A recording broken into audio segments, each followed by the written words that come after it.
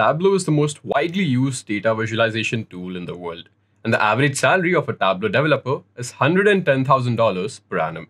A quick scan through the current job openings reveals that top companies such as Facebook, Dell, and General Motors are looking for Tableau developers. So, keeping the importance of Tableau in mind, we have come up with this full course. This course will be taken by Mr. Vivekanand, who is a data visualization consultant with 10 years of experience. Now, before we start off with this session, I'd like to inform you guys that we'll be coming up with more such full courses on artificial intelligence, data science, and cloud computing. So please do subscribe to Great Learning's YouTube channel and click on the bell icon so that you have a notification of our upcoming videos. Now, let's have a quick glance at the agenda. We'll start off with an introduction to visual analytics. Then we'll see how to connect our data with Tableau. After that, we'll understand what are dimensions, and measures. Going ahead, we'll work with the different types of charts in Tableau. Following which, we'll learn about storyboarding in Tableau. And finally, we'll work with dashboards in Tableau. So let's start off with the session.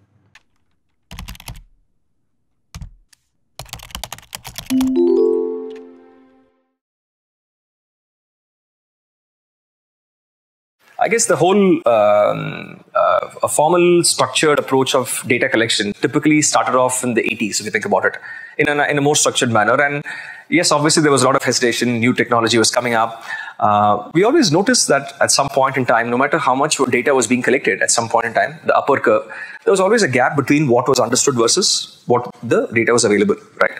Obviously, a lot of other things, Y2K scare and all this thing in there. And like towards the end of the decade, when all this myth was vanishing, there was more adaptability and all that.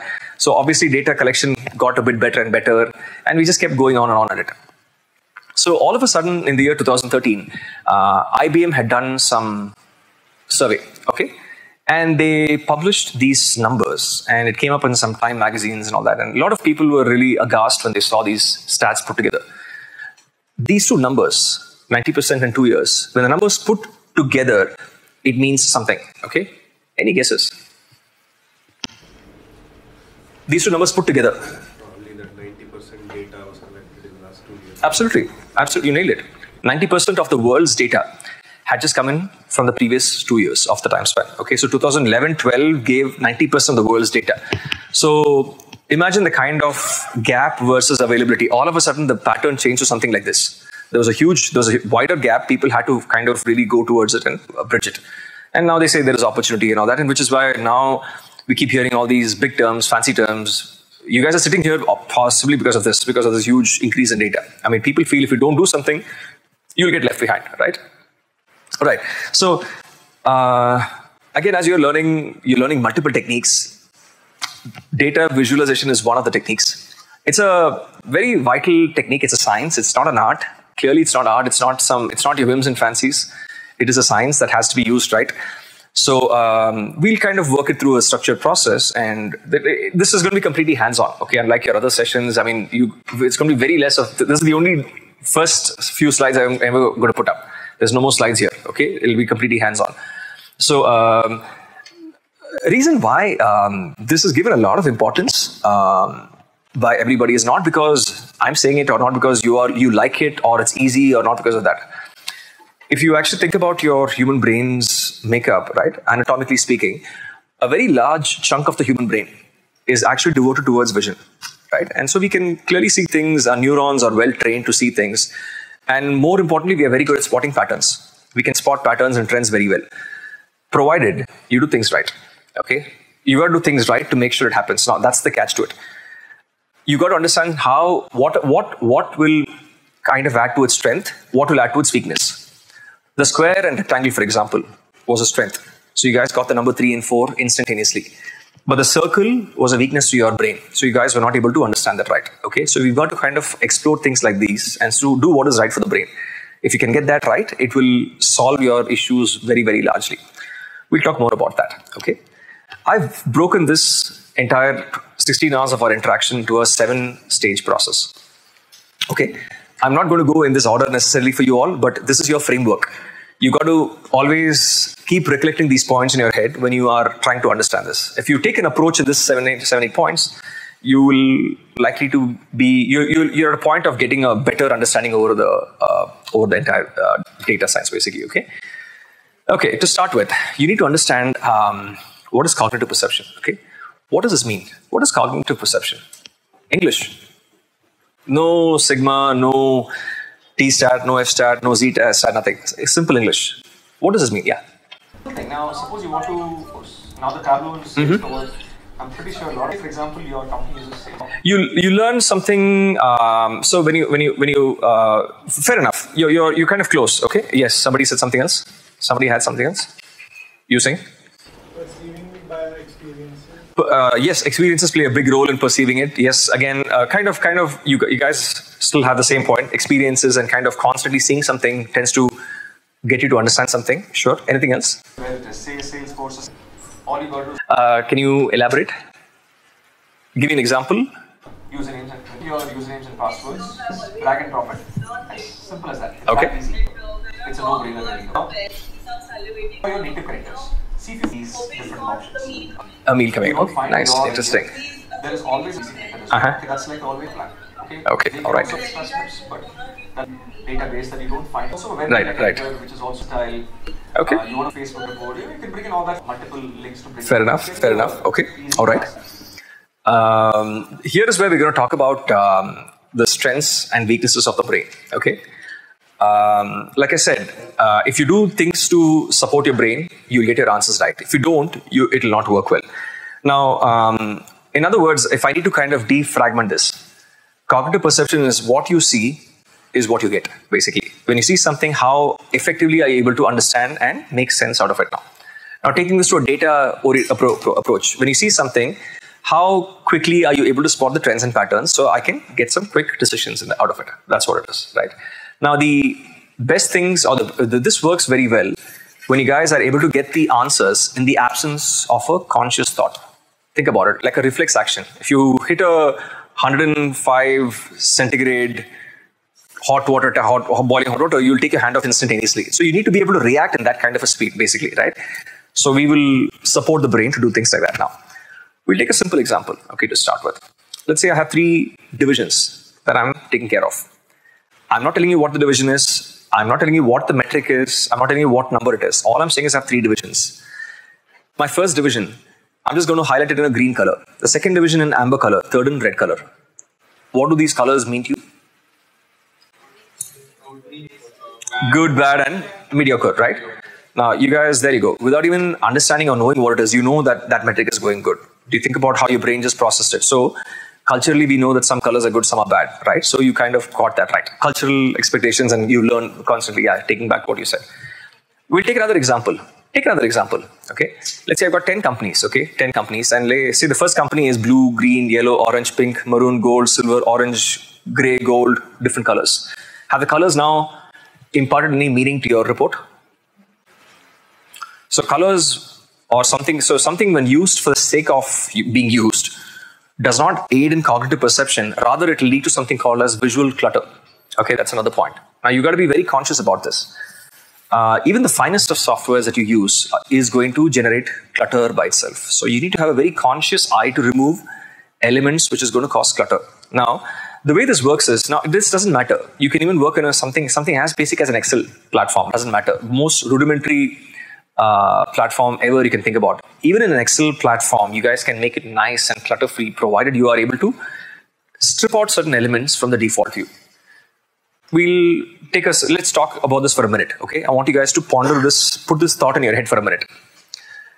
Any data view that you see is a combination of data ink and non-data ink components. Okay, data ink and non-data ink components. And I'll tell you what that means. Say, for example, you are 60 of you here.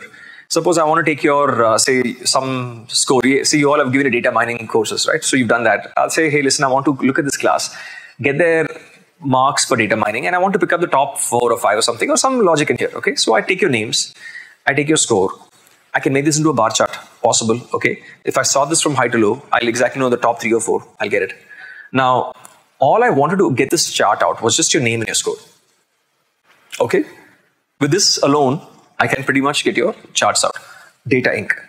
Now let's look at what are some non-data Ink components. Huge titles, colors for all the bars. Okay, grid lines, some unnecessary trend line, excessive charts, excessive labels, excessive dot points, uh, very thick borders, very dark concentrated colors. Think about a chart that looks like this now. So what will happen is you guys will rather than focusing on the bar chart and the top four, you'll be looking at all the other distractors. So your focus is more gone to your non-data ink. Now, anytime any visual dominates more non-data ink, that leads to clutter. So you got to be able to consciously bring down the non-data ink component to the bare minimum. Okay, it's required, but not to such a point that it dominates it. So that's something that you, should be your approach towards your visual clutter. Again, we'll look at examples constantly, and then you'll know how to remove this. I'll keep talking about this every now and then. Okay. Okay. Choose an appropriate display mechanism. What do you think this is? Very, very important. Most important. Correct? Choosing a chart type to best explain your business problem. Okay. Uh, this is where you got to take a very, very clear stance and a very strong grasp about what charts to create when. The good thing is it's not very hard. It's pretty simple. Okay. Now, um, every data that we have is broken into discrete and continuous variables. Data is always this. Okay. A combination of this is what is going to drive your chart choice. Let me ask you, throw a simple question at you. One discrete variable and one continuous variable. What's the best chart choice? What is the first chart that comes to your mind? Histogram is not one discrete, one continuous. This is one discrete and one continuous. Bar, bar, not even line, bar, bar. Just a bar chart. Nothing does a better job than a bar chart. Now let's take another kind of a field. I'll give you a date variable and a measure called sales. What's the best chart choice? Not histogram. Histogram. So be, be careful about histogram. Please, please take it off your head. Histogram is not a chart. Histogram is a different chart. Okay, just take uh, take it off your just erase it from your memory. Line chart. Why, now tell me why why do you say line chart in this case? Trend. Trend is one thing you look for in a line chart. Okay, what next? There are a few things to look for in a line chart. Trend is one. Then what? So uh, key takeaways. Like one thing is you'll find there what's the trend for the overall line. Is it going up, going down, going flat? Okay, that's the first thing you look for in a line chart. What else? What else?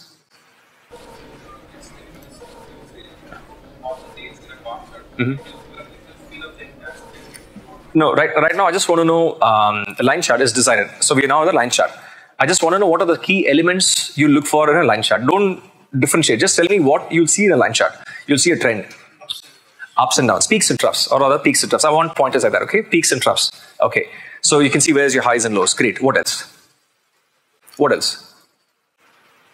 Trend is one, peaks and lows, or ups and downs, whatever, okay? Same thing. Then what? One more. There's actually two more. Two more. Pattern. To, pattern for what? So that's the peaks and troughs. Okay, so uh, modify that a little bit. Modify that. I just want the correct term for it. You probably got it, got it right, but I want the right term for it. That's the peaks and troughs. That's the same thing. Uh, sorry? Pardon me? Forecast. No, forecast is what is, is a derivative. That's one step ahead. Before that, first, first, let's get the basics of a line chart. Uh, you can, in fact, if you want to look at performance between, between two times, I'll choose a different chart choice. I'll come back to yours. Okay, just give me a minute. Sorry? Exactly, a recurring pattern. Yeah, a recurring pattern. So what's that? You call them as seasonality or being cyclic. Exactly, right? So these are some key first basic factors, first basic steps. These are the first four things you look for in a line chart, okay? Peaks and troughs, trends, uh, recurring patterns for seasonality or being cyclic. Exactly. Let me ask you a question. Suppose I am trying to plot the sales of a Walmart store um, for about four years of data. How the sales for Walmart look in the month of December? Hi. How the sales for the month May look like compared to December? There you go. Exactly what you said, right? Every year on year, uh, same thing. Yeah, it's seasonal and it's going to be repetitive, cyclic. It's going to keep being cyclical in nature. So these are some key things you look for on a line chart. Okay. Histogram is different. Who was that histogram? Um, what, when do you, when it, what is the difference between a histogram and a bar chart? They're not the same. They look like the same, but they're not the same. What is a histogram made up of? It is a count of frequency. It's a count of a frequency. Okay, so uh, if I need to make a histogram, what is the variable type I've got to have? One. How many continuous variables? One, exactly. You take that one, so I have sales for say 100 days, okay? I'm going to basically create bins, artificial buckets, and count the number of transactions, which and make it look like a bar chart. That's not a bar chart. Very different. Okay, they're two fundamentally different things. So don't mix histogram with a bar chart. Okay, now this is the meat of our learning, guys. Okay, if you get this right, um, you'll pretty much get most of it right. I must say. Okay. Um, this has some techniques, has some methods, and of course, we'll explore multiple options, some basic charts, custom charts, um, and so on and so forth. So we'll really spend some time on that. Okay and I'll and, and it's quite simple in Tableau. We can create multiple options of charts. It's not all that hard. So we'll really get the hang of it. Right. Uh, dashboard design, I'm sure you all know what dashboards are. All I'm going to tell you is just three things when you guys want to design a dashboard. Okay. Uh, you all do you all design dashboards at work? Do you all make dashboards at, at work for yourselves? Okay. So there are three factors, three things, three large guidelines I'll give you. First and foremost, you have to be able to get the right content relevant content, consistent content. So you need to give a, give it, give it a, a, lot of thought on what content has to be put inside a dashboard. That's an entire field of study. Okay. Again, we'll talk about that. We'll see how to kind of get the right content. How to we take some examples. The second part of your dashboard design is your actual physical layout of the dashboard. Okay. First is your content, what goes into the dashboard, then the actual layout of the dashboard. Okay. And the third pillar of your dashboard to work is your interactivity Okay, interactivity. Now, obviously, if you don't make it interactive, you made a PPT. You made nothing more than a PPT. So you don't want that happening, right? So you need to have a combination of all these three to make an effective dashboard. Okay, content, layout, and interactivity. Again, we'll make a first dashboard before we take our first tea break today in Tableau. Okay, with some charts and all that. So we'll make one. In that, I'll talk about these three factors in it as well. Okay. Okay, the uh, next thing I want to talk about is something called explore visually. Okay, one of your most underutilized parts of visualization, basically. Okay. Um, which part? Where are you all right now in your uh, capstones? Just started. Okay. So um, that case, make it a point. You guys don't know, don't don't miss Sunday session for sure. Okay. On Sunday, I have a small activity plan wherein I'll be able to give you a good start, a head start on your capstones. Okay. So I'm going to take a data set, completely unknown data set. Okay. Um, all I'm going to do is basically uh, make you guys do some very simple techniques in it. Okay, and I'm going to get you guys to run some simple techniques, make some simple charts, choose the correct all these all these techniques, minimal clutter, correct chart choice, try to amplify cognition, put them into a dashboard in a method, slightly different methodology. Okay, uh, and I'll make them all interact and all that. And it is a data that you guys have no idea about. You guys are going to see for the first time. But once you guys have this dashboard designed to explore visually, you guys will be able to simply be able to talk about the business like really well, like you know the whole thing really well. You'll be able to explore patterns, hidden patterns, um, patterns that you didn't even expect in the data. Okay, so that's something which I think will be very very efficient, useful for a person who's trying to see a data for the first time. And if you folks are working on your capstones right now, I would recommend you start with this. Start with this, and then start whatever techniques you want to look at it will help you to get a clear lay of the land. You'll be able to generate more hypothesis with that. You'll be able to kind of really pick it up in a very efficient manner. So uh, Sunday, we'll look at how to work this out. Okay. Another um, interesting uh, talk is about how to analyze visually. Okay. This may sound similar to your previous few points, but this analyze visually and uh, choosing your display mechanism. Okay, point three and point uh, 7, there is a connection in this now. So you, guys can draw in if you want to. So what this does basically is uh, when you choose a chart choice, we took an example of a bar and line chart. Okay, so that's one thing. Now let's take a couple of scenarios. Suppose I want to take um, just the say this is a class of about say say 60 of you here. Okay, I want to take 60 people's marks and I want to look at a bar chart a bar is doable. Smaller number of records. Okay. Now let's say I want to slightly up the game a little bit. Instead of looking at 60 people, let's say I want to take in about say 100,000 people, 100,000 records. If I need to bring in records of all the 100,000 people into a particular chart or into a particular screen, how do you think that's going to look like? You think it's going to clutter. You think it's going to clutter or looks messy or cramped and spaced or too big a scroll bar. You know, all these issues can happen. Now, just because I've got more data, you can't blame it saying it's clutter. Okay. Now, this is not a clutter issue. This is not clutter. Clutter is something that you have to be able to ensure that it's not there. When I have more number of data points, you can't call that as clutter. It's like saying, hey, store is selling five products. I can make a bar chart. If a store is selling 5,000 products, it's going to be cluttered. I'm sorry, that's not the way it is. That's the business. You should be happy selling 5,000 products. Okay. Now, there are techniques to display this data. There are some special techniques which we can bring in here, which are what I'll talk about here in this case. Um, so it's like this to put to, to give a layman's perspective right now. Okay. Yeah. Suppose I'm standing right here. Okay. And I can see all your faces this is one kind of an insight. Okay, I'm able to pretty much see what are your laptops, what you're wearing, what color clothes you're wearing, uh, so on and so forth. I'm able to clearly see what's at near sight. Now try and put me on a high-rise building. Okay, in a very high-rise building that's say 700 stories. Okay, can I see your faces any longer? I cannot. When I'm in that altitude, when I'm that height of a building, what can I probably see? specks of buildings, like say uh, smaller things. If there is a, another high-rise building, or make me stand in the moon, okay, or put me in a much higher, put me in an airplane, okay. From an airplane, what do I see? A bird's eye view. I can see tall high-rise buildings, okay. What looks massive to me from here might look like just like a speck on top, okay. That's another view. Now, this is an insight. That's also an insight. Me standing and looking at your face is an insight because I've got smaller data points. But if I'm put in an airplane and I'm seeing outside the window, then I see just specks in there. That is also an insight. Okay. Now here's where you got to keep in mind. Now just because you are in an airplane, don't uh, with an airplane I can never see your faces. I can never do that. Okay. So if I need to look at something more specific, I choose an exact chart choice, take some charts for smaller sets of data and show this. When I have very large data points, my intention is not to say, hey, listen, what t-shirt is he wearing? From an airplane, I can't do that. Okay, if you want me to find that, I'm sorry, you're mistaken. Then you've got to change your approach a little bit. But if I want to see what is an overall view, where are the water bodies, where are the high-rise buildings, what does it look like, what's the terrain look like, that's the answer I'm supposed to get from a high-rise, from an airplane, right? Now that's what this analyze visually will do. It gives you a bird's eye picture. You can put in lots of data, plenty of data, and get a high-level picture of what is happening. We look at some techniques for that. There's something called as trellis maps, uh, something called as stable lenses, uh, time series, geospatial mapping. Plenty of techniques are there. So we'll explore some ideas in there. It'll give us some ideas. We'll use that as well. Absolutely. Tree map will be a part of that as well. Yes. I'll use tree maps in there as well. They'll all come in there as well. Yeah. Tree maps with different, uh, some options in there. Okay. We'll talk about that. You kind of said it right. Yeah. And lastly, we want to make storyboards. Okay. Storytelling. Quite a, a need of the. Uh, how do you transform boring information or boring data into interesting stories? Okay.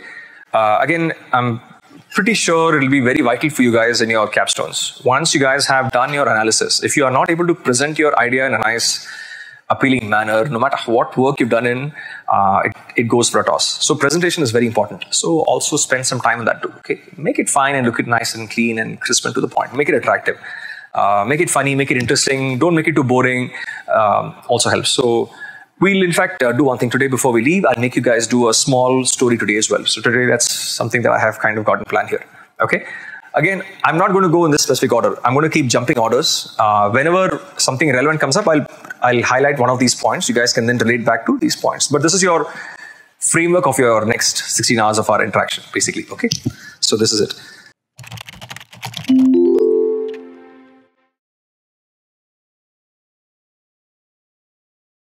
Okay, so let's get uh, do some hands-on right away now. Okay, all right. I'll, I'll talk about the different uh, Tableau products later. Okay, when uh, I'm wrapping up the session, but I'm going to keep this for the last day's talk. So right now, let's not uh, spend some time on this. I want to quickly jump into some hands-on work for you guys right away. Okay. All right. So uh, this is the interface. How many of you have used Tableau before here? Any? Okay, so about two, three. Okay, about okay, okay, quite a bit of you guys. So you've done some work. What level of work do you guys do? What level of work do you do, by the way? Okay. Okay. Okay. Okay. Okay. And what about you? Uh, what like what what kind of work do you do normally? Okay. So what kind of uh, dashboards? Uh, I mean. Uh, Okay. Okay. Okay. Okay. Okay. So, uh, let me ask you in terms of usage. I mean, have you um, have you done things like LOD calculations and sets and all that? Have you done that? Uh, some advanced uh, mapping techniques. Have you done that? Have you tried some geospatial? Uh, have you tried, uh, you use parameters and all that? You know how to use parameters, actions and all that? You guys know all that? Okay, okay, fair deal. Okay, good enough. Okay, so you guys have a fairly decent point. And sorry, you said something. You also? Somebody's put up your hand there. You also similar, similar to these guys? Supporting, yeah. And, and, and somebody had, uh, yeah. There's no change in that. Okay. I'm not going to, I'm going to make it into a visual table. Okay. Cognitive elements to action. So your, I'm going to work and I'm going to make you answer. You guys have done some work in that? You've done some work. I want to bring in sales. Okay. I'll drag it off sales and after my region Hmm. feed. Do is it's going to auto. Okay, all right, all right. So uh, for you guys who've done some work, initially might seem a bit of bit like a recap or uh, may seem a little thing, but as we go on, I'm sure you might find. I'm pretty sure you'll find some changes. Okay, so we'll hopefully. Everything has been done right now. Okay. Sorting order again. I put sorting techniques. It is already sorted. The current Mm-hmm. sort- if End of the day, yeah, on the last day. So um, on the last day, uh, once I'm get that done past all the basics, uh, we'll talk about how to create some. Um, we'll, we'll I'll, I'll show you how to create a regression model in R. I'll, I'll be integrating R and Tableau the last day, wherein I'm going to create some models in there. So we, we're going to do a visual regression. We'll talk about some clustering. We'll talk about some uh, uh, simple forecasting techniques, time series forecastings. We'll talk about uh, computing Z scores, you know, that kind of stuff in there. So I have a few ideas as well. And I'll show you how to do a couple of things and then from there you guys can actually build on. I'll show you how the integration happens. With that, it becomes fairly simple. You can really pretty much build your skills from there onwards. Okay. So let's begin, guys. Okay. All right. So uh, the ones who are seeing it for the first time, okay, just some basic housekeeping rules before we start. Uh, you got to keep in mind that this tool does not um, generate any data from it. Okay. It's not like an Excel platform where you can type in records and then start to do some reporting. You need to feed it a structured database. Otherwise, it's not going to work. Okay. So when I say structured database, data has to be in the form of rows and columns, either a grid or a matrix. Okay. A data frame or a matrix is required. Um, unstructured is what? Like I say, there are 10 photographs. I can't just upload 10 photos and say, now find me an insight. Okay. Or unstructured text and do some text mining. No, it does not work well in that kind of a space. It must have a structured database. Otherwise, it's not going to really work. Rows and columns are very, very important. Okay. Now, having said that, um, any structured database, something as simple as an Excel file or a CSV file or a PDF table can be easily imported. It's not really a big deal at all. Uh, you can also bring in some more structures, some more uh, complex structures like SQL databases and Hadoop tables and um, Salesforce reports, you know, that kind of Google Sheets. Uh, I, uh, uh, yeah, so so there, there, are, there are multiple other, some web data connectors, okay, ODBC connectors. There are plenty of that. So if you scan your eyes on the on the blue part of your screen here, okay, this contains all your native connectors. Okay, now there are two variants. One that says connect. Okay, this is what the second says to a server. There are two variants of connections basically. Okay, now the connect to a file. The first bunch of drop downs are all your local files. Okay, local files. Like somebody, it, it means eh, from a layman's terms, if somebody emails you a file, you can use it. It's something as simple as that. Okay, so it's in any shared drive or some or any drive or uh, your C drive or something. It should be as a local file basically, like an Excel file property. Okay, now if you look at this server options, okay, your frequently most used server options are the first view in here. Okay. But if you also click on this tab called more, okay, you'll find that it's going to open up an entire um, plethora of options for you to choose from, where you can pick up different kinds of server-based files in here as well. Okay, simple thing. Now, suppose you want to, if anybody uses Salesforce, now the Tableau and Salesforce have been merged. I mean, they've taken over. I'm pretty sure a lot of synergies will take place now. Okay, say for example, your company uses Salesforce. Now, uh, who has Salesforce here? Anybody uses Salesforce in the company? Okay, so you know what? In your Salesforce, when this happens, um, when any uh, transactions happening, suppose people are updating their uh, their sale uh, lead life cycle, the guy who who he or she is going to work on Salesforce is going to ensure that he updates it on Salesforce. So basically, all that it's doing is it's collecting reports or collecting data from each and every person into the Salesforce platform. Salesforce can also build visuals. It can also create its own visuals. I'm not interested about that.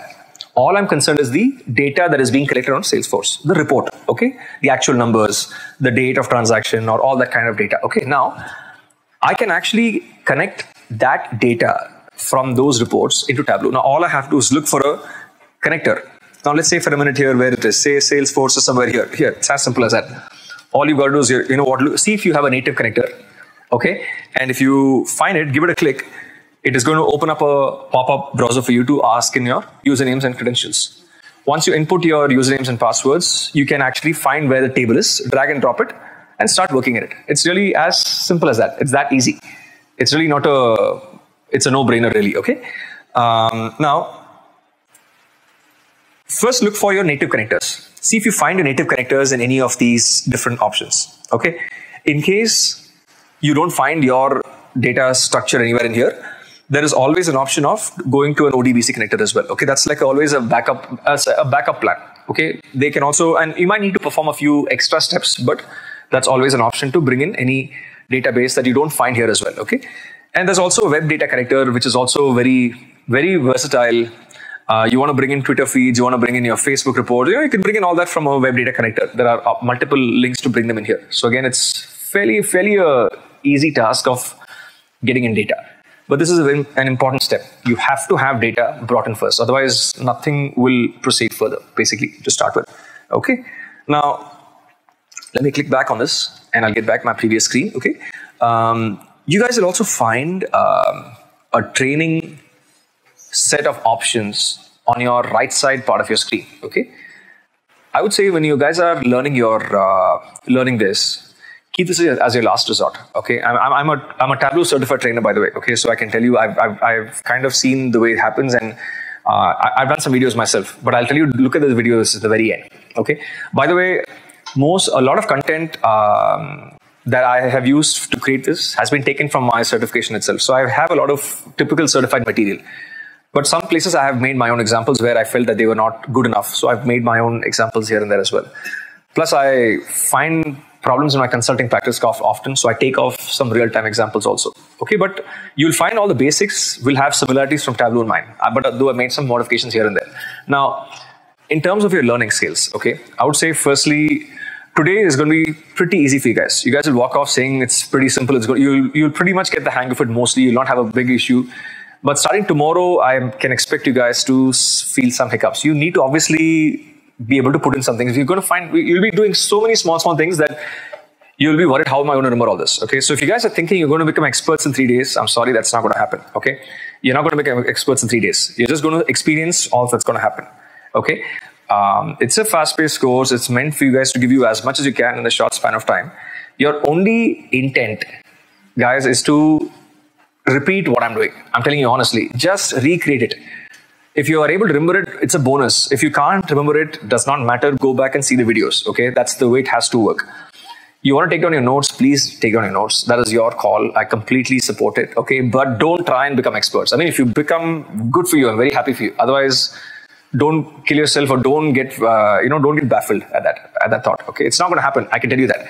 Starting day two, day three, you're going to start to feel the heat on. So I'm, I'm telling you right now. Okay. Um, that's fine. It's, it's a common thing. It's not an unexpected thing. It, it will happen. Okay. Uh, what you can also do is uh, I have also given you guys some uh, PDF guides, uh, which I made a few years back. In your uh, LMS folders, there's a zip folder called uh, self-help material and datasets. It's about 25 MB worth of file. Okay, um, 25 MB worth of files. It has lots of files and folders and all that. I'll tell you how to use them tomorrow tomorrow once I have an example, I'll, I'll really pick it up. But that contains a lot of uh, PDF files in it. All the major topics that we're covering here. I have given step-by-step instructions saying drag and drop this here, drag and drop this there, click here, click there, you know, to that point of level. So if you are a PDF kind of a learner, you're a printout kind of a learner, you can use that. That's another so resource for you to learn. Reference material. Okay, so videos is one. Second is these PDF files.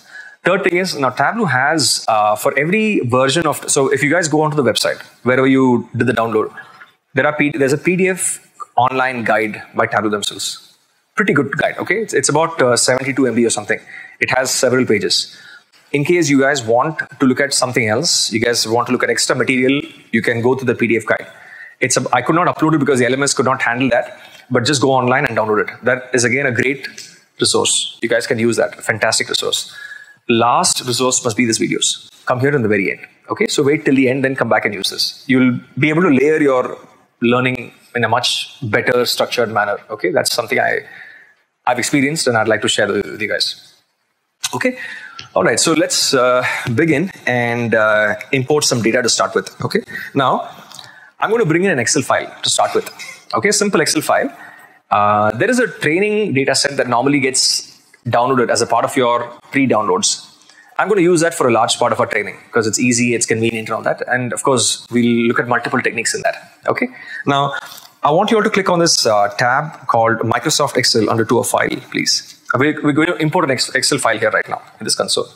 And uh, it's going to open up uh, some location, okay? I'll tell you where this location is, okay? So you guys will keep looking at this multiple times, even tomorrow and uh, sometime day after as well. Uh, you probably want to make, write, make a note of it somewhere so that you don't forget the location of this uh, file, okay? If you all, yeah, you all click on your tab called Documents, please. Documents.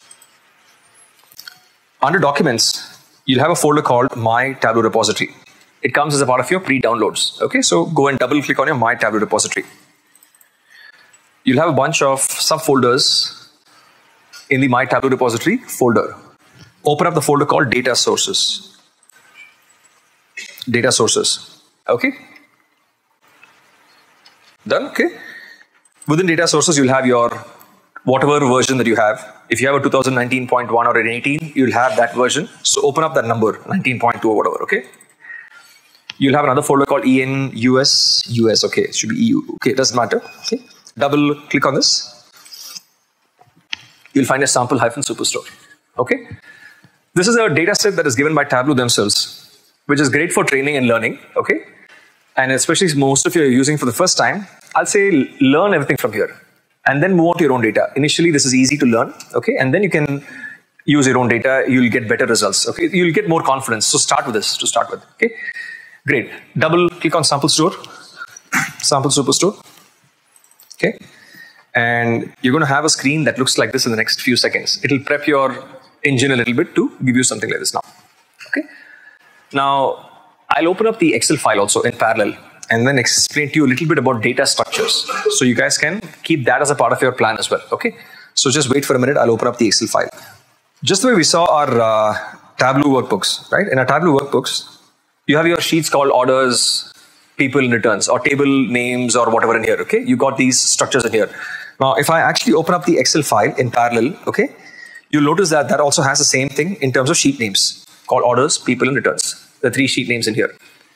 Now, if you import uh, data from SQL or something, you will, instead of finding sheet names in here, you'll find table names. So you'll be able to find whichever tables you want to bring in, you can drag and drop them. So these will be table names. You can go in there, you can drag and drop it here. Now, okay, your first task is to know uh, which sheet or table that you want to primarily analyze. Okay, so we're going to look at the orders sample superstore for a minute, and then we'll kind of get a hang of this now.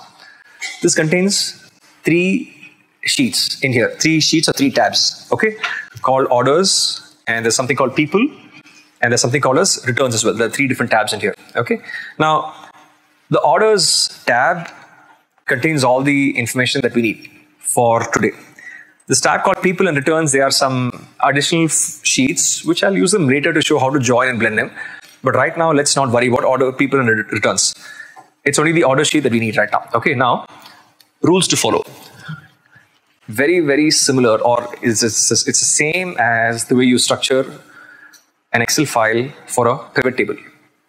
The exact same rules follows for Tableau as well. I sometimes think Tableau is pivots on steroids.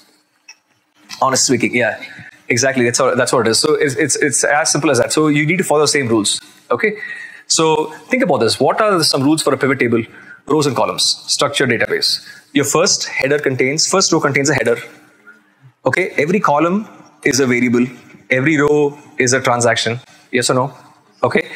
In and, and here's an extra rule: when you follow, when you maintain uh, variable types, okay, be consistent. Suppose you have a numeric variable in a column, it's all numbers. Don't corrupt that with some dates or text or something. Don't mix that.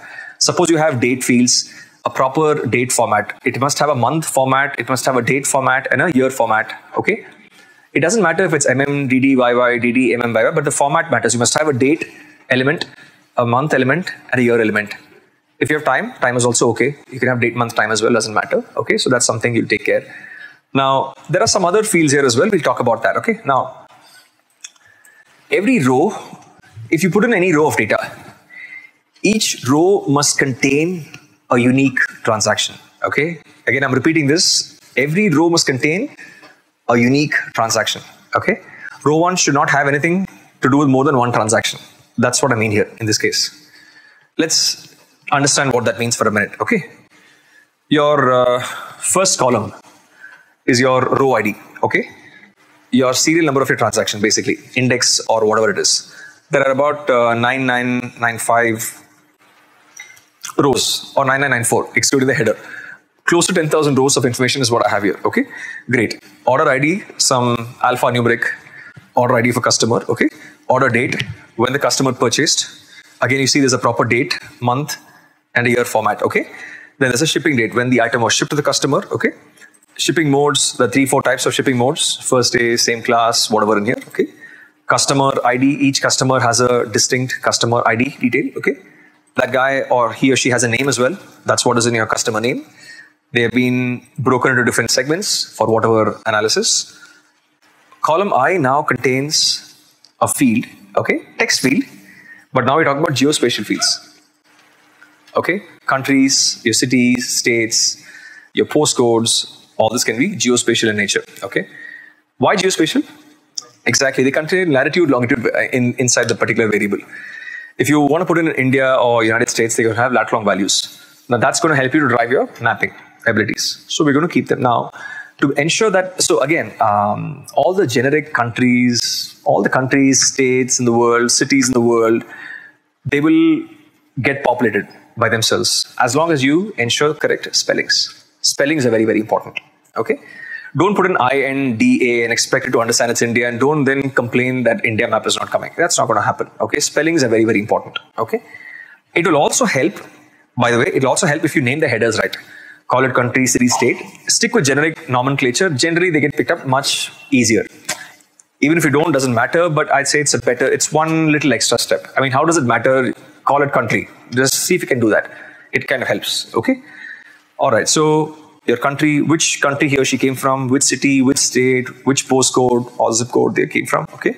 Moving on, there's something called as region, column M, M as in mother. This data set contains transactions only for the US. Okay. The US map has been broken into four regions east, west, uh, central, and south your eastern states like your Massachusetts, your uh, New York, and DC and all is broken to east. West is your California, Nevada, your Oregon, and Washington, and all that. Okay. South is your Florida. Central is your Texas, your uh, Louisiana, those kind of states. Oregon, uh, sorry, uh, whatever, North Dakota, some some states in there. Okay, that's there in here. Now this field region, would this be a geospatial variable or not? Why? It can be for any country, right? East of India, east of Europe, east of Africa, east of Australia. Okay, east is not a way. While it's closely connected to geospatial, it's not a geospatial. So you got to have that sense of differentiation. Okay, so that's where it is. Okay, so product ID. What did he or she buy? What was the category? What was the subcategory? What was the item name that he bought? Different levels of data in here. All these are your different other text fields now. Okay, your last four columns contains the actual numeric fields okay, or your continuous fields.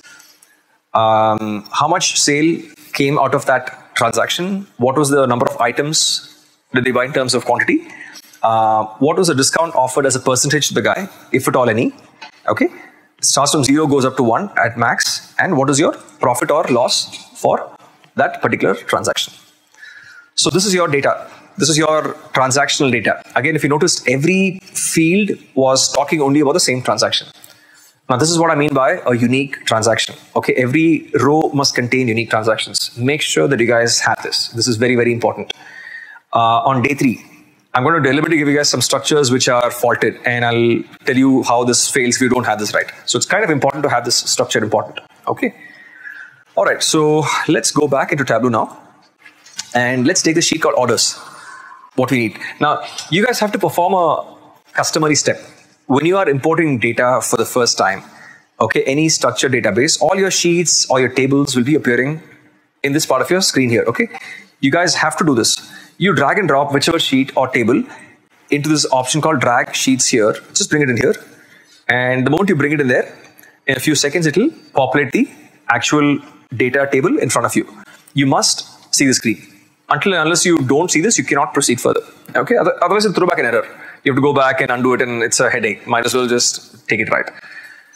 Okay, A few more things, but I'll not go too deep into this. Lastly, I'll talk about this. You can set in connections for live and extracts, which I'll talk about on the last day. Okay, live is what real-time dashboarding, but I'll tell you how to use it and when and where. It works more on a server. I'll talk about that later again. Okay, right now, just know that this is an option to get enable a live stream of data. Okay, extract is extracting just part of your data. That's what it is. Right now, just keep this much in mind. We're good to go. Last day, I'll spend time on this. I'll talk properly on this with an example. Okay, now in terms of uh, filtering data, or see again, this ta- the, the Tableau desktop software that we have is not a data cleansing layer. Okay, there is something called as Tableau Prep. If in case you guys have used Tableau Prep, there is a layer called Tableau Prep, which is basically meant to do all your cleaning, uh, cleansing, and all that. Now, say suppose I've got I've got 10,000 records. Okay, now say for a minute I want to clean some data. I don't want to bring in all my data into my records into this uh, engine. Now, using this part of my software, I can filter certain rows away. Data consists of rows and columns. Okay. What I can do here is right now, if I want to, I can filter certain rows away.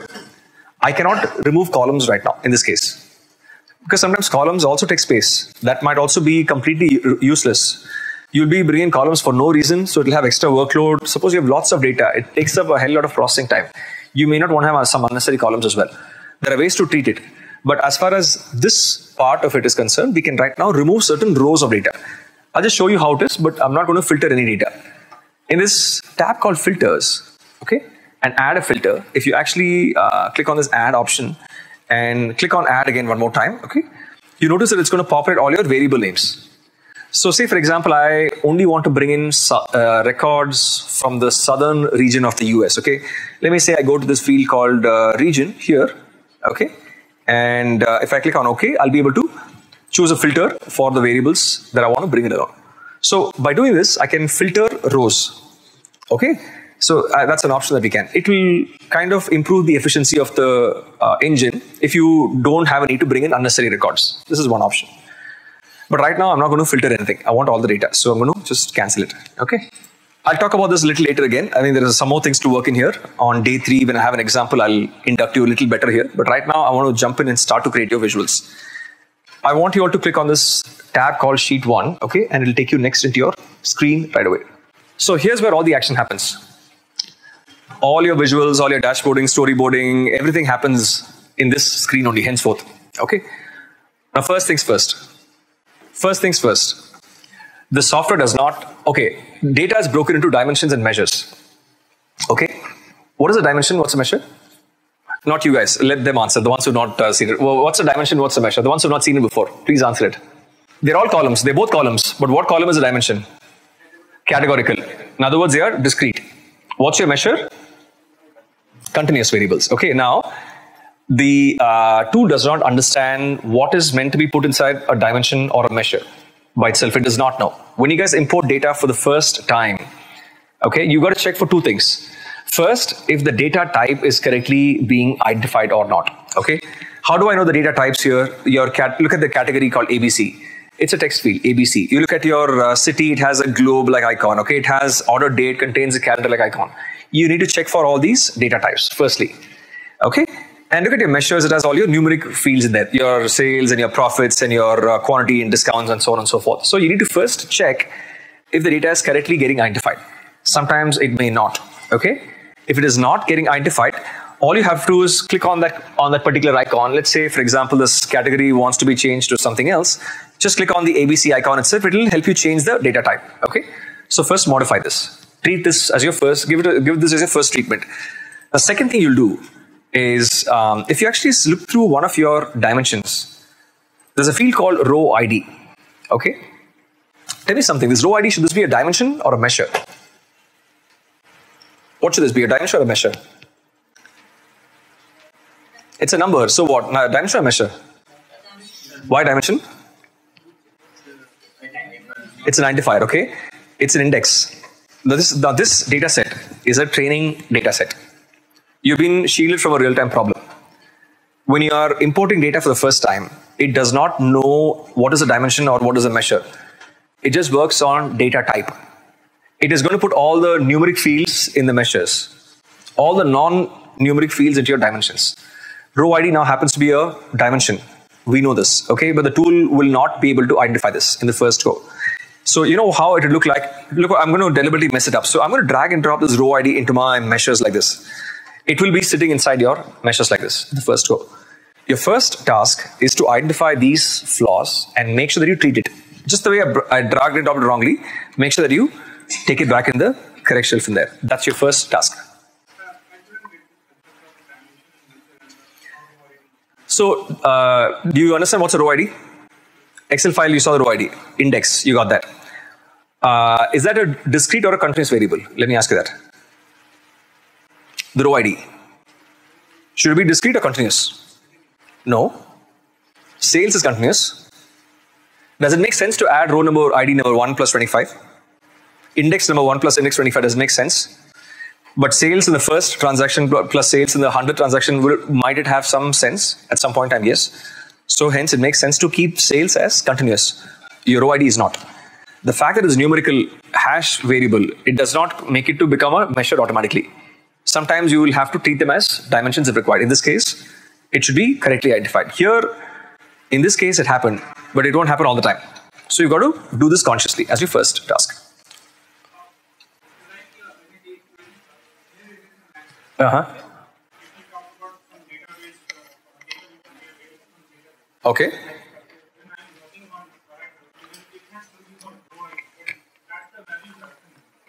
Okay. Okay, so then that will be a dimension automatically. If it's moments, alpha numeric, moment there is any uh, codes in it, alpha in it, it becomes automatic dimension. You can't add uh, 5b, 75 plus 1, no? You can't add it. So it becomes a dimension automatically. So that's not an issue, okay? Only if it's purely numerical, you have a problem. Be careful about that. Okay, let's say for, for example, you have a, you're looking at uh, some housing data. I'm saying each property, I'm saying uh, this is the first house is a two bedroom, three bedroom, four bedroom. For number of bedrooms, I say three, four, and five. Okay, why these are numbers? I could have very well called them as 3 BHK, 2 BHK, 1 BHK. But the fact that I've called it as 1, 2, 3, 4, 5 does not make it into a number where I can use for math. That's a case where I can't keep it as a measure. It has to be a dimension. I have to treat it. The tool will not know this. By default, it will put it into a measure. But you have to treat it to a dimension. So that's your initial treatment that you have to do. Yes, yeah, yeah, uh, no, you you can, you don't have to. See, so again, you don't have to change everything. Yeah, you can, ex exactly. from the data. It's coming from the data. Exactly. The tool will identify. Oh, you mean, oh, exactly. Yes and no, if it's put as 1 and 2 or 0 and 1, it will probably, 0 and 1 is binary, that's still okay. That will identify. Uh, binary, yeah. If it's 1 and 2, suppose, for yes and no, it will go into a measure, but it's not a measure, it's a dimension. You have to treat it, like he said. So you have to have that understanding. So you need to know your data completely well, guys. You should know thoroughly your data before you even start to work on this. You should know what data type is each, where it should be. It should be a measure or a dimension. That's your first homework you will do. And then you will start to play with this. Okay? Right. So I'm not going to start to create some visuals now to begin. Okay, so a few more uh, quick rules and we'll start. If you actually scroll through your uh, dimensions to the very end and your measures to the very end, you'll find a few itemized fields. Okay, just just check this out. Just I- I'm going to hi- highlight this. A few itemized fields in here. These are fields that are getting populated automatically. Now, whether you like it or not, they're going to come. Okay. I'll, I'll talk about the measure names, measure values in a bit, but let's talk about the others right now. Okay, I'll, I'll show an example for the other ones. Now, let's say latitude and this longitude generated. These are the lat long values coming in automatically from the software. Only because when you guys imported the data set for the first time, you made sure there were correct spellings for your cities, countries, and states and postcodes. So it has checked its repository of geospatial variables and it's found a match. So for those matches, it is returning lat long values from the console. That's what is happening. Okay. These are automatic. Okay. Number of record is pretty simple. I'll say, hey, count the number of records for transactions in New York. How many transactions in Los Angeles? I can do that. Okay. How many transactions for tables, shares? I can get that. That's what it is. Your measure names and measure values, I'll talk with an example. They're used for creating pivot tables. I'll tell you that much. I'll make a pivot table, show you how it works at that, that point in time, okay? In the next few minutes. Your uh, marks cards, color, size, text, and all that, these are, uh, you know, there are seven steps you spoke about, cognitive perception and all that. This will help you to amplify your cognition, basically. We'll see how to use them at some point in time, okay? Rows and columns where you'll actually do drags and drops, okay? This one uh, view called Show Me on the right hand side topmost corner. That's like a cheat sheet. Okay, it's a guide to choose a chart choice, basically. Okay, sometimes you have variables. You want to know what are some potential charts I can create. Show me is a starting point, how to choose a chart choice. Okay, but I'll tell you how to use it optimally. I'll give you some examples on that as well. Okay, so I'm, I'm going to click on this right now, so I'll just hide it off. Okay, and I'll use it now. Right. Okay, so all right. So all you guys go to your measures called sales, please, to start with, and double click over sales. Okay. What chart is this? What chart is this? Bar chart. What's your total sales for the data? Total sales is what? 2300 okay? So again this has a lot of similarities to excel. As you guys like i said it, it is pivot on steroids. Believe me you'll experience it more and more. Check this out in your um, uh, you know these base uh, indicators summaries you get the number of items total sales you know all these metrics will come right there. 2.3 million in fact. 2.3 million dollars in fact. That's the total deal okay? And there are also tooltips, fabulous tooltips. If you actually hover on top of the object, it will give you a tooltip of that particular thing as well. We can go to a point of customizing tooltips, like writing sentences and making custom tooltips. We can make custom design pop-ups and tooltips. A lot of things are possible. We'll do that later, okay? But right now, let's explore this now. Now, I want you guys to go to your field called category, okay? Drag and drop this category to your field called columns. Okay, so I'm able to now successfully break them into three categories called furnitures, something and something, okay? Um, in your screens, I'm guessing you'll find it look better. Your uh, furniture label has probably fully come in for you, right? Your uh, technology has become Technolo in some of your screens, if I'm not wrong, right? Yeah, and office supplies has come in two lines for you guys, if I'm not wrong, okay? Fair deal. We'll fix it up. We'll fix it up my screen resolution is a little different, so it's kind of shrunk all my variables. Okay, doesn't matter. Now, I'd like to put in labels on all these bars in here to see how much of sale came from each of these bars. Okay, so, so guys, on your toolbars, you notice a small icon called T that says show mark labels. Give it a click, you'll be able to put in the labels for whatever data points you have on your chart there. Okay, so that's your data labels. Okay. Now, I have a small um, quick common sense test to perform. Okay, just to test your brains and all that. Um, just take a look at the ceiling for a minute. The ceiling. Okay, what shapes do you see the most? Okay, hang on. Squares. Okay.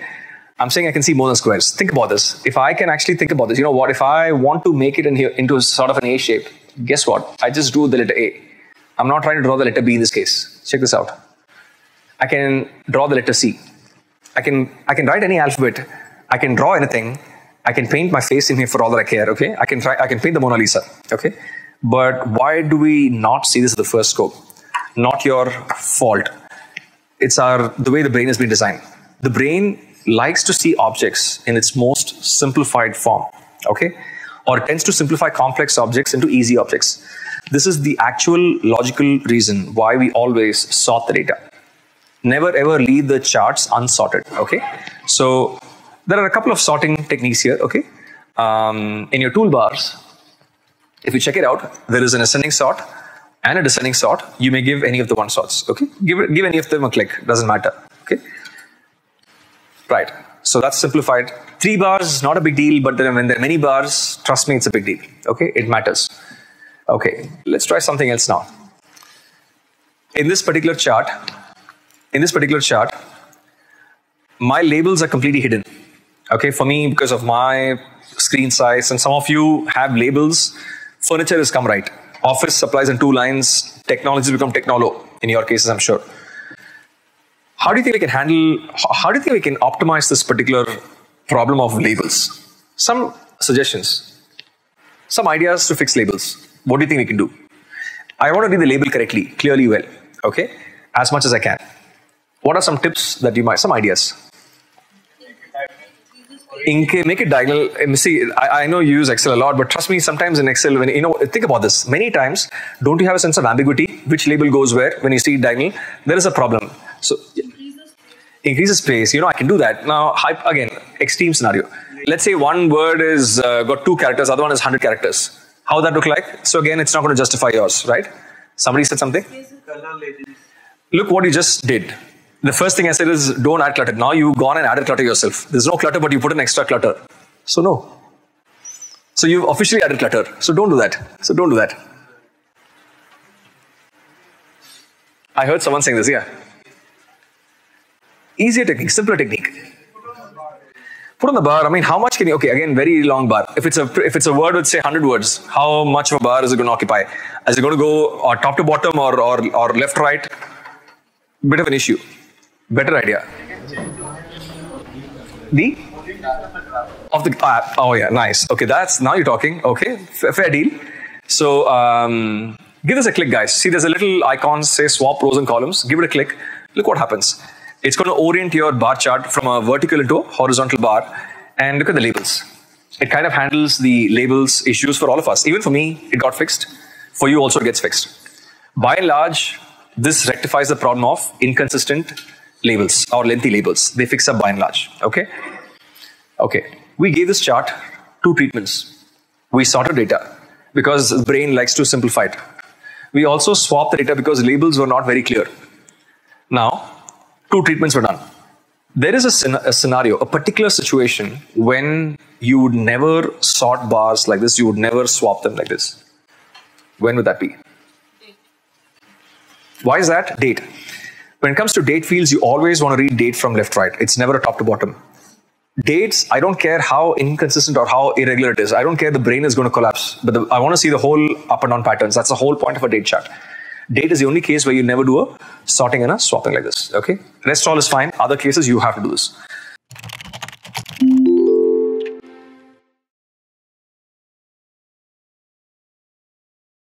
All right. So let's rename the sheet. Okay. Um, I'm going to call the sheet as uh, category sales. Okay. Now, um, I'd like, like to open up a new sheet, another new sheet. Okay. In my uh, thumbnails below, where I'm clicking right now, there are three small thumbnails. Okay. The first one is to get an extra worksheet. The second is for a dashboard. Third is for a storyboard. I'll use the three of them today. But right now, I want you to pick out the first one that says new worksheet. Okay. You can keep adding more and more sheets. And let's work on sheet two for now. Okay. Let's do a small, um, another kind of a report right now. Okay. What I want you guys to do is to first create a chart for me. This field called uh, subcategory. Okay. Drag and drop this subcategory to your rows shelf, please. Okay. How many uh, subcategories do we have in total?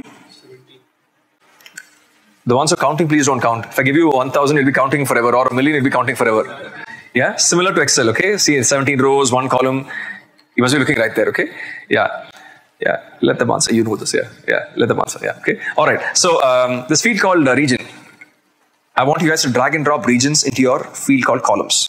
Please do this. Okay. So all I have is a structure of a report.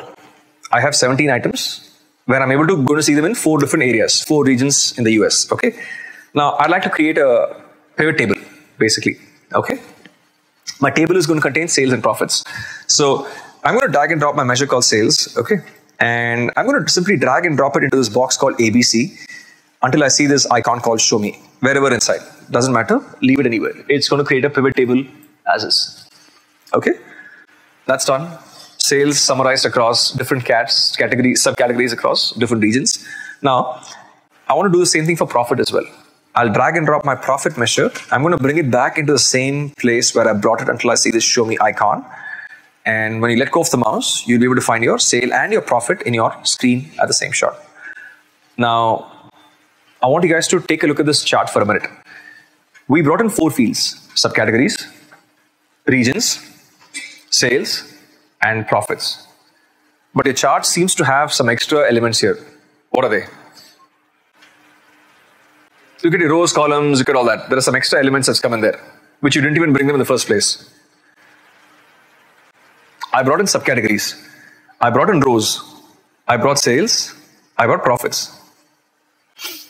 It's got some extra things right now. Look at your filters, look at your uh, uh, rows. What's all there? Measure names. You never brought measure names, but they came in themselves. You see that? Yes or no, guys? Yeah, okay. Now that's what happens with the help of measure names and measure values. You remember these last two uh, itemized fields I spoke about? These things have come there by themselves. Okay, now what this does is, suppose you make a pivot table. You're going to try bringing the same in the same place to make a table. You're getting more than one measure. Okay, so how many measures do we have totally? Four exactly. So I've got four, but right now I've just brought two measures. Okay, two out of my four measures. So if you look at your filters to start with, your filters has got a measure name because it's filtering two of the measure names out. Your discount and quantity has not been brought there. It's only getting in sales and profits. Okay, now having filtered only for the relevant measure names, if you notice in your rows, there's a measure name. You know why? Because you first have your subcategory, which is all your subcategories. Then you have your measure names, which is your profit and sales, which is again your second item in here. And if you look at your different columns, they have your regions for your central, east, west, south. Now measure values. How, do that, how does that work? Check this out. Measure values are one controller to bring in all the measures at the same time in the same place. Measure values contains all the measures, but the fact that I've got only two measures, this works in comparison with the measure names. If I filter some measure names, measure values will also get filtered automatically. Okay. So this case, only sale and profit has to come because that got filtered. Now, that has a small icon called T on it. That T icon, will, by the way, refers to a text. The fact that it's a text, you got a pivot table. And here is your order of profit and sales, sales profit, exactly what you have in there. That's how measure names and measure values typically work. Okay? You don't need to remember this, but I'm just telling you how this works. Just FYI. Okay? All right. Now, a, a big irritant, a big irritating factor for a person when he makes a report is scroll bars. I say as much as you can, try and eradicate them, eliminate them. At least minimize your scrolls. Okay, you can't, you may not always be able to get rid of it, but try and see, nullify them as much as you can. Now, I have a simple solution here, a very simple solution. See, I have a scroll bar that runs top to bottom. Okay, I'm saying instead of having a scroll bar running from top to bottom, I seem to have a lot of extra white space in my corner. Why can't I use that instead and try and cut the scroll? That's my logic. So all I'm going to do is a very simple rearrangement. And that's something that you need to play around with. Understand every time, each time it may have a different situation, but always give it a play and see what works well. Okay. Now measure names. Okay. Try this. Drag and drop your measure names to a field called columns and look what happens. It will definitely, in this case, treat your pivot table a lot better and going to have a much more cleaner looking report. And this is something that I might definitely subscribe to. Okay. All right. Time to answer a few questions. Okay. I'm not, I'm going to give you a few seconds. If you don't answer a question, I'll move on to my next question. Okay. But I need, I need some answers real quick. Okay. Okay. Help me spot the subcategory having the highest sale. Help me spot the subcategory having the least profit. Look at the report on my face. Okay. Help me spot the subcategory. No, help me spot subcategories having losses in more than two regions. Time up. Okay. Help me spot the subcategory having the highest profit in the highest region. Okay. Done. Okay. Time up.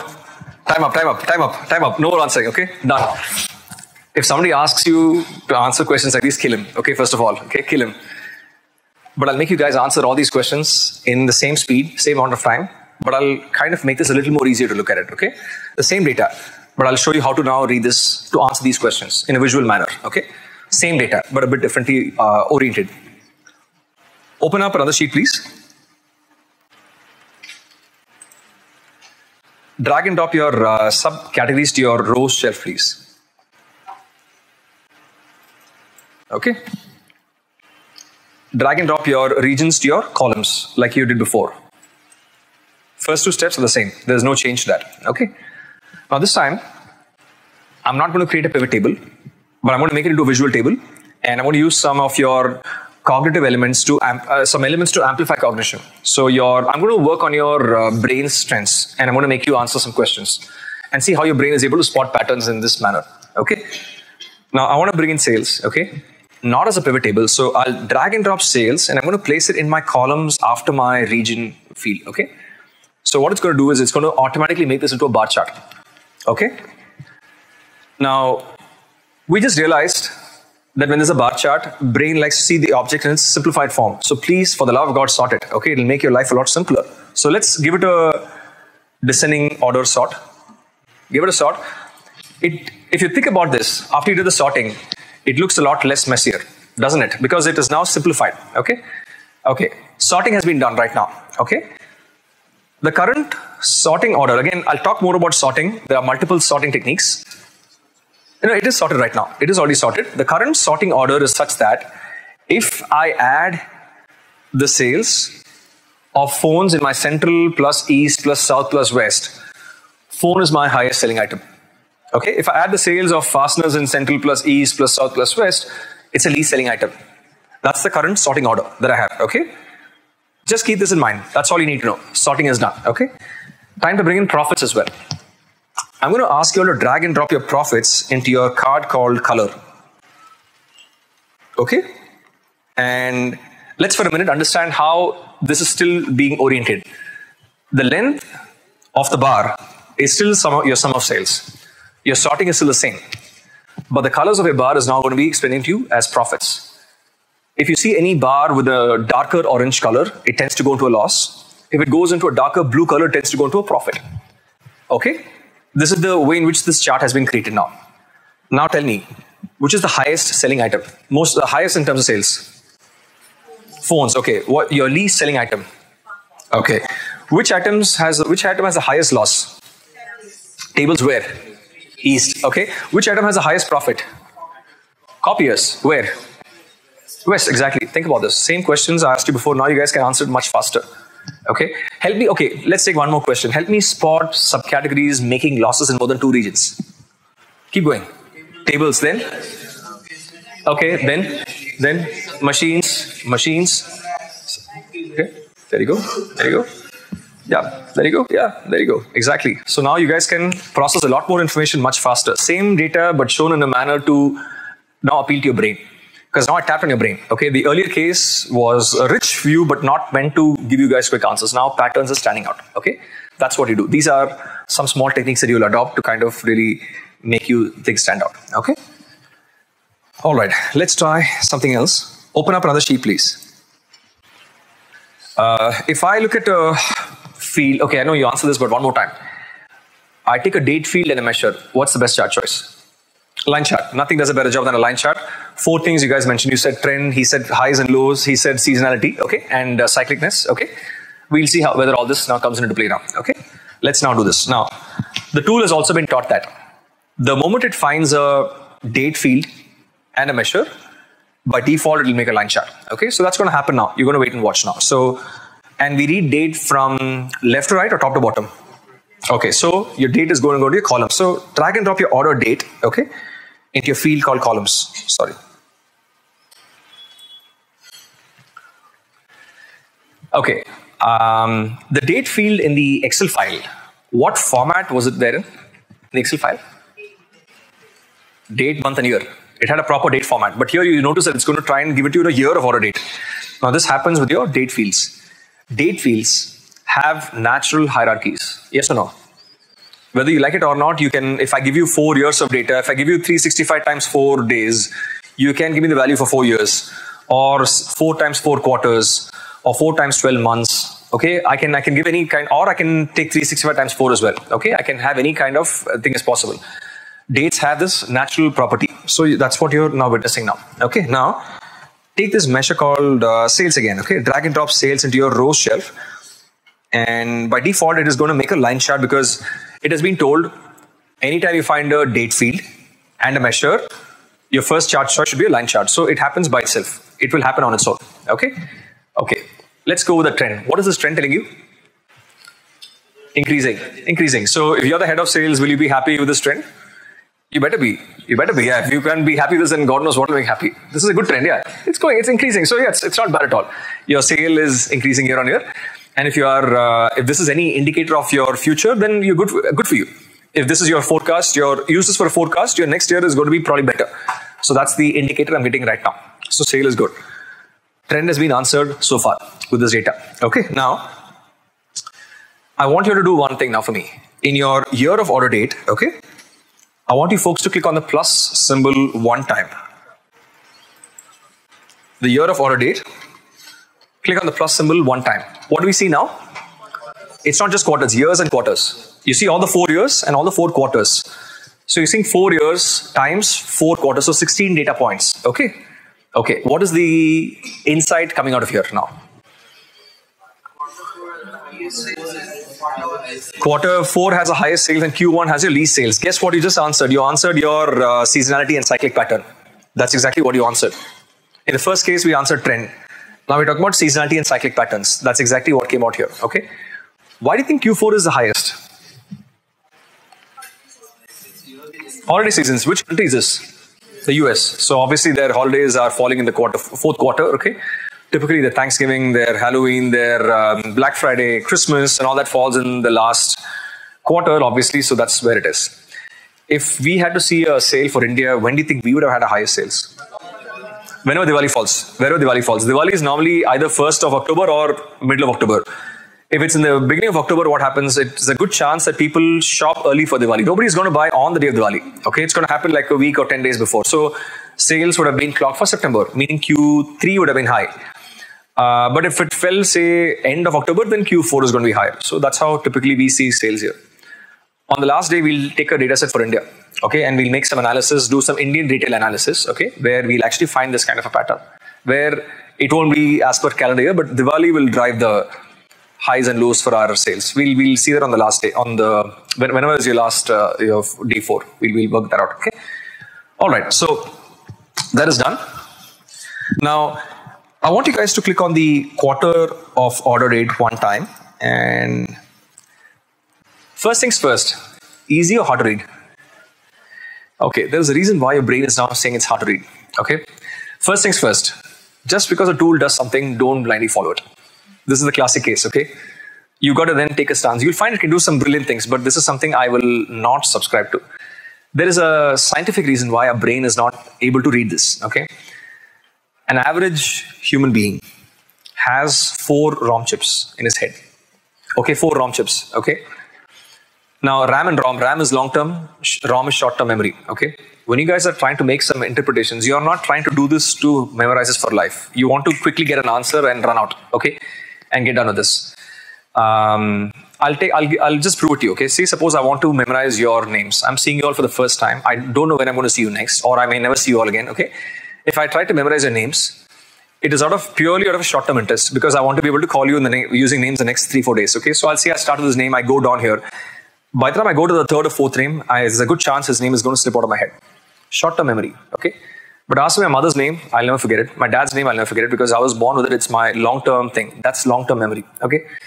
Same thing happens here. now, four ROM chips is what an average human being has. Right now, we're seeing how many lines? Four times, uh, let's say there are 16. Um, oh, yeah, 16 lines are, uh, is what I'm seeing here. Every line or every chunk is demanding one ROM chip from us. So for us, it looks cluttered, hard to read. Call it whatever. But our brain is just not able to read this pattern because our brain is now overloaded and it's not able to read the pattern. So I now have to support your brain to read it rightly. Okay. Now, here's what we do. The first line chart we saw was the year-on-year increase. I got the overall trend. Year four is the highest increasing trend. We got it. The second line, the quarters came well. We said Q4 is the highest, Q1 is the lowest. Once a Diwali, once a, Christmas season, uh, holidays, all that pattern has come on. We've got the quarterly insight as well. It's time for the monthly insight now. I want to see how months are faring. So what I'm going to do now is I'm going to slightly simplify this view. Okay. Now the year of order date, keep it the way it is. It is this quarter of order that's causing this issue. Okay. So I'm going to drag away this quarter of order from this view, and I'm going to keep it somewhere either here or in your measures or anywhere in here. You know, as long as you see a red arrow in it, you're good to go. Take it out of your screen and uh, check it out. It looks a little better, slightly easier. Slightly easier now? Yes, no? Okay. Some of you might have scroll bars in your uh, screens as well. I'll uh, help you take that out as well. Okay.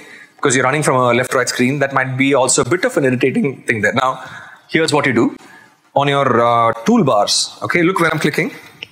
There's a tab called Standard. Okay, when you hit this option, if you don't want a standard view with a scroll bar, you may either say fit the entire width or fix the entire view onto a screen. So I can see the whole screen utilizes all the space for my chart. So it's a little better now, easier to read. Okay, now tell me what is the pattern coming here. I want some answers now. Give me some answers now. What patterns are coming out? Slight dip in October. Slight? Slight dip. Slight dip in October, okay? Okay. Feb is what? Feb is a dip, okay, all right, okay, yeah. What somebody said mid year, what? Mid year, what? Mid year is typically low, okay. What about March? March is a peak, okay. Okay, let me let me let me let me let me stop you all right here. You're all consistently trying to look for uh, repetitive patterns, am I right? You're trying to find a good month, a consistently bad month, consistently a good period. That's what you're all. Everybody has the same answer. If that's your intent, I'll make your life even more simpler. Why four ROM chips? I'll make your brain focus on uses one ROM chip, one ROM chip for this entire view, and then see how this view gets better to read. Okay. Now, all I'm going to get you all to do, take this year of order date, and drag and drop it to this card called color. Look what happens. It's still going to have all your four years of data, but all the lines have basically been superimposed on top of the other. So now your brain is able to understand this as just one single image and not four images. So now you guys can read these patterns better. Now tell me the good months, peaks and lows. Now tell me consistent peaks and lows. October, he said, is a slight dip. That was a slight uh, drop. Okay. Uh, what about September? September is a is a peak. Okay. November, December again. Yeah, right. Okay. Uh, what about uh, the first part of the year?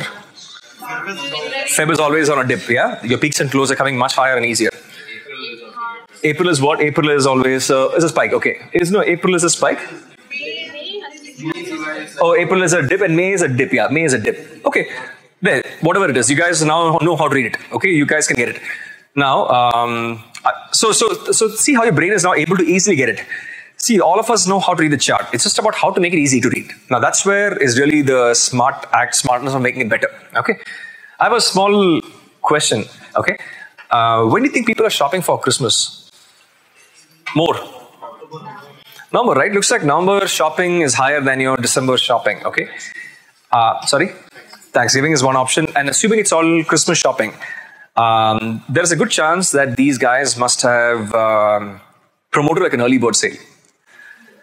Think about this. December, if you are going to stay there and you celebrate Christmas, you are going to buy a present. You're going to buy gifts for sure, okay? Whether it's November or December. But if I am smart enough to say, hey, listen, um, instead of you shopping in December when I know you will, I don't have to spend that extra money on marketing on you all. But if I can say on the month of uh, November, if I can give you guys an early bird special, I say come early and get an extra discount for the month of November. If I can encourage you to sh- get earlier, shop early, I've not only secured sales for November, December is going to happen any which case. So I've done a do, I've got a do two month bonanza. So that's what I'm thinking. So maybe something like that could have happened, or could be Thanksgiving, could be whatever. But obviously something has happened right here in this case. Okay. All right. So good. Let's rename the sheet.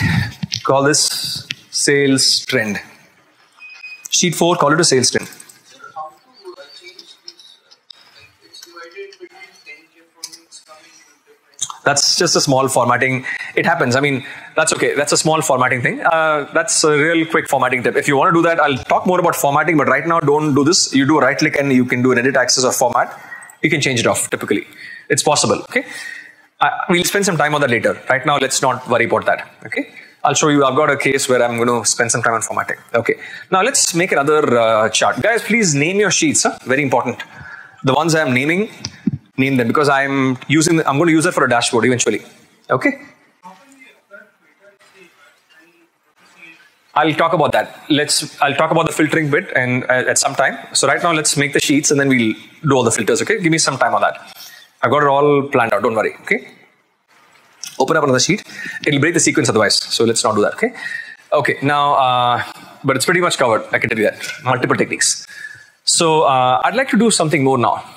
Um, I want to understand uh, how am I doing, um, say, geospatially. Let's make some maps. Understand how some data is. Okay. I have data. I've got latitude, longitude variables, okay? And I have states, countries, cities, towns, whatever. I have all this data. Let's see some data on a map. Again, a very effective way to see data patterns. Something may always come up. So I would like to utilize that part of the mapping technique, okay? Now let's uh, take a simple approach. You all can click on show me, okay? Enable show me. I'll show you how to use this. Like I said, show me is a cheat sheet. Okay, it's a great starting point to create charts and all that. Um, if you know what chart choice you need to create, nothing like it, it you'll probably get that in practice. Okay, but in the beginning, if you are not sure what charts to create, you need to you have say three or four variables.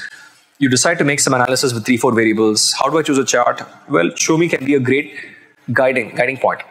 Don't trust it blindly, but use it as a guiding point. Okay, that's what I'm going to now look at it now. Now, here's what I'm going to do. Now, at this point in time, nothing is going to work because it's not enabled to choose any chart. You may click anywhere. Um, there are a couple of maps in here. Okay. Um, say you place it on any chart. Say I've kept this on a pie chart for the moment. Okay. Okay. But don't use it ever. So it tells you what the chart is. Okay. It tells you what is the condition for a pie chart. You can read the chart name and the prerequisites for the pie charts. Okay. For a pie chart, if at all has to be created, it must have at least one dimension, at least one dimension, and must have at least one measure. So you can use a combination to make a pie chart. Absolutely yes. Think about it. That's the way your pie chart is. Okay. Uh, sales versus number of executives. Okay, pie chart is possible, doable. Okay. Anyways, so all I'm going to do right now is I'm going to click on a measure called sales at the moment. Okay, so that variable is now highlighted. Now, notice as you clicked on a variable, your show me is getting activated. Some charts are being enabled. Because for a combination of one variable, these are the potential charts that you can create. I want to add more variables, okay? I want to also bring in a field called state in my dimension. So I want you to hold on to your control keys on your keyboards, okay? And select this dimension called state also. So you'll have two variables selected like these, state and your sales. Okay. And now for another combination, now notice more charts have been enabled. Okay. Now for this combination of a dimension and a measure, the software is suggesting this one particular map chart. But I'm not going to take that. That's not the correct map here. Okay. This, like I said, is only a starting point. There are two kinds of maps. Okay. We'll once you do both, you'll understand. Right now, choose the second map, not the first one.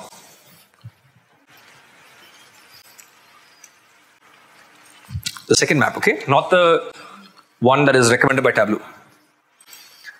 How many of you are getting the map of the US, a proper map of the US, complete map of all the 49 states, 50 states, okay? Okay, how many of you are getting a map like this, like the world map grayed out? Yeah, and how many of you are getting these? The, and so the ones who have a grayed out map, do you also have these unknowns? Okay. This is a very simple setting issue. Okay. It's not a problem. Okay. The guys got the US map, sheer dumb luck. Okay. I'll tell you why. The, their computer said to the US, the data is also in the US. So they're sheer goddamn lucky. Okay. Ours has been set to India. So from an Indian setting, we're trying to find the US map. So for us, not going to happen. It's a simple setting. Suppose we had the Indian data set on the last day. The ones who don't get the map today on the last day, we'll get it, they won't get it, by the way, okay? So they'll have to make the setting. That's going to happen. So we'll, we'll, we'll see that. Yeah, you, that's mean, that means you, you've got the same setting as mine. Your map has not come out yet. Okay, so we're going to fix it. We're going to fix it. We're going to fix it. I'll show you how to fix this up. So you have these unknowns, right? Yeah, we're going to fix it. Now, I want you all to click on the unknowns. The ones who have the US map, take a break. Nothing, okay? Next two seconds, take a break, okay?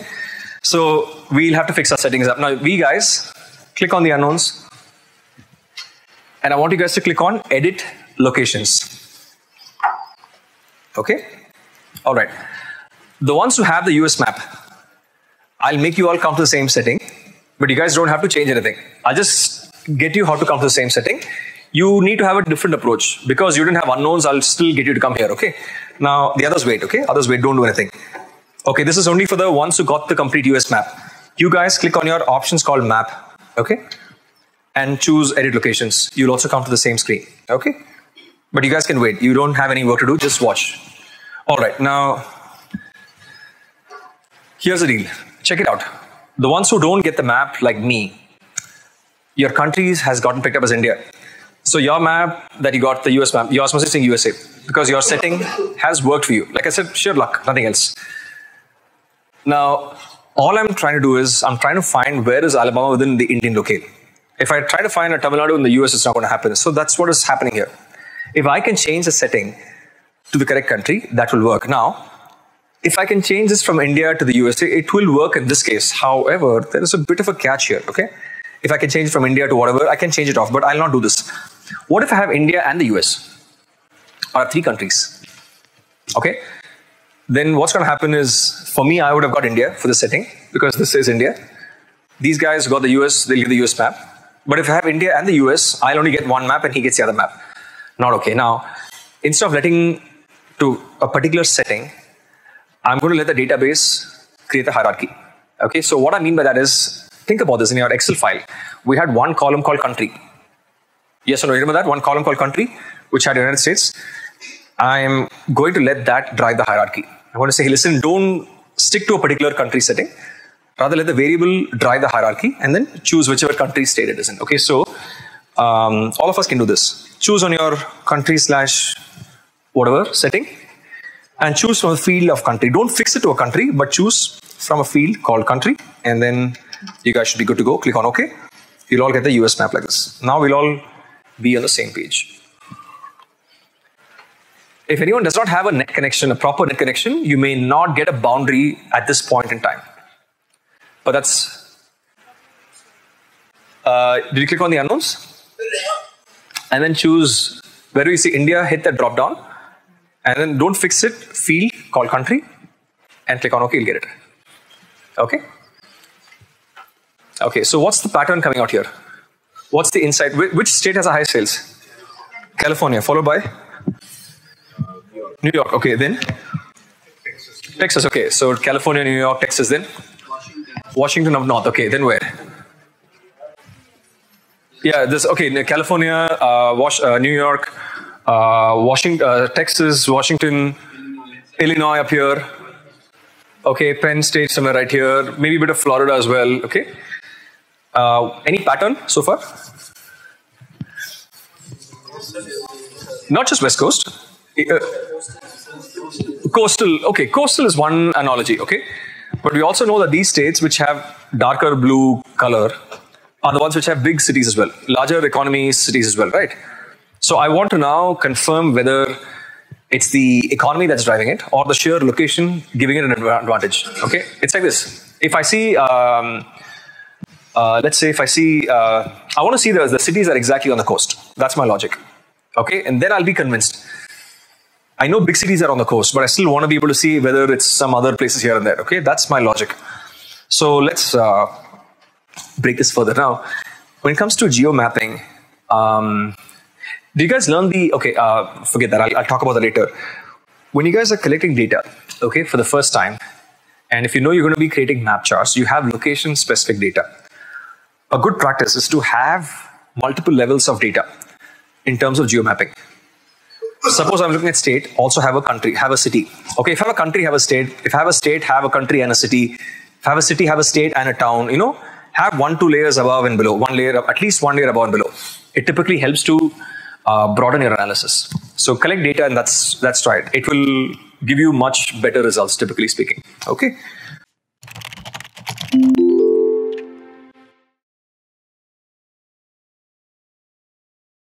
All right, let's uh, move on. But first, name the sheet. Call this state sales. Okay, state sales. Put up another sheet. Let's look at the city sales map as well. Okay. After this, we'll break for tea. Yeah. Okay. So um, I'm going to ask you guys to do one thing. Choose your dimension called city. Okay, and choose your measure called sales.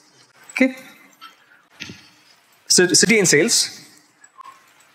Click on your control keys using your keyboards. Select both the variables. Okay. Go to show me. And this time, take Tableau's default recommendation called the symbol map. Okay, choose that. Okay, so let's hang in for a minute. Okay, a few more settings to change, then we'll wrap this up real quick. Okay, now, um, the ones who did not get the US map last time, you all should be going to Tamil Nadu right now, just like the way I have, okay? And the ones who got the US map, you should have a partial US map. US map. You'll also have some unknowns. How many unknowns do you guys have? The part 353. Okay, right. All of us have some amount of unknowns. Okay, let's first focus on our problem. We are at a larger issue. Why do you think we are in Tamil Nadu? Okay, now the ones who have the the Indian map like me, there's one dot in Tamil Nadu. Find out which dot there is. Exactly. There are same spelling names in both the places. There's a Salem in India. There's also multiple Salems in, Mass- in, in the US. There's one in Massachusetts next to Boston. Okay.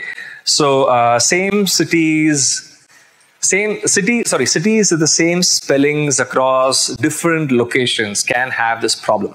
How do I define this? Now here's where I'm going to try this data. Okay. If I can change my country setting, part of it gets solved. Okay.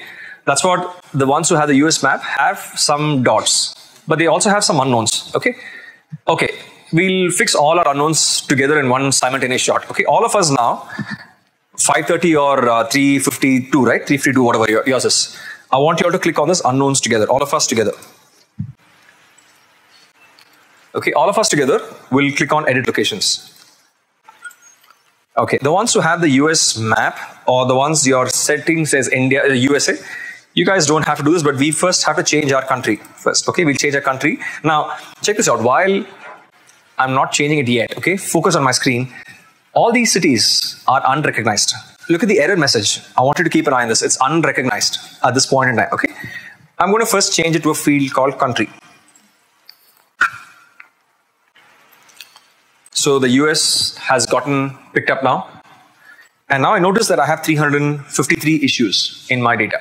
So I'm now matched with the same as what these guys have. So if I now look at my city tab where I have these yellow exclamations, okay?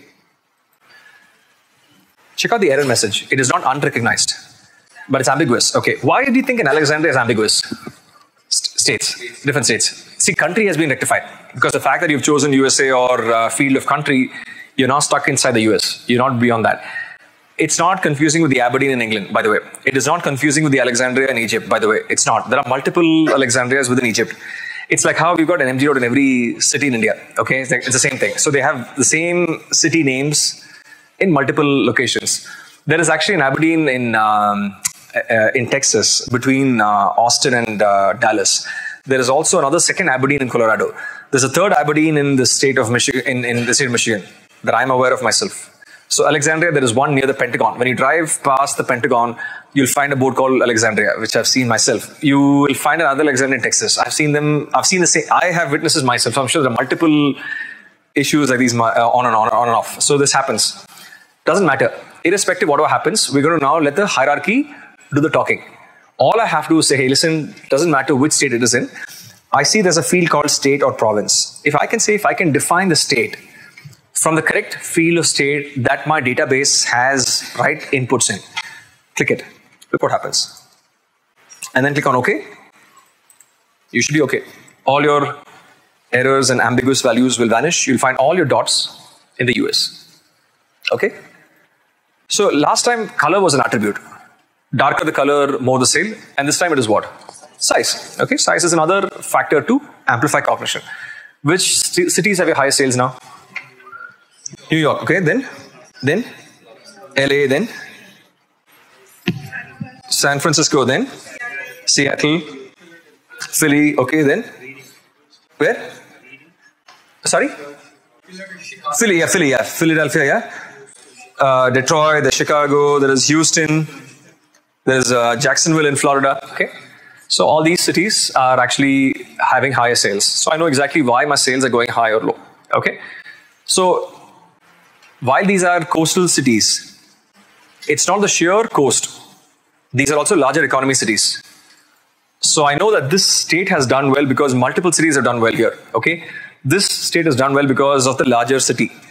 So it's a city that is driving the hierarchy, a city that's having the high sales, and not the actual coastal location. Okay, but yeah, I'd like to kind of compare them. When I see them both together, I now get this idea. Okay, let's rename the sheet. Call this city sales.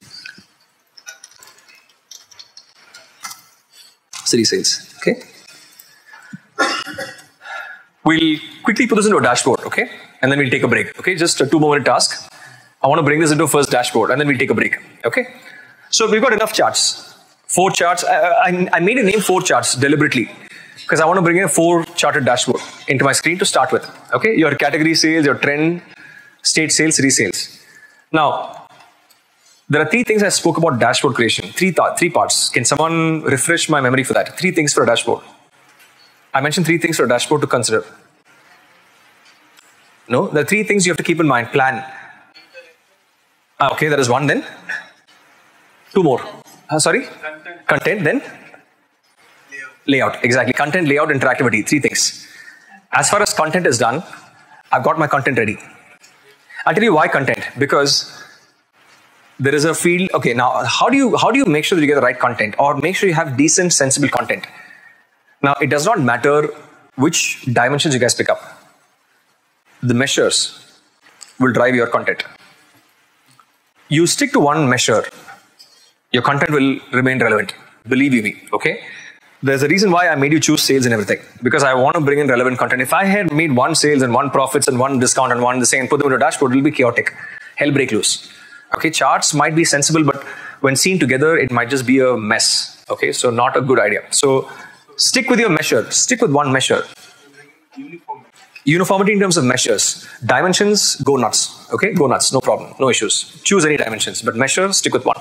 You will have a better rate of creating a sensible dashboard. Your content will be more relevant. Okay, so content is done. Individual charts have been built. Okay, each chart makes sense. We are able to read every chart. We've done the orientation, labels, highlighting. We've done the, the thing, mixing, merging. Uh, everything is done. So when you see all the four charts, individually you're able to read the charts. You guys are good to go. That's your first starting point. Now let's put them into a dashboard. Some more issues will come up, but we'll fix it up, okay? Right. Now, let's open up a new dashboard, guys. So dashboard is this little thumbnail icon, the second thumbnail icon between your worksheet and your story. Okay, I want you guys to click that. This is the container that you'll have when you see a dashboard. Okay. Now, first things first, okay? Uh, forget this for a minute. For, just, I want to ask you guys, if you guys ever get a dashboard, if you ever see a dashboard, what's the best size that you think you can get for a dashboard? Best size for a dashboard? Common sense question. It's common sense. Screen size. Whatever device you're viewing it in, your screen should be fully op- optimized, preferably without a scroll. Be it a handheld device, or be it a tablet, or be it a phone, or be it a computer, or be it a laptop, or be it a theater, it has to be a, it should take the full screen, preferably without a scroll. Okay? Now, again, I gave you guys a magic number of four, four ROM chips. That's again a magic golden number for dashboards. When you guys are trying to make dashboards, keep this as a thumb rule. Don't stick, don't don't swear by the phone number four, okay? But I'm saying four can become a three, or a four can become a five or a six. But don't make four into 20. Don't bring 20 charts. It's going to look chaotic. It look, looks cluttered. So keep the number to a decent number of four. You should be good to go. You'll have a decent looking dashboard, generally speaking. Okay. So great. Here it is. We'll now fix the container. We'll make sure our dashboard is optimally sized. We'll make sure that there is no scroll bars, no gray space, and all that. And we'll do a small setting change here now. Now, there are multiple ways to fix it up. Okay. Um, and it's good to have, good to understand how this works. See, there is a one touch fix, but that's something you've got to be a little cautious about. Okay. Now, say if you ch- choose this option called size here, it's a default desktop browser of 1000 by 800. Okay. If I make a selection out there for a minute, I see there are multiple options to play with. I can increase my heights and widths and all that. Okay.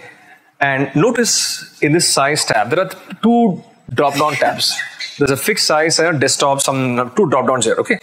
Now, let's look at the second option for a minute, this desktop browser in here. If you actually choose your second drop down, okay, it'll give you all kinds of different options. It gives you a full screen option also, okay.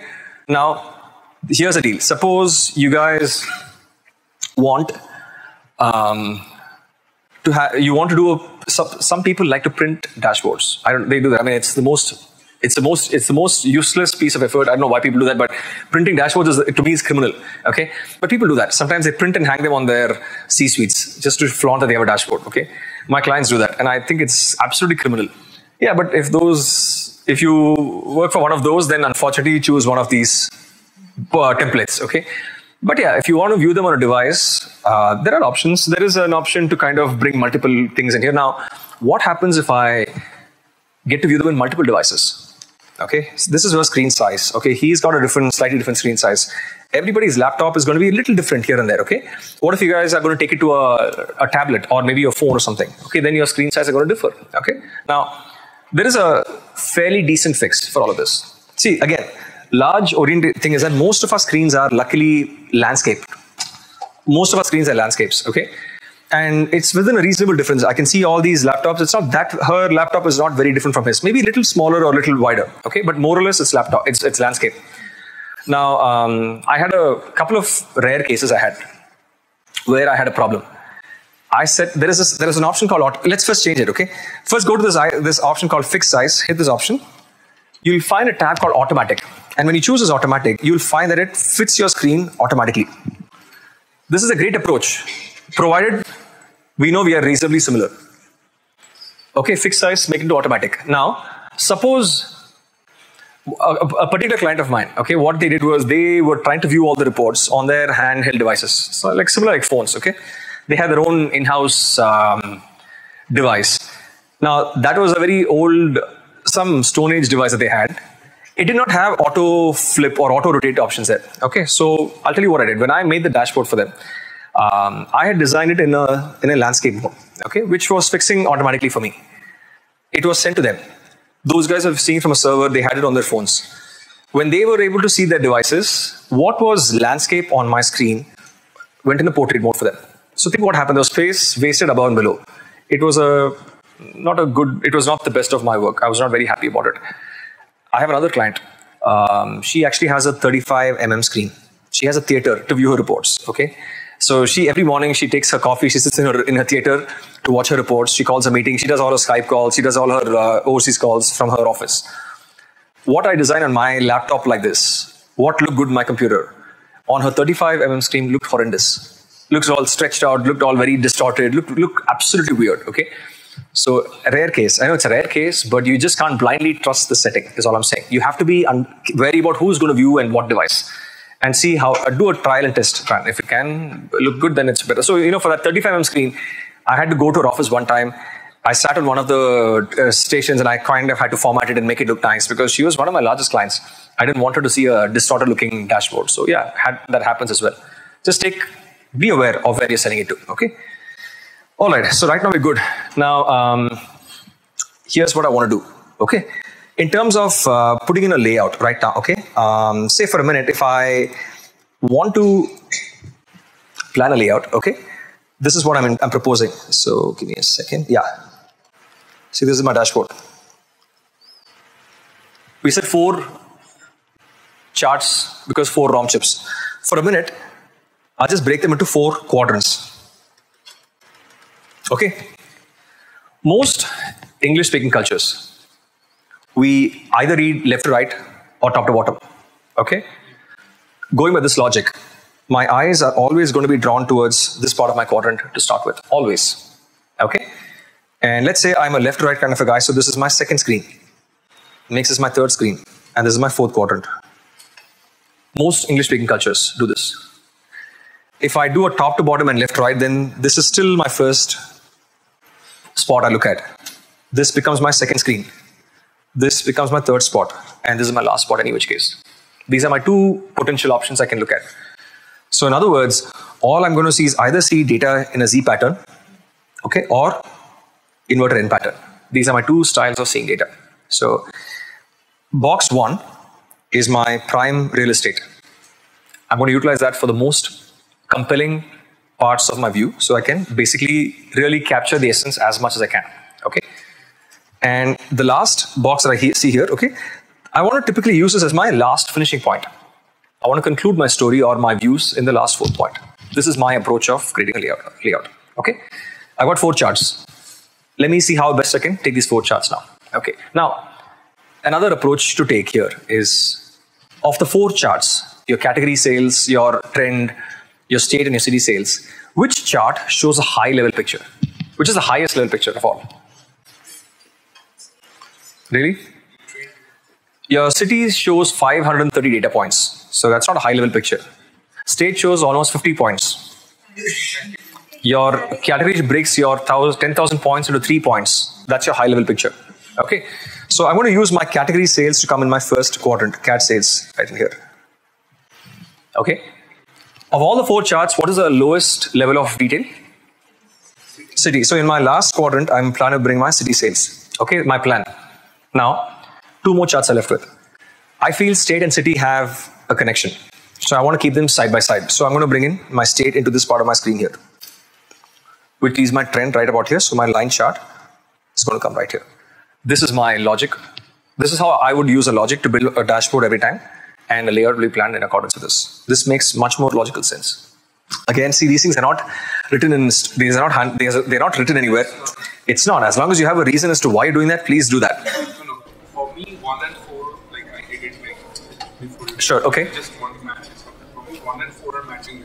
If you want to swap them, then the choice is yours. I mean, if you have a if you have a logic, if you feel that that makes sense, then do that. It's up to you. Yeah, that's that's totally your call. Yeah, yeah, that's your call. Yeah, these things are not written anywhere, so you might as well. I mean, get a large framework. Overall, overall, get some logic. Get the Z pattern. Have a story. If you think it makes sense in your eye, then it's fine. I'm not going to. That's something I'm. That's that's okay. That's totally fine. Okay. So, all right. Time to bring these four views in here, guys. Four drags and drops. Your category sales, first chart, you guys can simply drag and drop it. Now, you notice that there are sheets here. You don't have dimensions measures any longer. So you can just simply drag and drop them. Every time you bring in a sheet here, it'll demand a tile. So I'm going to get my category sales, just drag and drop it there. And the whole dashboard is being displayed with the help of one chart now. Okay? Right. Let's do the other three charts as well. Okay? So follow along as I'm doing. It'll be easier. Okay? Then your sales trend. I said it's going to come in my second quadrant. Okay? My second quadrant right here. So I'm going to get my sales trend right about here. So I'm going to drag and drop my sales trend right about here. So notice when you drag and drop it, it demands a tile. The gray area is where when you let go, it's going to sort of sit there. Okay, so there it is. So my second chart is also coming now. Now, along with my line chart, its legend has also come in. Just keep an eye on the legends. Okay, just keep an eye.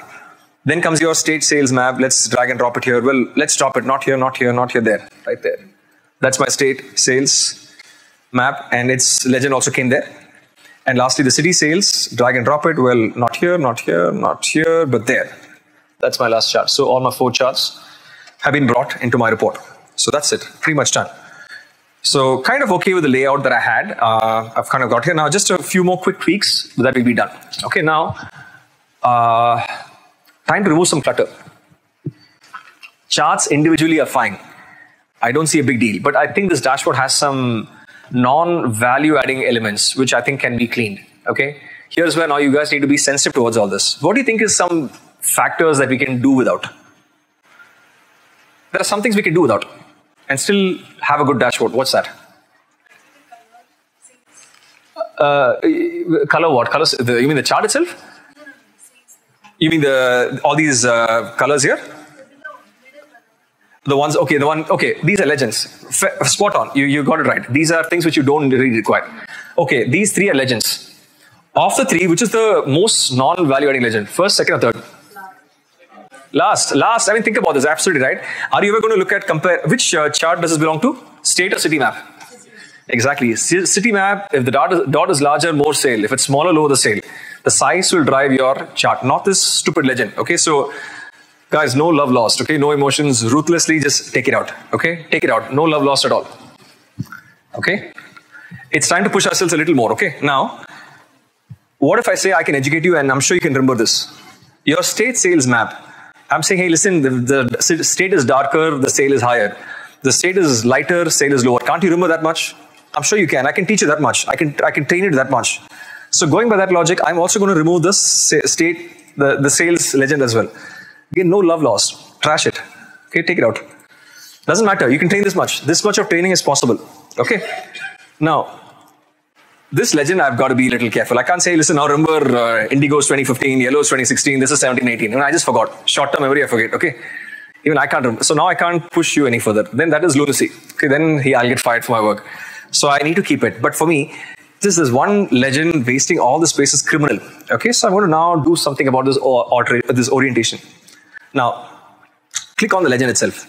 Okay, click right on the legend. Okay, you'll notice that in the when you when you click exactly inside the legend box, it has three menu options on the side there. Okay, there's something called more options. There's this arrow that drops down. This last arrow which drops down.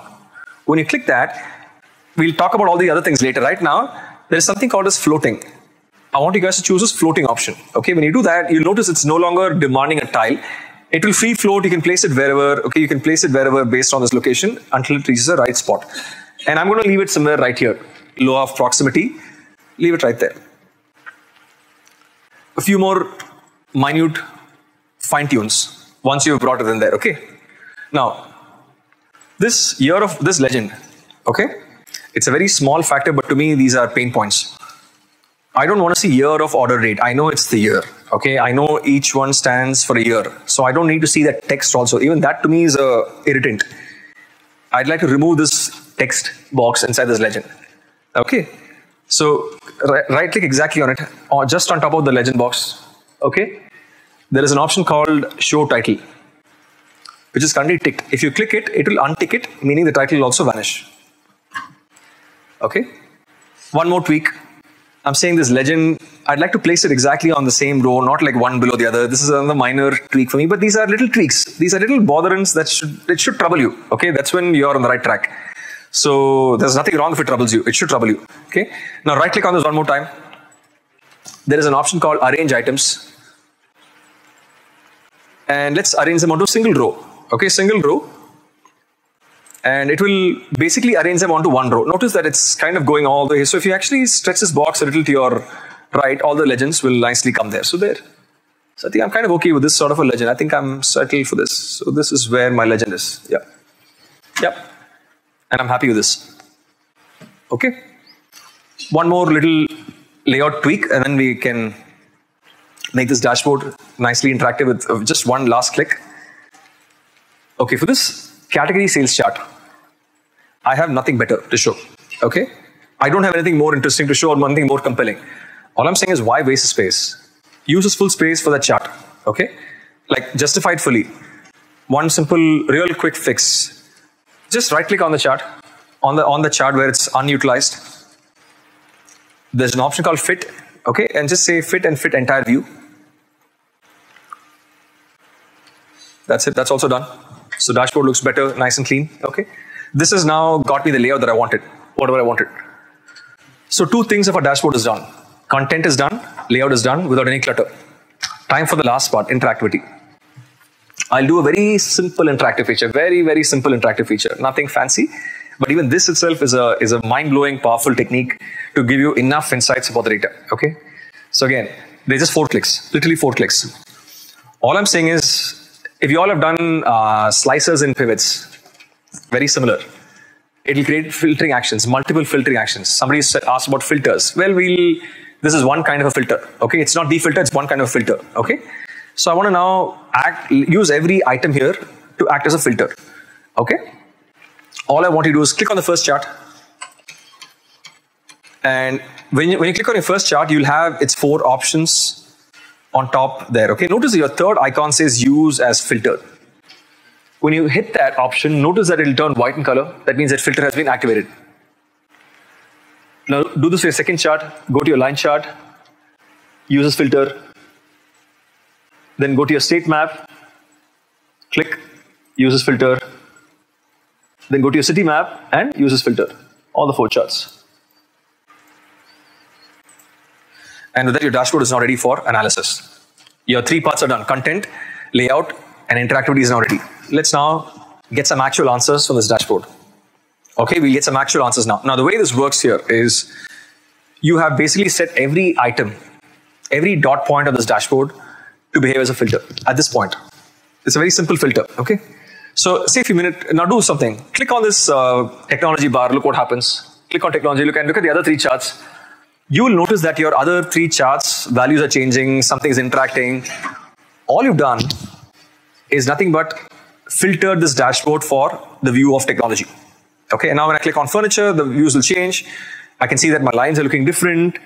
My state values have gotten different. My cities look different. When I look at office supplies, they'll have a different value.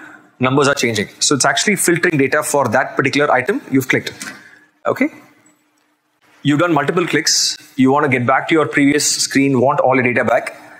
Hit escape on your keyboards. It will take you back to your original data. Escape. Okay. Let's try one more. Okay, let's try one more. This one data point, November 2018, I'm saying is a really good month. I want to know why. What's happened special in that one month for the sales to go higher? Okay, so let's click on it and get some answers. Go ahead. All right, so talk to me. What does this tell you? What happened well there? What, what are some good indicators for the month? Interpret this view for me, please. Yeah, it was technology driven. Okay, for starters, what else? I can say many states have not sold for the month, in spite of which it's the highest selling. So it looks like there is opportunity.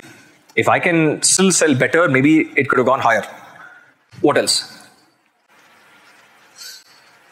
What about the state map?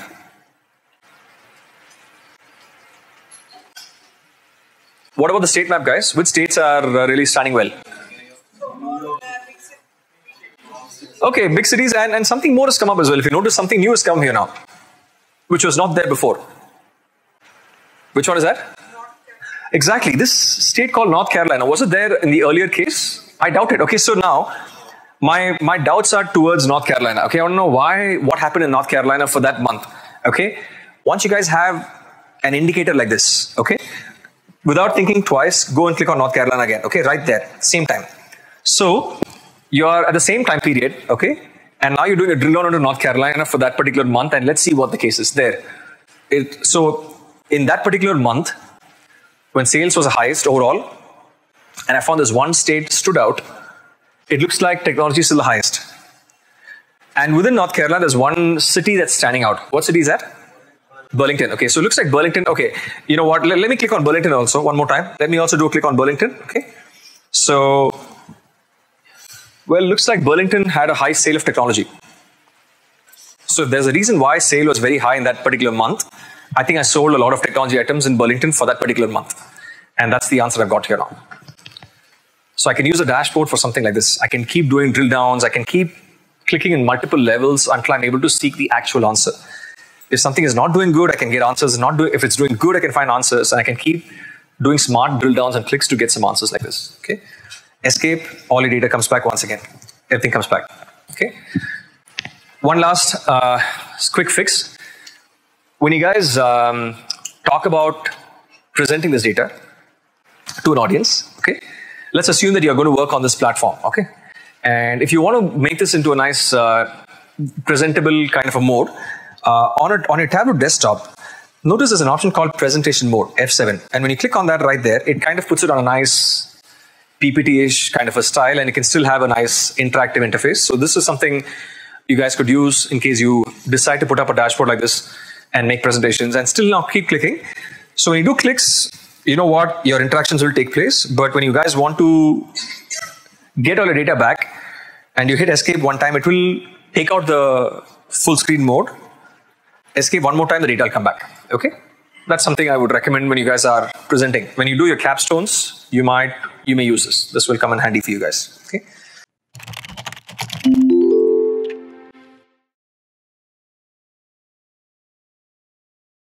So great. Now, um, plan now is to build a story. Okay, we're going to build a simple storyboard, and uh, I'll give you a little uh, a quick talk on that. Okay, before that, just one um, quick thing. Uh, if you look at uh, data, okay, if you look at all your data for a minute, let's look at date fields. Date fields have natural hierarchies in them. Yes or no? Okay, how how so? Year, quarter, month. Year, quarter, month. The fact that you can make a day to year, quarter, month becomes hierarchies by themselves. Okay. Now, date fields have a bit of an extra catch to that. Okay. Um, between your dimensions and measures, which one is discrete? Dimension. Measures are continuous. Okay. But date is a special dimension. Yes or no? You can make it behave discrete or continuous. Are you all familiar with that idea? How does that work? How does that work? You, you can, see again, you don't, you don't have to do anything. You can either see them as discrete buckets or you can make them continuous buckets. Simple logic. Okay. Um, if I see my dates from, let's just say from now till, uh, uh, say, say I've got, I've got 365 days of date. If I show a single straight line for all the, all the dates, all the days, it's a continuous aggregation. There's no breakup, there's no bucketing, okay? But if I decide to make them into months, what am I doing? I'm effectively making them into buckets. I'm trying to put them into some kind of a boundary. The moment the boundary comes, you're going to make them into discrete. That's the deal. So you can change the aggregation, the way in which you show the data. You can either make them discrete or continuous. The reason I'm trying to bring this is here is now let's say a small thing here, okay? Uh, let's say a drag and drop, say an ordered date into my columns. Okay, all of you do this. Just take any date into your columns. Let's drag and drop any measure, let's say number of records or something into your rows. Any any measure, I don't care. Okay. So right now you see a line that looks like this. Data is broken onto four years and highest level of data. So I'm just seeing one single straight line. If I now hit the number of records, number of records into rows, okay? Now, if I click on the plus symbol on the year, it's going to break them into four quarters, okay? Four quarters and four uh, years, basically. So I'm seeing four years into four quarters, so 16 data points. Okay, now right now, I'm saying that the data is broken into some sort of buckets. There is some kind of bucketing happening, which is why you see four broken lines. Okay, four broken lines. If I can remove the bucketing effect in my date field, I'll see a single straight line. Point I'm trying to make here is now I'm seeing four, there, there are 16 data points. There's a Q1, Q2, Q3, Q4, this has a Q1, Q2, Q3, Q4. All the four years have four quarters. Okay. Now there is nothing wrong, nothing wrong at all. If I join Q4 of the first year with the Q1 of the second year, data is not incomplete. It's it's full valid information. Okay. So lines can be drawn from here to here. There is nothing wrong with that at all. When does it become wrong? If there's a Q1, Q2, Q3, I don't have a Q4. Missing information. Then I join this here. Then I am misrepresenting data. That is a mistake. In that case, I'll not join, but in this case, there is really nothing wrong in joining. Okay? So I'd like to see how I can bring that effect. So I can use it for some pattern. Say I want the overall trend, four years overall trend. This will give me a trend for each line. I need an overall trend for all the four years. I'd like to perform a time series forecasting, for which I want to look at at least two time periods. Then I must have at least two lines joint. Okay? So for things like those, I think I'm going to have to kind of change my level of detailing. I'll see how we can do this now. Okay, now the date fields by default are a dimension. Yes or no? Date is a dimension by default. It's not a measure. By default, all your dimensions are discrete. But date alone, I can treat differently. Okay, now let's do one thing. I want you all to click on the minus symbol on the year. So get just your years alone, all of you. Do this. Okay. Now, do notice here in the columns and rows. In my columns, where I have the year of order date, it's a blue colored variable. It's got a blue colored cell. Okay. If I look at the number of records, it's green in color. You notice on whichever chart you look at, any measure, measure is always green in color. Check any, any chart. Measure is always green color. Your dimension is always blue in color. Whichever chart, look at all the charts, you'll find the same deal. Your measures will be blue, dimensions will be green. And all the four or five charts that you've made, you'll find the same deal here. Okay, so that's the way it works now. Now, that makes a difference. If I can convert my date field into a continuous field, it'll also become green color. Okay, and let's check it out. Right click on the date field for a second. And you guys will notice there are two sets of date aggregators, meaning there's a year, quarter, month to start with, the first on top. There is also a second year, quarter, month in this in this part of your screen here. Okay. By default, it picks up discrete aggregation techniques. But if you want to change them to continuous, you can also do that. Now, what does it mean to me? Okay, so now I know how to make it discrete or continuous, but what does it mean to me in terms of applications? That's the more important part. Okay, this is all theory. The actual meaning of this is what matters now. Now, check this out. I want you guys to look at this gray part of your, this gray headers, okay, on the right side. I want you guys to look at that. That's the way in which you will get the output. You've got to decide what kind of output you need to best answer your business problem. There is no sure shot written recipe for this. It depends. It's a classic MBA answer. Depends. Okay. Every situation depends. You've got to take a call. So you're left in the dark. Okay. You're blindfolded. You have to find your own option. There's no other. There's no written rule. I can't say choose this or that. Whatever is your situation, you've got to choose the right appropriate aggregation. Now, let's say for a minute, if I choose the years, the first year or the second year, they're both the same yearly aggregation. Doesn't matter. It's it doesn't really matter. But if I start to look at the quarters, both the quarters, the first one only says Q2, okay, but the second says a year and a quarter. So check this out. If I choose the uh, if I again if, if I choose the first year for a minute, okay, the first year for a minute, okay, let's give the year itself. Nothing will happen except that the data has become a full screen data and the color of the variable is turned green color. That's it. Okay, now when I click on the plus symbol one time, you'll notice that the year and quarter is still forming a line for you, but it gives you a continuous line there for you. Okay? So, like I said, this might be a better way to show, if you want to show overall trend for four years, a single trend for four years, this might be a better way to show this. For each year's trend, then the previous thing might be all right. But you want to show an overall trend in some scenarios, then this might be appropriate. Time series forecasting, this might be required. Okay, so you got to kind of pick up what makes sense. So this is what your, this is the thought I just want to put into your head now. Okay, okay. So this we've spoken about your date hierarchies. Okay, date as discrete and continuous fields. Tomorrow I'll talk about custom hierarchies as well. Okay, today because I want to jump into something more uh, fascinating, and I know you, guys gave me a deadline, so I want to stop by 7:30. Okay, um, I'd like to build a story now with this part, okay? Now, what I want you guys to do is first help me build a problem statement. Okay, same, let's take the same workbook. I have a dimension called subcategory, okay? Drag and drop it into your rows, all of you. Do this yourself, okay? I want you guys to do this yourself. Drag and drop the subcategories to your rows, all of you. I want you guys now to analyze all your dimensions, okay? All your uh, subcategories um, there is one, okay, now I want you guys to bring in sales and profit into a chart. Whatever chart you want to bring in, do that. I don't have a problem. I want you guys to help me profile one of your subcategories called tables. How is that table, the item called table, behaving in terms of sales and profits? So look at the chart, make a chart and answer. I want you guys to give me an answer. So I want you to make a problem statement, and with that, we'll start to build a story. I want a starting point for a story from you. Sales and profits. Look at that same. I, you all have seen the item called tables in subcategories, all of you? Yeah? It's a third last, second last item or something. Tables will be somewhere below. Now, drag and drop a table, drag and drop profit, and tell me how is it in terms of sales and in terms of profits. I want one sentence for it.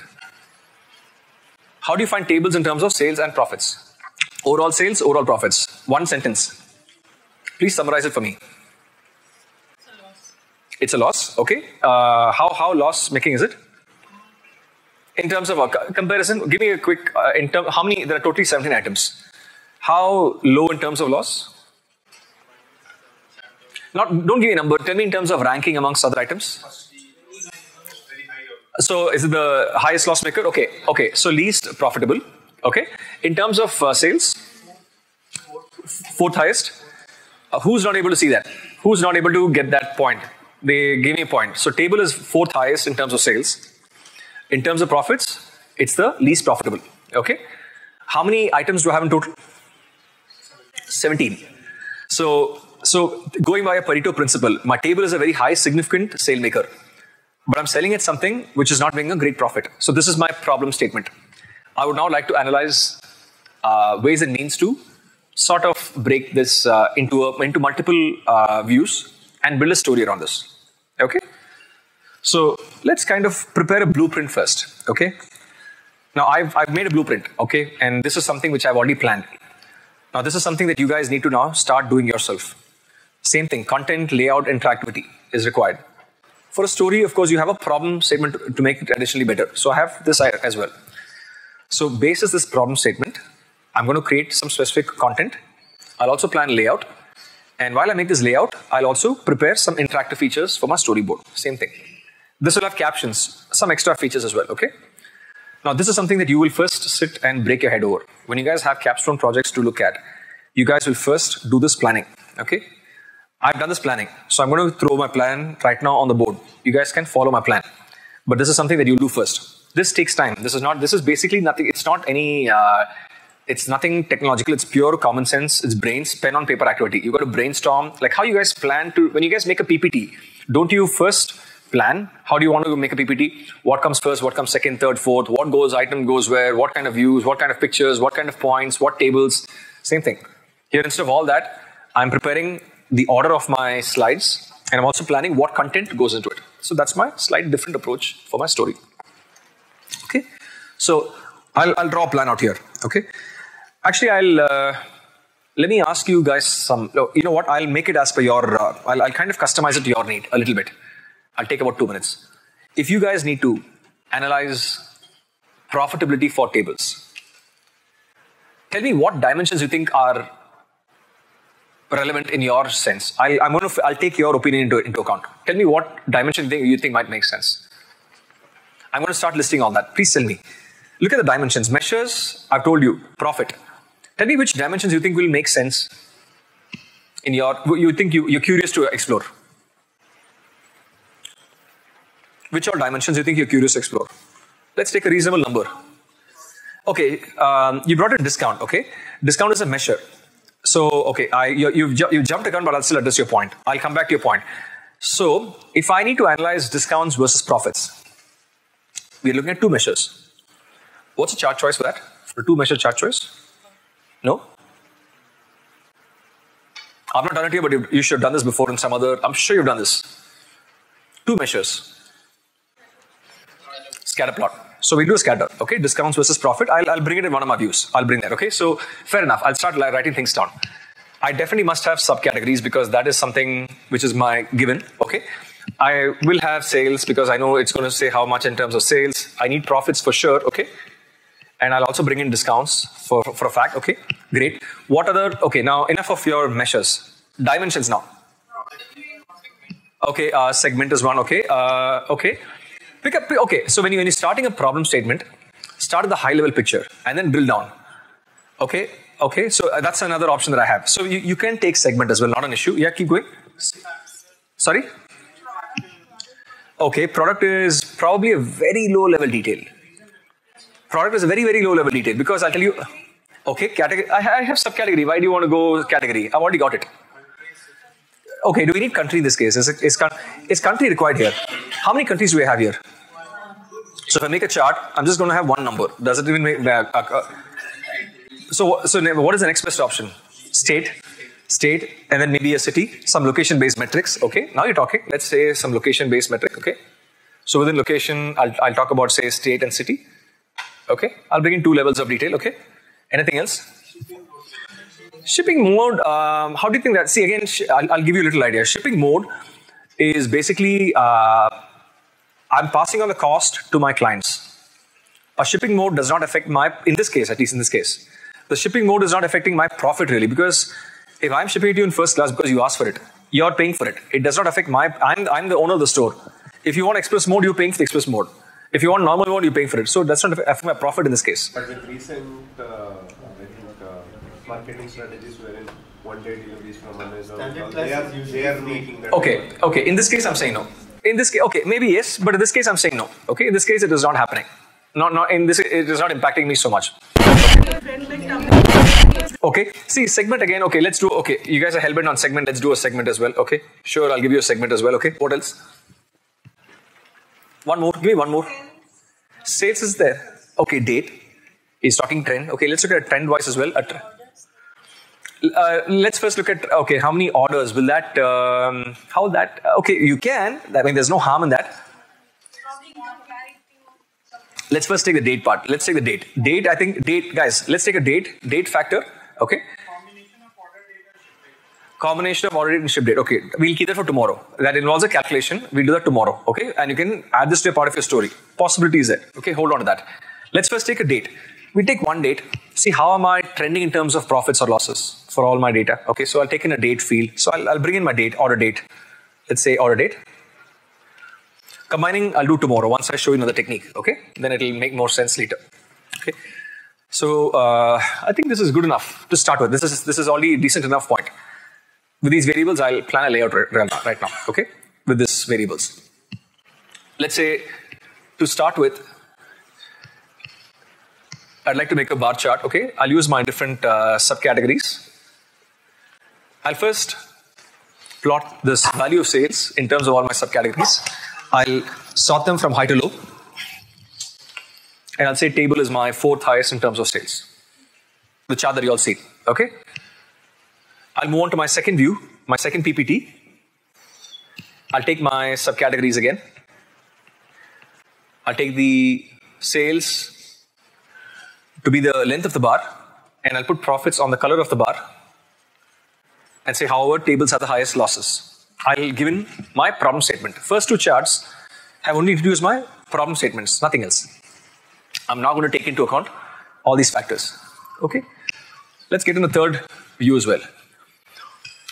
I'd like to now bring in some kind of an interactive view. Okay, so let's say I'm going to use this, I'm done with this, I'll be using all this. Okay, how about we take in um, the date as the next factor? Okay, so I'm going to bring in some date metrics in my analysis. Let's say I want to bring in a couple of views here. Okay, say I'll plan a layout like this. Okay, and uh, I'll take the same chart, subcategories.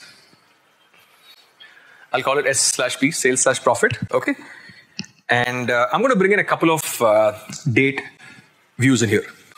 Okay, so first thing is I'm going to have a chart here wherein in the um, x-axis I have my date, in the y-axis I have my profit, and I'll have a I'll have a line chart and say here's how my profit looks like for whatever item for tables or whatever. Okay. Now I'd like to bring in a second view here. I'll have a date field here, same date field. I'll have a profit in the y-axis, and uh, this time instead of a line chart, I'll make this into a bar chart. Okay, same data, just shown in two different angles, just for just to prove a point. Okay, what does a line do best? What's the best strength of the line versus a bar? When you see a line, what is the best thing about a line? Trend. You know what? A trend line. Let's spot it. We'll make it continuous, and we'll spot the overall trend line. Okay, so we'll look at that on the line chart. Okay, the next question. What does a bar do better than a line? Compare. Somebody spoke about comparing values in when I asked, first asked you. Now it's answering a point. I don't know. Somebody there asked me this, mention this. Comparisons happens better with a bar chart any day. Okay, a line might not give you that level of precision, but a bar will give you that level of precise comparison of points. So I want to use that. The theme of my story is still tables and its profitability. I have not forgotten that. Okay, all I'm going to do here is we learned the simple action called use as filter, didn't we? In this previous dashboard. For the chart on top alone, I'll use a filter. So when I click on tables, for example, I click on tables, these two charts will get filtered for tables. So I can then make my answers for tables. Okay?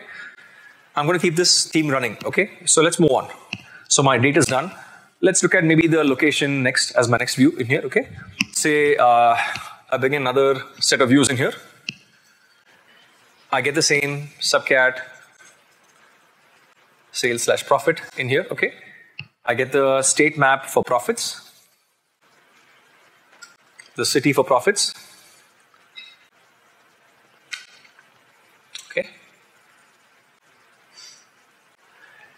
I'll have the use as filter, okay?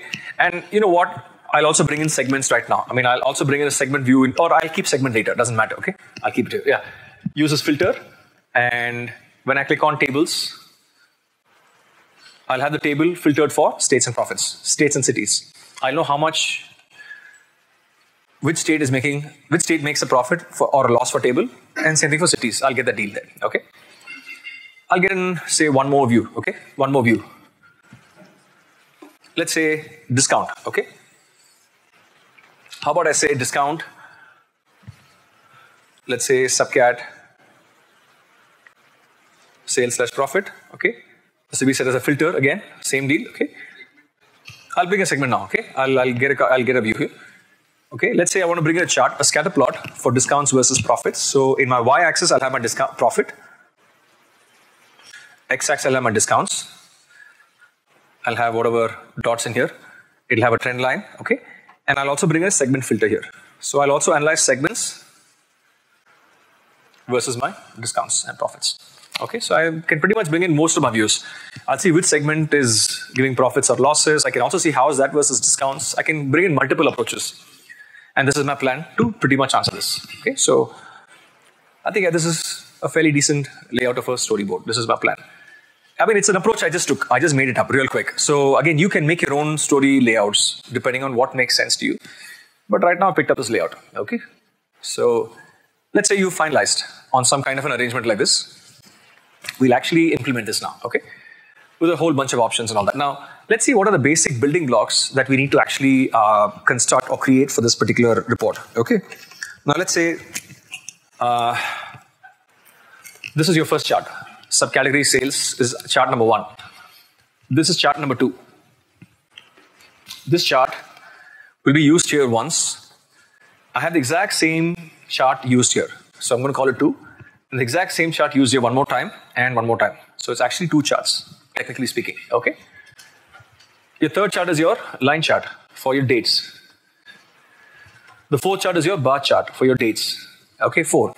Fifth is your state map. Six is your city map. Seventh is your scatter plot. Okay. Now, these are my first seven steps. My eighth step, I'll set this filter for this chart alone. Okay. So it's chart number eight. Okay, that's done. So my ninth step, what I'm going to do here, once I finish eight steps, it's now I can see this is fine the way it is.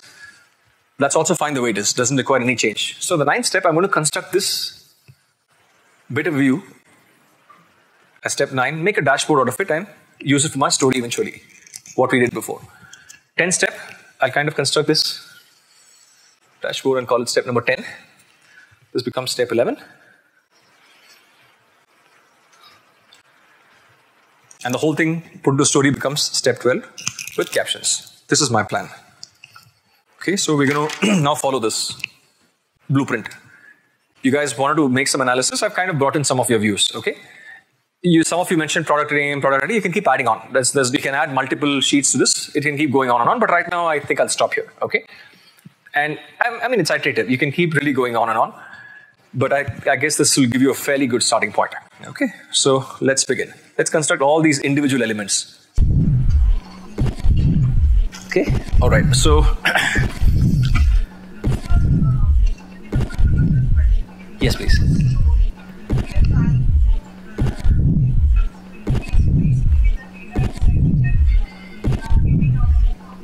Right, right. Correct. So in this case, you made a problem statement saying you're selling something very well, but you're losing while you're selling. So can we let's find answers whether you want to keep it or not keep it? Why is it even happening? You know, try and find some answers to address it. See again, you know, you'll notice one thing, right? There's one beauty of the story. This is not like a regular storytelling when you guys write a novel or a story, um, if you're a storyteller, you probably need to know the ending to kind of make a story. Here, the good part is you don't need to know any ending. You know, this is good enough. What I've just done here right now is actually a, is pretty decent a deal. I'll tell you why. A simple, a simple thought, thought idea, a thought. Okay. Let's say for a minute, I have this this line chart here for a minute. Okay, this line chart. Now, there could be three kinds of trends for this line chart, either the trend could be increasing, or the trend could be coming down, or it's a flat trend. Either which ways, I have an answer. It doesn't matter. If my trend is going up, what does it mean? Good, bad, okay? Good, because your profit is increasing. Trend goes down, what does it mean? Decreasing. If it goes flat, neither profit nor you're kind of on a, stable thing, which is again not a good thing. You're working for something which is not really making any meaning. Do you see the you see the logic what I'm trying to build in here? I don't care what is my insight. It's the layer that matters. Let's take another example here. Let's say some state, let's say New York makes a profit for tables. Okay, let's say Texas, or let's say New York makes a loss for tables. Bad thing. If New York is just medium, I'll say neither profit nor loss. So it's neither good nor bad. So guess what? Same answers. Any city, same answer. For a scatter plot, as my, if I look for tables, as I'm adding more and more discounts, is my loss increasing? Is my profit increasing, decreasing, or the same? I'll, I'll get three lines. So if the line goes up, it means the more discounts I give, more, more the profit is. If it comes down, that means the more discount, lesser the profit. If it's flat, if it's flat, what does it mean? it doesn't make a difference exactly. So if it, so in that case, I'd say that case I'll twist my story a bit. If uh, table is having a sale because of high discounts, keep doing it because the more discount you give, it does not have any impact on profit. You see what I just did? So to me, it doesn't matter what is the outcome. I don't care about the outcome. So whatever outcome I get, I will just call it a a spade a spade, and my story is done. I'll still stay relevant. I'll give answers right. Okay. So again, don't worry about the end statement. It's the problem statement that matters. From your problem statement, build your layout, and then from there you can pretty much drive through any story.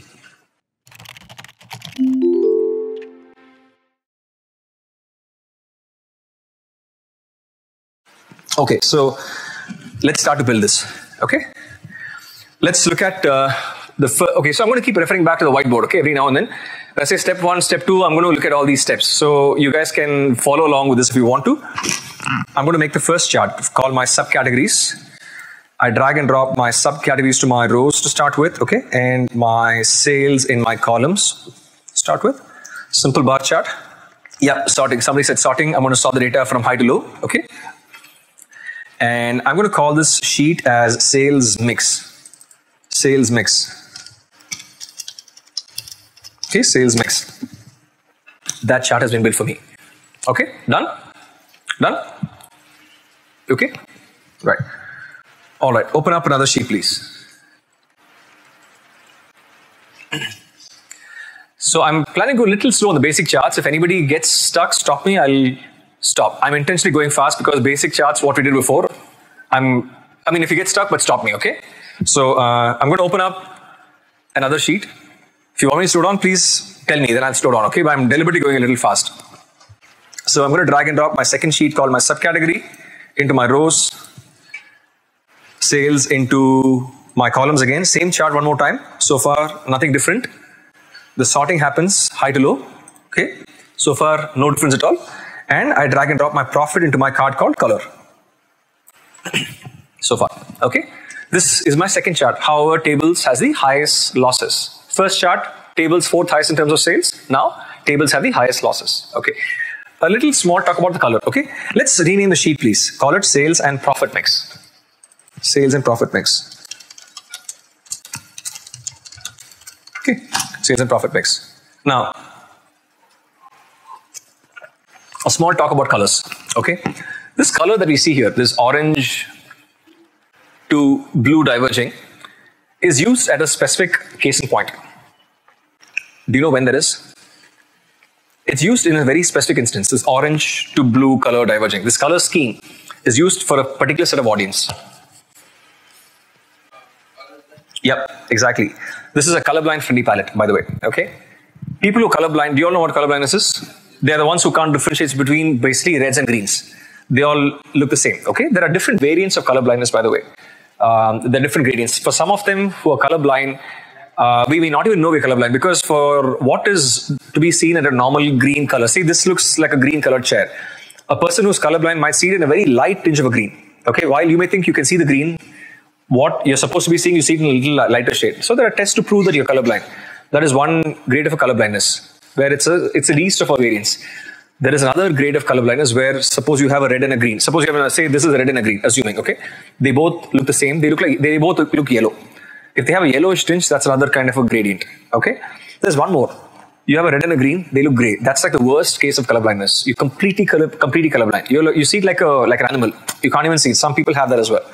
Now you guys are now those people are not legally blind. They're just colorblind. Okay, they just can't differentiate between these colors, especially red and green. There is also some stats that's worth knowing.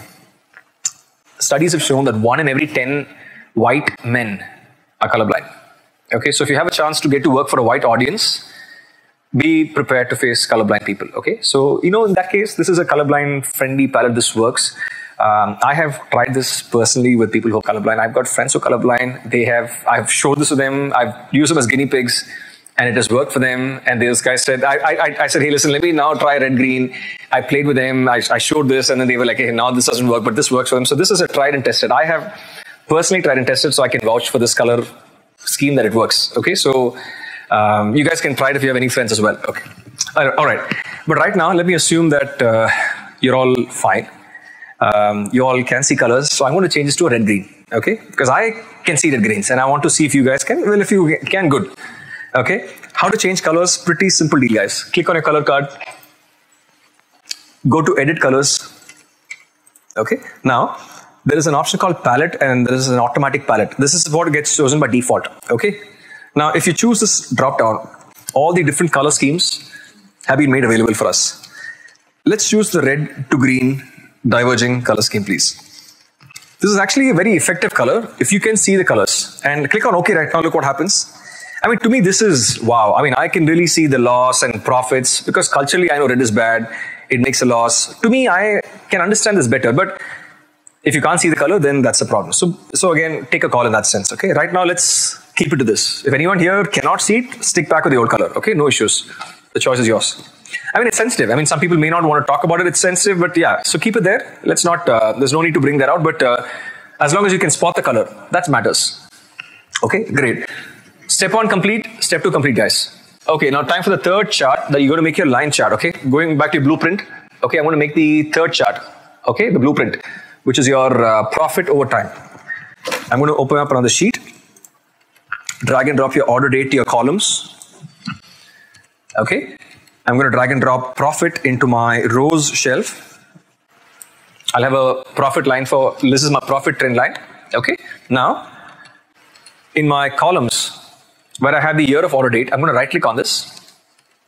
We spoke about how to make discrete continuous fields. I'm going to ask you to choose your continuous month field, your second month basically. Okay. Choose your second month for the overall data. I want to see how the overall trend looks like for all my four years in terms of profits. Okay. I'll put the trend line, but I want to save some time. So I'm going to do it later. Okay. Now, here's what I want to do. I want to bring in colors also into profits. Okay. So I'm going to drag and drop my profit into my color card as well. So I'll get the color scheme here. Okay. So I can see profits and losses. Wherever there's a, the zero line indicates negatives and positives. Okay. Now, while we're here, just a small point to bring in here in the blueprint. See this chart that we have on the board right now is basically chart number three. Now this chart is going to be made to interact with this chart on top because I'm saying use this filter, this one factor. Okay. When I click on any of the bars, this will change values, these two values. And when that is happening, there is a challenge with colors. See colors right now, okay? I mean, if you see your color values, okay, I'll show you a small thing now. Now, all of you, firstly do one thing. First things first, I'll, before we even talk about this, this uh, chart number two is being used on all the charts above, okay? If you've changed to a red green, please talk consistently all red green, okay? That is your first rule. Individually charts might make sense, but when you kind of integrate them, one red green, one orange blue, one yellow gold will not fly well. So make them all into red green if you've decided, okay? Now, so I'm going to first change this color to red green. Also, one more thing is, I'll show, so okay, let's first do that. Then we talk about the other issue. Go to your color card, edit colors, change it to red green. Don't click on OK yet. Okay, hold on for a minute. Hold on for a minute. Okay, change the color scheme. Now, the um, if you look at this color legend, guys. Okay, color legend here for a minute. Just keep your eyes on the screen for a minute. There's a little black line that kind of uh, hovers around the transparent color scheme. What's that value? Zero. Exactly. Now, here's what has got to happen. This little dot that you see there always needs to stay at a value of zero. Do you all agree with me on that? If this value becomes, say, for example, if this dot value instead of zero takes a value of, say, $1,000, what happens in that case? Anything become below 1000 becomes a red. So you're you're showing $500 of profit as a loss okay? If this becomes a minus 1000 then anything more than a minus anything anything so even even a $500 loss might be in green color. There's a good chance that can happen. Now this color schemes can has to be locked. Now especially when you have interactive views like you see charts 3 4 5 6 7 and all that okay? All these charts below. All these are going to interact with a chart on top in such a case, your color schemes, your center values will change positions unless you don't lock it. You got to lock it. Okay, very simple task. It's a very, very simple task. Just go to your tab called advanced. And the center value, this box, just tick it. If you check that box on, your center value will be locked at zero throughout. Okay, this is a very significant step. Click on OK. Okay? All right. Let's call the sheet as profit trend. Profit trend, okay? I'll put the trend line. Before that, I'll first make the bar chart, then I'll do it finally. I want to save some time, okay? See for the bar chart, now the next chart, chart number four, okay, one, two, three, four, is an exact same replica of this, okay? So I want to save some time. Wherever I've done some work, I'll utilize this. I've got the correct aggregation. I've changed the center value. All that is done. Put the correct colors. So I want to benefit from that. So I'm going to right click on the profit trend chart sheet name. And there's an option to duplicate the sheet. It makes an exact same copy. Okay. Called profit trend 2. Okay. Now in your uh, second sheet called Profit Trend 2, I want you guys to go to your marks cards that says automatic. Okay? This line is automatic, but now change this into a, a mark called bar. This will become your bar chart. Okay, so we've got our uh, chart as well. Okay, now let's rename the sheet. Call this profit values. It's called profit trend 2 right now. Call it profit values. So guys, just follow along. When I'm clicking, I'm going to make sure the pointer is right there. Okay, so look for my pointer. You'll be able to capture then and there. Okay, profit values. Okay, now let's put the trend line on the previous chart. Okay, that's important. Go back to your previous profit trend chart. Okay, and just do a right click anywhere inside your um, chart where there's white space. Right click anywhere inside. You'll get an option called trend lines simply say show trend lines. So that's my profit trend. Okay. So for a line chart, I have a trend and the value as well. So we're done so far with step one, two, three, and four. Okay. Okay. So far, okay. All good. Anyone lagging there? Anywhere stuck somewhere? Let me know real quick. Which part? Okay. Just go to your profit. Go. Just right click. Trend lines and say show trend lines. You'll get it. Okay. Done. All good so far. Okay. Anyone still wants any help? I can. This is a pit stop. Okay, I'm going to carry on. Okay, good. Uh, let's make a state map now. Okay, states for profits. I'll show you another shortcut to make map charts. Simpler technique. Okay, don't have to go to show me every time. We'll make it. We'll build from scratch this time. Okay, so I'm going to all get you all to double click on your field called state. Double click on it. The ones who got the US map earlier will get dots across all your maps. You guys are one step ahead of us. The ones who had the setting issue like me last time, first change your setting.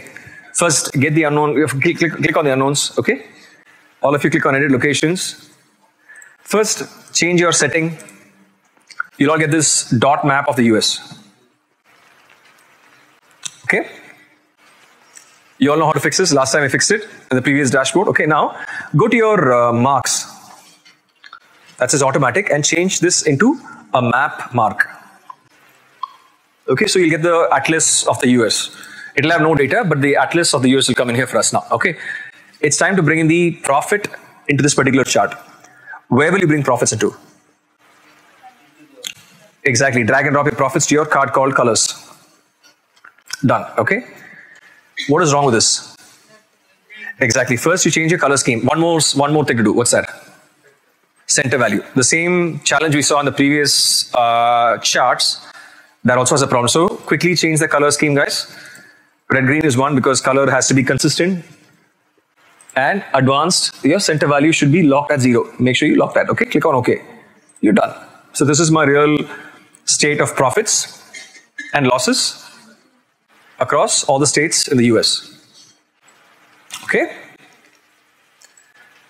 I'd now like you to rename the sheet, call it uh, profits across states, please. Don't leave it some sheet number, call it profits across states.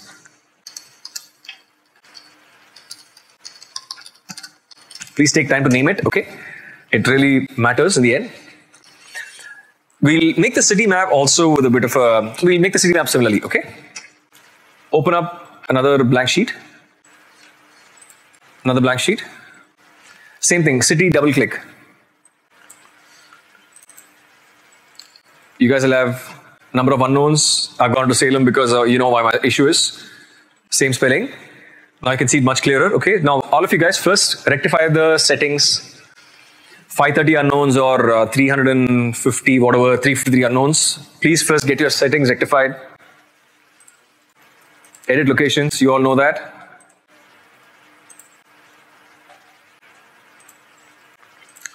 So when you have done all this, you guys will have a map of the US like as though it has uh, chicken pox in it. Okay. So that's done. Okay. You, sh- you should have this map at this point. Nothing else has been done. Simple atlas is there. Okay. I, I now want to get some. Um, I want to pick your brain on something. No, no, don't change anything. Just keep this for now. Where do you bring profits now? I'm saying no. Okay. First, tell me. First, tell me why no size. It's not about difficult. It's not about difficult. It's again not about a lot of data points. There's another reason. I'll tell you something. Color is the right answer, but I'm saying why? Why? Okay, why color and not size? So you know what? In this case, I have a limitation. The metric has a limitation, so I cannot use size for this limitation for this metric. Had it been a sale or a quantity that has positive values, then size would have been better. But the fact that I only have a negative I have I, I can have a negative to positive metric. I'm pretty sure I have. I cannot use size. It has to go into color. Drag and drop profits to my color card. Okay. Okay, so I have this, uh, and in fact, even this looks very uh, superimposed or data points. Let's first fix it up. Okay, let's first fix it up. What is the what are what are the two fixes for this? Color and your center value. Okay, please do this simultaneously. All of you fix it up. And I want to ask you some. I want to get some opinion on this. Okay. Click on OK. Make sure you do these color and uh, center value. Click on OK. Okay. Okay. I have a. I'd like to get some opinion. How many of you like this chart? How many don't like the chart? Okay. So you're okay with the chart? You like it? You didn't put your hand up, so I'm asking you, you like the chart? You did like it? No. Did like it, okay, right, okay. Who likes it? I like it. I'm saying it's the best chart of all. It's a fantastic chart. Why, okay, why don't you like it? Let me ask you. why don't you like it? It's not readable, okay, hang on for a minute, okay, okay. Time, time for a, time to put your thoughts on hold, okay? Why do you think it's not readable? Why? Why? Profits are less every time, so Exactly. Exactly. Your profits are. No, no, no. Hang on, hang on. Uh, stick to his point. Don't, don't go for it. Don't, don't uh, sway from his point. He had a point. So what? So and max values are quite far away, and and and and okay, that is one. And and profits are smaller. and so So this is near to white color. So- and so- is kind of same. So yeah. Keep You going. need to narrow down the range. No, no, no, no, no, no, no, no, no, no. First, first, talk. Tell me why many of my points are almost white. Exactly. Profits are small. Profits are having low values. This is profits. There's no sales. It's only profits. Profits are okay. The fact that you can't see most of your dots, it just means it has very low or very high. What? Profits. So what does it mean? No, no, no, no, no, no changing. First, first answer this question. So what does this mean? Impact um city wise uh, profit uh, impact is uh, No, no, no. So when many of your cities are almost invisible, it's because of low values. Doesn't that mean? Doesn't that mean that that, that, that one, one second, one second. Doesn't that mean? I'll, I'll, I'll come to your point. Doesn't that mean majority of your cities are just about break even? So does it a good thing or a bad thing for the business? It's not a great thing. Exactly. It's not a great. It's not a great situation to have. Now, in one second, I can change your colors. I can do all this. I can, I can do one color and all that. But if I kind of listen to your uh, suggestion, if I made this change, I would have completely lost this fantastic insight saying, uh, this strong insight saying many cities are doing pretty bad. This is my true state of affairs. Okay. Now, just because you didn't like the chart, I can't be bothered, honestly. But I, I, I can't skew the data. Okay. I can't misrepresent it. It's not about you liking it. It's about what is efficient and what is right. If you can't, if you can't see many of the cities right, that's because many cities have not had a high profit or a loss. Okay, and that's the reality. Let's face it. Okay, it's not all about trying to show things visually. It is not appealing because there is no insight. This case, there's a clear lack of insight. A clear lack of a pattern which you could not see is a pattern by itself. So I'd say don't change it. If you change it in, a second, you're just going to show something that it's not. This is the reality. Many cities have not done well. Yeah, there are there are extremes. Why not? So there are extremes. Why can't other cities also be in extremes? Is my logic. Why can't they also be towards the green? So why is that? So again, some cities are dragging it away from the majority. Again, I, I kind of agree, but most of them are not doing great. This is my reality. So I want to keep it exactly the way it is and not change it because of somebody's likes and dislikes. So So you need to argue like this. This is what I'm trying to say. When you don't see a pattern, don't be in a hurry to quickly change it or modify it because you're you may not be doing the right thing, is what I'm saying. Okay, that's my that is my argument to this. So another thing is, Tell me. so, uh, in the previous uh, chart, Mhm. it shows that the states are like very dark color and all that. Yeah. If we drill down, Mhm. actually the profit is not that much. Exactly. Exactly. It's not that much. Reality. That's a reality. Overall looks high, but then when you look at each points, uh, the reality is it'll come and bite you. When you, if you, if you, if I, in a second I can make them to reds and greens. I'll make them so dazzling, so popping out. But I would have taken this powerful insight. I would have painted. Uh, I would have taken you from reality and made it something else. So don't do that. Don't, um, don't, don't take the focus on the reality. Okay.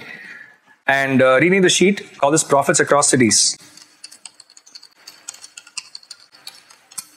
Okay, that's also done. Okay, time for the next few charts and then let's kind of put them into a story. Okay, so we're done with step six. Okay, so far it's one, two, three, four, five, six. Let's go to step seven. We're going to make the scatter plot with the segment filter as well. Okay, so I'll show you how to make a filter too. Now, uh, two measures. You were saying discount. You brought the discount factor. Okay, let's say we'll make a chart. We decide scatter plot makes sense. Okay, you obviously know this because you're, I'm sure you've done this enough. Um, between profit and discount, which is your Y variable? Really? Discount drives profit or profit drives discount? Discount drives your profit. Okay, discount is impacting your profits, not the other way around. So you want to see how much it is. So your X is your discount, your Y is your profit. Okay, so let's make sure when you create the chart in the Y axis, you always have your profit. Okay, so drag and drop your profits into your rows. There you go. Profit fell into my y-axis. That is done. Drag and drop your uh, discount into your columns. This is my data. Okay. Why am I seeing this one dot? Mm-hmm. Mm. It's doing a sum of all my points. Total sum of profits total sum of discounts, which is really, really stupid. Okay, and that's why I see 16,600%, which is ridiculous. I need to break this up into levels of detail, de- uh, levels of detail, into the lowest level of detail if possible. What's the best level of detail for a scatter plot? Ideally speaking, most ideal level of detail is what? What? Give me, give me. Uh, you're right. Uh, to every individual level, right? Every individual point. You want to see each point as is. That is the best way of seeing a scatter plot. Exactly. Or something to the level of row ID. Yes, you can do that. There are two ways to do this. You can either drag and drop your row ID to your card called detail. That will give you one option. The same thing. Okay, that is one thing. Or the other way to work this out is go to your card called analysis. Okay, go to your tab called analysis. Okay. And you guys can simply uncheck this aggregate measures. It'll also remove all the aggregations. It'll have data without summing effects of sum of sum of sales and sum of discounts. Now check out your uh, number of marks. 9994 marks. When I first opened the Excel file, it had 9994, 9994. So 10,000 records, everything is back in place. Okay, great. Let's uh, drag and drop profit here to the color card as well. Okay, why not? It helps. And color center value, please fix it here as well.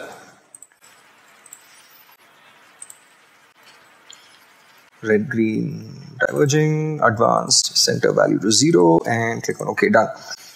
Right. And uh, let's also uh, break this as per segments okay? So let's see how that works. Let's put a trend line for the scatter plot okay? Like how you did for the line chart do a trend line here as well. Right click inside anywhere. Okay? Trend line and show trend lines It's not a great insight. Uh, it's actually a little, it's slightly insightful. But I don't know how it will change for tables. So I'm not too worried about this for now, okay? Let's uh, also look at a segment filter for this for a minute, okay? I'll drag and drop my segment to my filter box. Just click on all values. Click on all. I'll talk more about filters later, but right now let's set a filter, okay? Tomorrow I have an example to set filters. That time I'll give you a little talk on that. Click on OK for now. Your filter called segment is set inside your filter box. Okay. And we'll analyze this as per each segment. Again, right now it's overall data. I'm more concerned about tables. Tables versus segments. Okay. So we'll think about this right now. As long as you set the filter, you're good to go at this point in time. Okay. If you want to analyze it right here itself, you can do so. Okay. For that, you just well, you know, right click on the segment on the filter and say that show filter. You can get the filter right here itself. Okay. But you can now basically make a click here or one of the others. Okay. You can choose one of the two and then you can see how this works. Okay. I would say uh, break this into a different option. Okay, instead of having multiple select options, uh, slightly better is let's see one segment at a time. Okay, like a single select option than multi-select options because it'll make it'll do all all one select. Okay, so click on the drop down. Okay, you'll find a little drop down on your screens. Okay, and in that you can basically do a single value list like radio buttons. Okay, so let's look at that instead. Yeah, that's probably better for me. I kind of keep this for now. For now, keep all values. Don't miss it. Right now, keep all the values. Then in the next screen, it'll have a different value. Okay, so right now, just keep all values. So I think we're good to go for now. We can uh, start to arrange them into a story and dashboard and see what the actual answer is coming out. Okay. Now let's um, rename the sheet as well, please. Call this uh, profits versus discounts. And I think we've built all our basic building blocks. We are done until uh, step number eight, seven and eight. Okay, seven, step seven, step eight is done. Okay, we're done till here. Now it's time to do the ninth step. That is build the third comprehensive view. Build this dashboard. Okay, and then the storyboard comes in place. So we'll add the filters later. I'll show you how to bring it. Right now, first add the filter for now. Drag and drop it, and in the dashboard, I'll bring it eventually.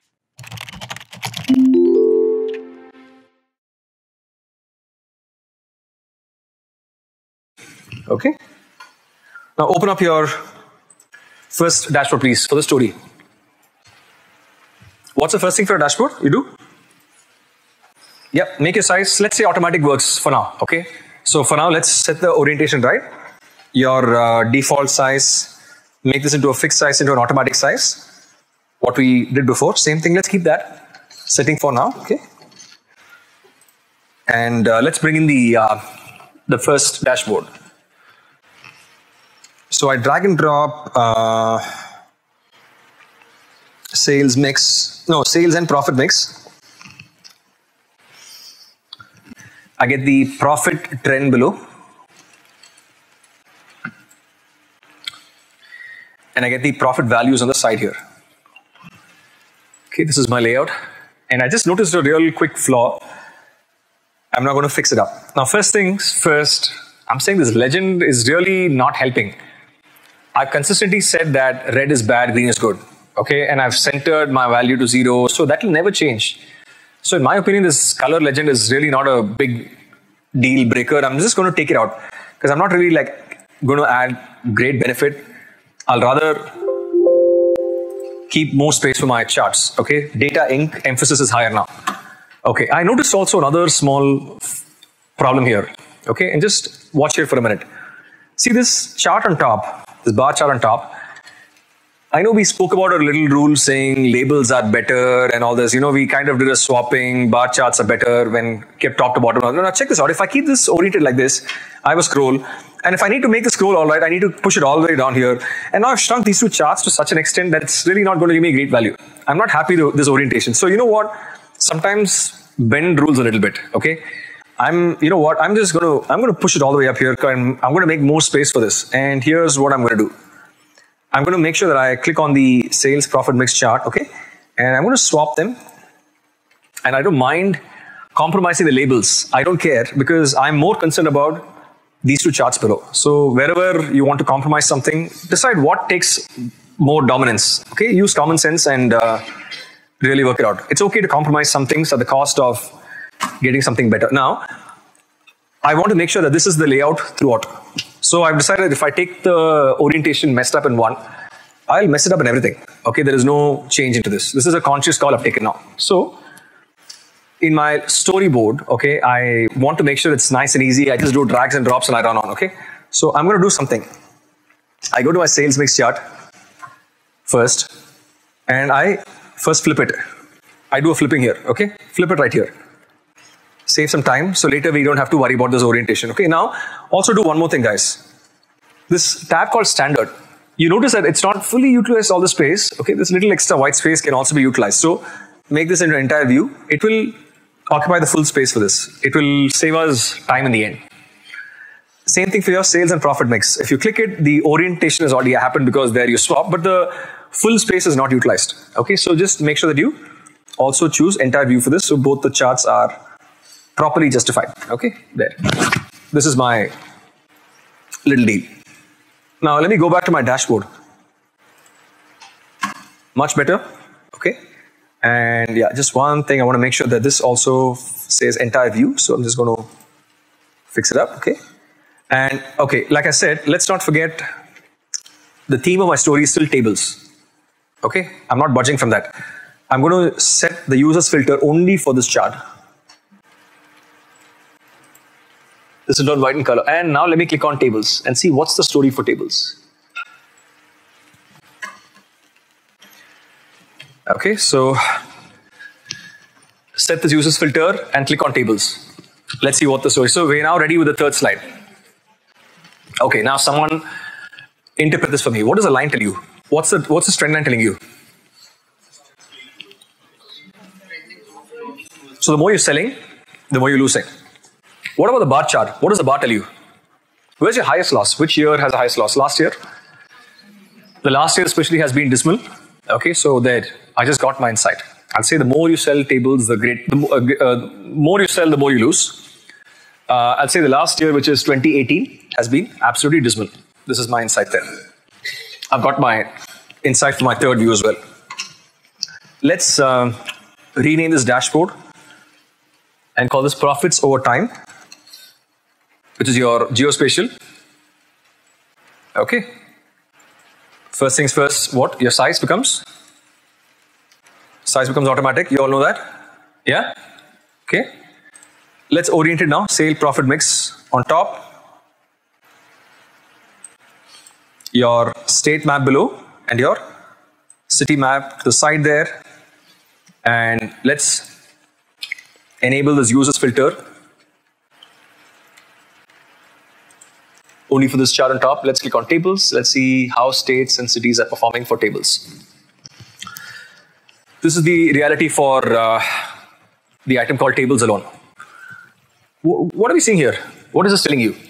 Yep, exactly. You're now finding a silver lining in the dark cloud, basically. That's what she's doing. So Washington seems to make a pretty decent profit. Which city in Washington, by the way? 4,000. So that's a decent sized profit, right? I mean, amongst, and, and if you look at, I mean, see, right now, if you see, if you're a cup half empty kind of a guy, then you look at the reds and harp on that. But if you want to highlight its opportunities as well, why not? See, so far, table is not looking very promising between you and I. Very high in sales, but low in profit. So I'm already kind of disappointed. And when I see a trend that's going bad, every year I'm doing worse and worse. But when I look at a quick mix, I find some amount of greens. It's not all red. Okay, had it been all red, then that would have been a cause of concern. But I find some amount of greens as well. So clearly something good has happened as well too. So why not we highlight that?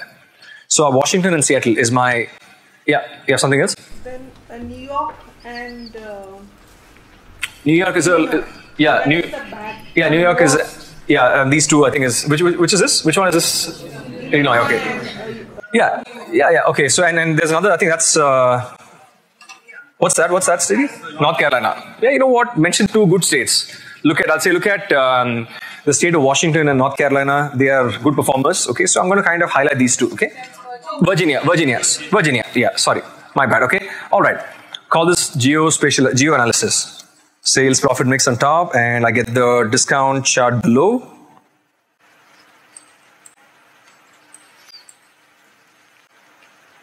Okay, that's also done. Okay, great. Okay, and let's say users filter. I'll take the legend out. I'm not going to waste this legend. And this filter, I'm going to make it into a floating filter because I don't want to waste so much space for the filter. Like what I did for the first dashboard, you remember that uh, date legend, I floated it. I'll float this filter as well. You'll find an option to float. Scroll below, there it is, floating. Okay, and let's just bring it down to the bar chart, which has the actual reason for the, which actually works for this. Okay, let's not forget, okay, now make sure that this is used as filter, okay? Not, enable this filter. Let's click on tables and let's first see what the deal for table is. Okay, before we start any segments. What is this telling you? What's telling you?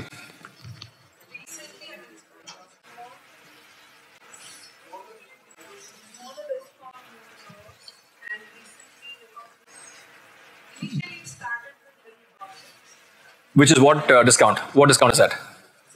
This is not recent. It's this is not time, huh? Zero discount. You made um, you made you have you had zero percent discount, and there your uh, transactions have made profits. Exactly. So so discount discount in my opinion discount for tables is a problem.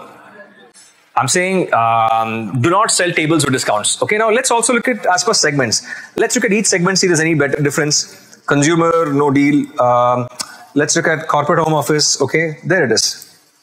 So, I mean, nothing much is coming out of my. Uh, I mean, if you look at each of that, consumer is the least uh, impacted. But if you look at your corporate and home office, they're very, very impacted, badly impacted. If you check this out, okay. So, I'm going to leave this as my insight and say um, and say um, tables. So again, again, the segment didn't give me a great, great insight. So I'm not going to take it out. I'm going to leave it there. I mean, if they want to use it, let them use it. But all I'm going to say is discount impacts profits heavily for tables. So stop all discounts. That's my summarization. Okay. I'll call this dashboard as profits. Make sure that you name the sheet and the dashboard differently. Okay. Otherwise, you'll have a, have a problem. That's why I call this versus and I call this and. Have some, at least one word of a difference. It'll throw back some error. It won't let you name it. Okay. Okay. Time to put this into a storyboard. All the basic building blocks have been done. We'll quickly arrange them into a slider, type in our captions, and we're done in another five minutes. Okay. Let's build a storyboard. Now to build this, so okay, uh, reality check. One more pit stop. Is everybody here on the same page? Okay, we're now going to build a story and type captions. Okay, so all right, good. So to build a story, guys. Okay, the third last, the last thumbnail after your dashboard, the one with the book symbol and a plus symbol, right? That's a story container. Hit that. It'll give you something like this. Okay, you'll see there's a place to add caption as well. We'll do that. Same rules apply for a dashboard as this as well. Container size to become automatic. So again, you see there's an option called size for your story. Just make sure that you hit this option and you first change this from a fixed size into an automatic size. Okay. So first change the size becomes all right. Okay. And let's sort of bring in one step at a time. Time to get your sales mix chart to drag a sheet here. Okay, sales mix chart. And let's click on this add a caption and type in our notes. I'm going to say tables, fourth highest in terms of sales. Okay.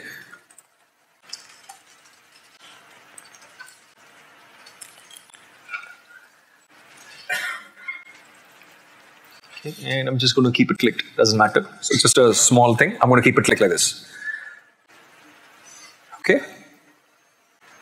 Now let's get in our next uh, part of our story. Like you're adding more sheets to your PPT. You see this option called blank, new story point, blank button. Give it a click. It's going to open up another page, by the way. And here we drag and drop sales and profit mix. Okay. Blank. Okay, and drag and drop sales and profit mix. Now let's add a caption. I'm going to say, however, tables have the highest loss. Okay, tables have the highest loss. My second chart is also done. So as you notice, I'm actually following the blueprint. Okay, I'm just following the blueprint, nothing else. My planning work is done, so I'm done view one, view two. I'll still get my last three views and I'll type my captions and that's my plan. So that's the blueprint, okay? One more blank point. And this time, bring in the profits over time dashboard itself.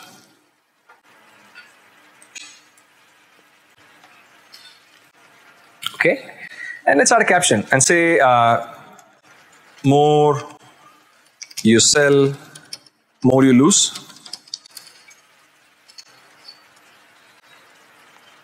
Lose spelling is right? No. No, the thing is, the more you sell, the more you lose, right? This the trend is saying this. So the more, so more over time, the more you're selling, the more you lose. That's what I hint by that. Or I say uh, losses increase over time. I think the other dashboard is indicating that. More No. No, here it is. In fact, no. The, the as you're selling, I'm saying as you're selling because of time, or or let's rephrase it. Let's say uh, losses are, losses losses have increased over time. Losses have gone up over time. Okay, let's rephrase that. Okay, so fair enough. Loss has increased over time. Okay, that makes sense. I'm going to say 2018, the worst. Okay, I'll look at yours. Just uh, keep that pending. I'll, I'll fix yours. I don't know what your issue is, but maybe you've done some drag and drop mistake. I'll come there. You make the next sheet, then I'll, I'll fix yours. Okay, we'll uh, talk about this. So, um, okay, let's get the next view, uh, which is your geospatial analysis. Get your geo analysis. Okay, and let's add a caption saying uh, state of WA and Virginia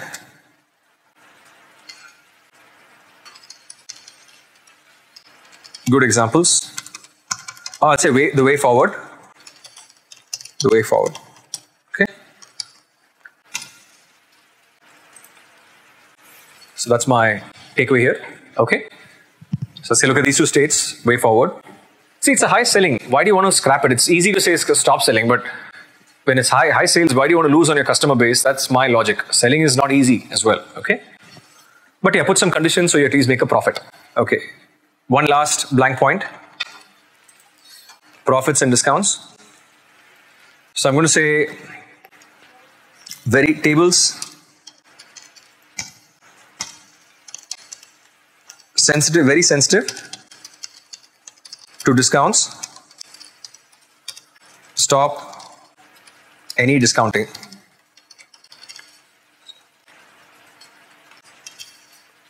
Okay, that's it. Stop any discounting. And with that, that's my storyboard. Okay. So yeah, back to my presentation mode. Go back to my view in there. There it is. We're done. Tables, fourth highest in terms of sales. However, tables have the highest losses. Then talks about your time-wise story. Okay.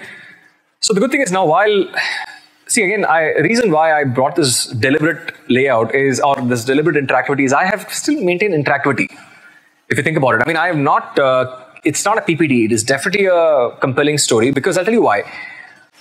The theme of my story is tables, okay, and it's profitability. While my audience have this as a default view, nothing really stops my user from saying, okay, you know what, tables, that's a deal. Let's see what's a deal for, say, phones, and they can click on other items and still take their own insights. So nothing really stops them from choosing any other things other than tables as well. So that's like really where I kind of sort of keep this option open. Same thing for my um, geospatial mapping. While people look at tables, they can still look at bookcases or copiers and say, hey, that's the case for copiers and so on and so forth. Same thing for any of my discount items. They can click any variables. So I'll say I'll say keep the option open for audiences. Let them be able to explore multiple options at the cost of a story. You're going to make this into a much more enriching experience. That's something that I would do for a storyboard typically.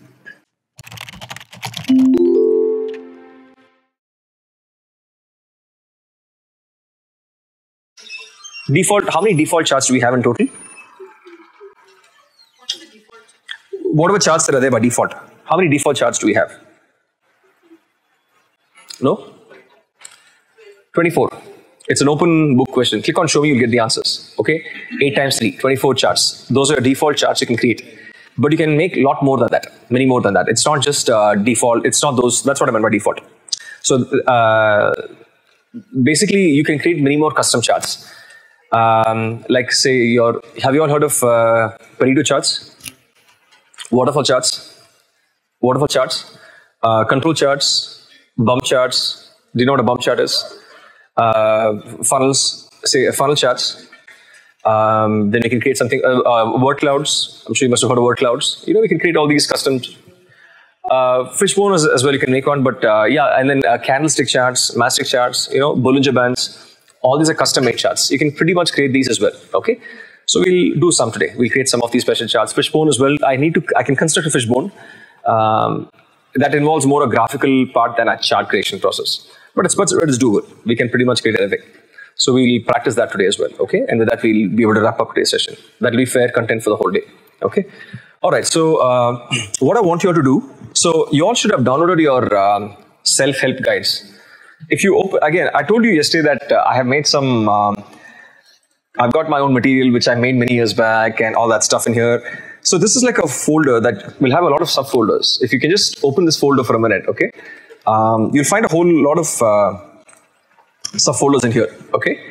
Which I'll kind of walk you folks through, okay? So typically what it does is all your major topics that we're going to be looking at, all your uh, hands-on material that we're going to look at is all right in here. This is like a one-shop guide for you, one-stop guide for you. Now say for example, today we're going to talk about how to create some Pareto charts and all that, okay, at some point in time. Now, um, say you guys want to recreate it, okay? And if you want to look at some kind of a material and not your recording, you guys can still look at these files and folders as well. I'll say explore them, okay? Go through them so you'll know what is in here. Now, say for a minute, if you want to, uh, say, create a Pareto chart, I've kind of put them under a folder called uh, special chart type, okay? And all you have to do is, well, just go right in there. You'll find some PDF files and some which contains your guides, and there's also some may have also have Excel files, a combination of all this. If you want your guide, open up your PDF files, okay? That will contain your instructions on step-by-step instructions on what to do, uh, where to drag and drop, you know, just to, if you want to a Pareto. And I, I did them about uh, five, six years back, many, long time back, I did it for somebody. So uh, I made them in the older version of Tableau, but it's still very relevant. So if you follow all these steps and if you kind of pretty much work all this through, you guys should be able to recreate most of the content back here. So this is another extra uh, resource for you all, okay?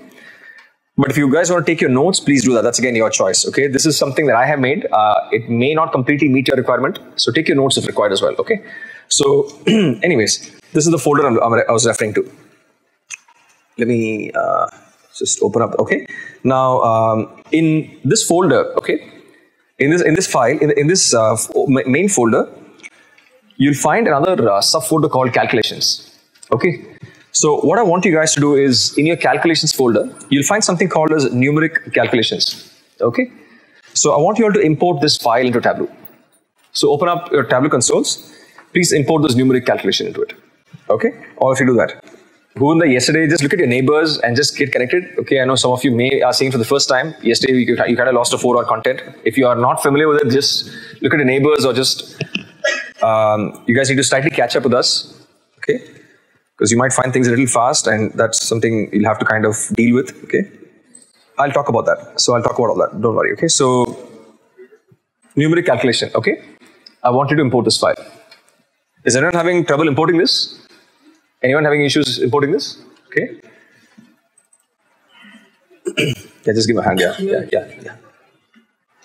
Okay?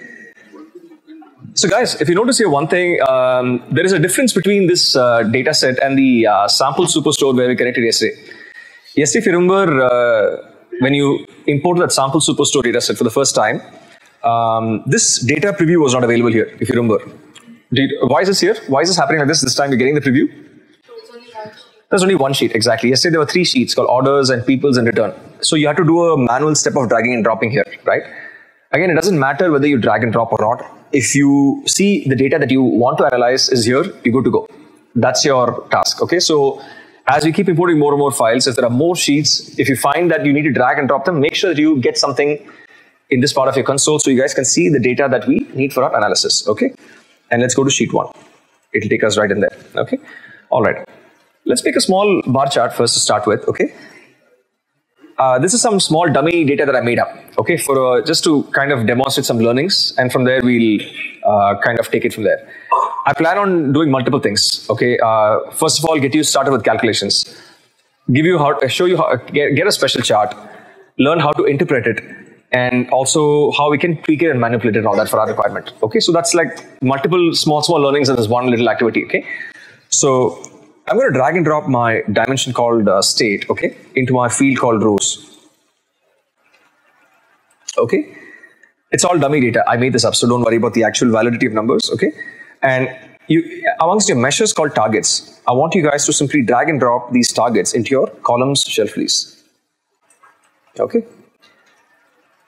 Sort the data from high to low, give it a descending order sort, okay? And let's also show the labels, okay?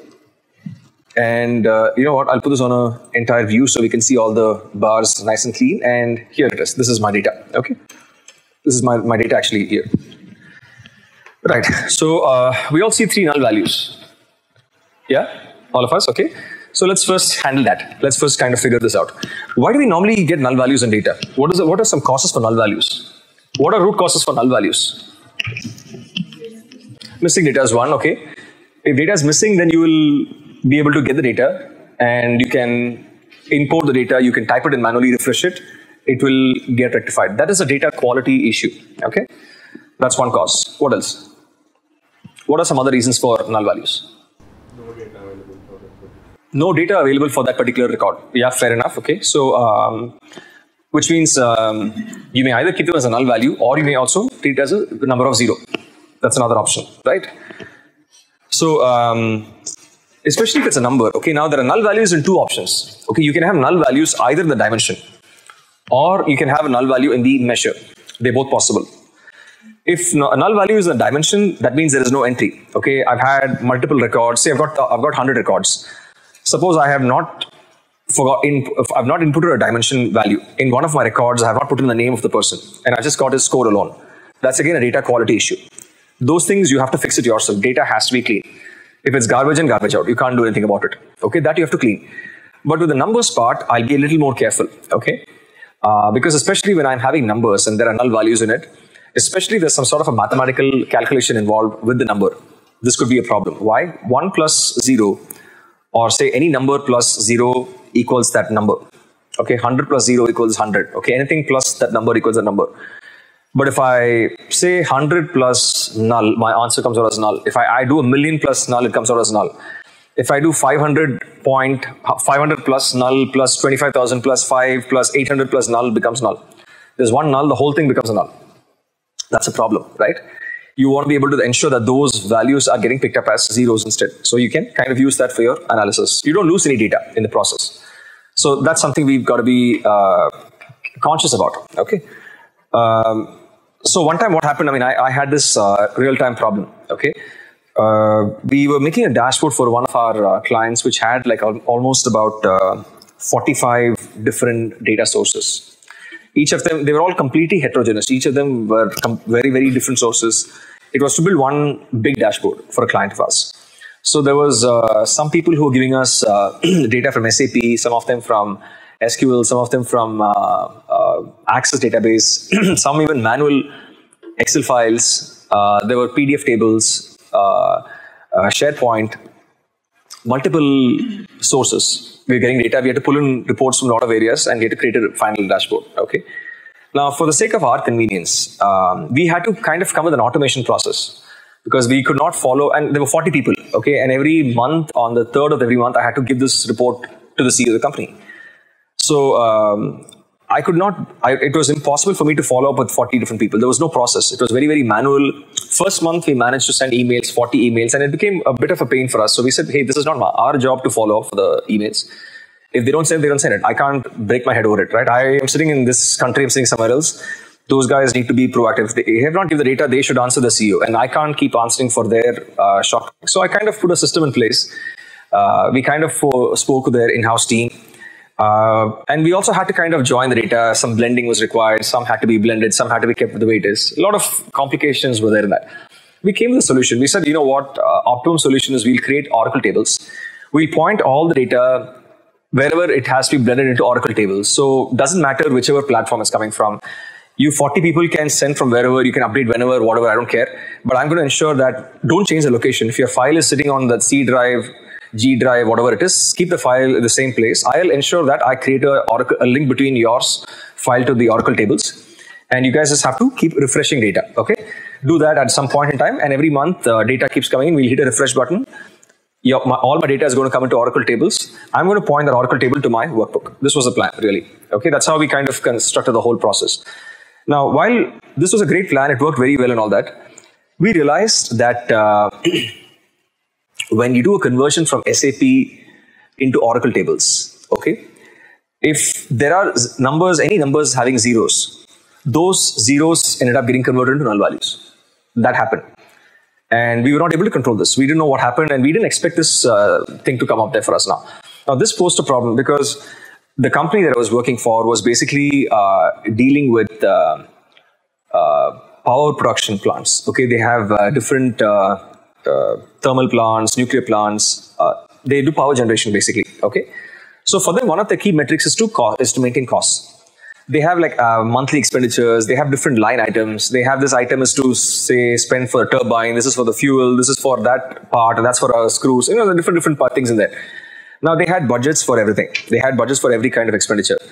Now there was certain uh, maintenance work that they would normally engage in for the power plants. They were uh, periodic, not regular. Okay. Say for the month of Jan, if they did the maintenance, for the month of Feb, they didn't have to do some maintenance. So they had that kind of an approach. As a result, what happened was, and I had to, but I had tracked the entire payment, all the all the all the expenditures that they had. Okay. So for the month of Jan, if they had spent hundred thousand dollars, for the Feb, month of Feb, there was nothing.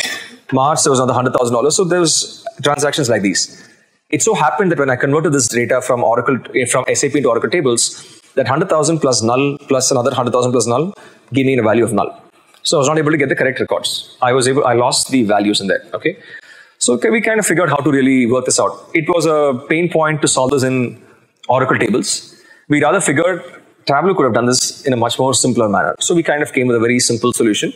All we did was, while we have this, now, now think about this. After getting all that story that I've got here, I've got these null values.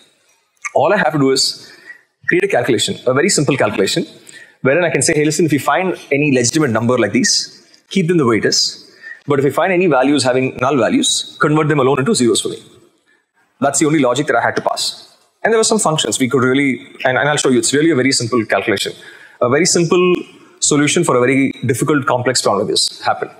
So trying to, you know, you know, the reason why I'm pointing this out is sometimes when you want to automate problems, okay, when you want to automate any problems or you want to kind of, one is to get some data that you don't have. You want to create a new field which is not available. Yes, a calculation is, is a great way. Sometimes even solving some problems to automate some kind of solutions, calculations can be the way to go. So it's good to kind of get comfortable working on calculations on different platforms, you know. Again, there is no hard and fast rule that you guys have to do the calculations only in a software that you're working on, okay? I'll say be smart about it. Whichever platform it's convenient, it's lesser workload, wherever it's easy for you, um, kind of work that out and work smart. That's all I would tell you. In this particular case, in this situation that I told you, doing this math in Tableau was a lot more simpler. It was just one simple calculation, okay? Now, here I've got a field called targets. I'm going to make a new field called corrected targets, which wherein it's going to make sure that all these states, same number, last three states alone gives me a number of value of zero. Okay, we'll work this out now. So we're going to achieve this with the help of a calculation. Okay, now to create a calculated field inside Tableau, there are multiple ways to work it out. There's no one way or one right way. Whatever makes sense, whatever is easy for you that you can remember, work with that. Okay. Now, in your measures and dimensions, when you guys find any white space like this, and you do a right click, you'll find an option called create a calculated field. Okay. Same thing, you click at your dimensions, you do a right click, you'll find your create a calculated field. Same thing in two places. Okay. Now, a third spot to find the exact same menu is if you actually look at your shelf, you know this word called dimension. Against it, there are three buttons. Okay, one called view data, a second one with a search or a find field, third with an arrow that drops down. Click the arrow that drops down. That's the same thing. Okay, that also gives you the calculation option. Third place. We look at a fourth place as well. One more place that I'm aware of. Okay, if you go into a tab called analysis in your menus, okay, your fourth last field says create a calculator field. Same thing. All the four places, they'll give you the same thing. So whichever you guys can remember, whatever you can work with, pick one of them. Okay, it'll open up a box like this. Okay, now when you guys are going to create calculations in Tableau, you guys are going to be creating hypothetical fields. Okay, so why I mean what I mean by that is it's not a regular variable; it's a hypothetical variable. In the sense, uh, now I'm going to create a field called corrected targets. Okay, I have targets. This contains null values. I want to be able to convert this with the nulls into zeros. Okay. Now, I'm going to get a new field here called corrected targets here. Okay. It's like this. When you're going to create any kind of calculation, what happens is it's like saying column A plus column B equals column C. Same deal. You're going to have a new column. Your resulting variable can either be a dimension or a measure. If you have a string calculation, it'll go into a dimension. If you have a number calculation meant for arithmetic math, it'll come into your measures. Okay. You can also create um, nu- number fields which are dimensions. Suppose I want to create categories uh, called 1, 2, and 3. They're numbers, but they can be dimensions. Possible. I create an index, for example. That's a dimension. It'll be a numeric field, but it'll be a dimension. Same logic. What we discussed yesterday, first, the first thing, first step, same deal. Okay? We can then tell the tool whether it is a dimension or a measure. We can handle that accordingly. Okay? So output will come boolean, true, false will also come out. All these different options are possible. Okay? Date fields, anything. Geospatial, any variable is possible. String and all that. Now, calling this hypothetical field because when you are going to create a field, let's say instead of targets, I make one called corrected targets. Okay, this corrected target field will only stay inside this particular console. It does not, by any chance, interfere with, back with your raw data. Now there's an Excel file which has just three fields: state, sales, and targets. If you create a field here, you won't find your correct targets back in your Excel field. It'll stay only inside this window. Hence, I'm calling it a hypothetical field. Okay, and great for automation, solves multiple issues and all that of those sorts. Okay, now let's see how to figure formulas, functions, syntaxes, and all that, and then we take on further. Okay, always get into your habit of naming calculations, guys. Okay, I'm going to call this as corrected targets. Okay, corrected targets. Okay, and uh, in my corrected targets, okay, if you um, check this out in here, okay, if you check this out in here, in the box in here, this is the spot where you guys are going to be actually creating calculation right here, same spot. Okay, now um, where do I find my functions? Check this out. In the uh, box that I'm kind of clicking on right now, you see a small gray arrow that points to your right side. If you give that a click, you'll find your function library. Okay, all the functions that you need to be looking at is pretty much right in here. You'll find a lot of similarities to that of Excel. Okay, there are some things that this can do better than Excel. Some Excel can do better than here. Okay, um, it can it can- create all kinds of calculations as long as they're not statistical. Okay, if you need to perform statistical calculations, you'll then have to integrate an element like an R or a Python, and then you can pass some calculations and commands, which we'll do the last day. We can also do that. Okay, but by, na- by natively speaking, it does not have any stats functions to it. Okay. All right. Now, um, let's say for a minute, I want to kind of create a calculation which converts my null values into zeros. Okay. So, if you think about this, this is some kind of a logical function I've got to pass in here because it's going to take a number. If the number is not a null value, it keeps the number as it is. But if it finds a number to be zero, then it converts it into a null. If it finds it to be a null, then it converts that into a zero. So it's a logic. It's some kind of a logic, yes, no logic. Okay. So I'm going to look at my logical functions to save some time in here. Okay. There it is. So all my different logical functions. Now, um, in here there are multiple functions I can use. Okay. Uh, there's no there's no one right way. You have your um, if null. You got your is null. You also have something called as zn. The last one. Okay. It stands for zero null. That's the function. That's what it's really called for. Okay. And the moment you give it a click, you'll find the syntax that needs to be used in here. And you guys will also find notes about what the function is meant to do. So read this. If you're seeing it for the first time, read these notes, look at the syntaxes, and benefit from this. It kind of really helps you to get your syntaxes right. Okay. So here it's a very simple function. It's a very easy function. Zn within brackets, your expression. What's your expression here? Yeah, exactly. It's your targets. Okay. So let's get in your function. Let's type in Zn, open your parentheses. Okay. And input your targets. Now, now when you guys want to bring in variables into your functions, okay, there are two ways to do this. You can either do a type in like I did, okay, like if you if that's that's your comfort factor, you may do a type in, okay. Or the other option that you guys can also do is you can also do a drag and drop. Whatever is your comfort factor, do that. Stick with your comfort factor, okay. And yeah, I've got to close my brackets, and with that, my function will be complete. Now, um, a, a simple example, okay, just so I can kind of take it easy. This is a very easy, simple example. I close your brackets, it will come right. Syntax will be right. Okay. But obviously, when you guys make syntax errors, the tool is not going to let you proceed further. It's going to throw back an error like this. It says it has some errors in it, Okay. Now, if you don't know what your error is, which I, I'm pretty sure can happen as you start to do more complex calculations, you will not know what has gone wrong.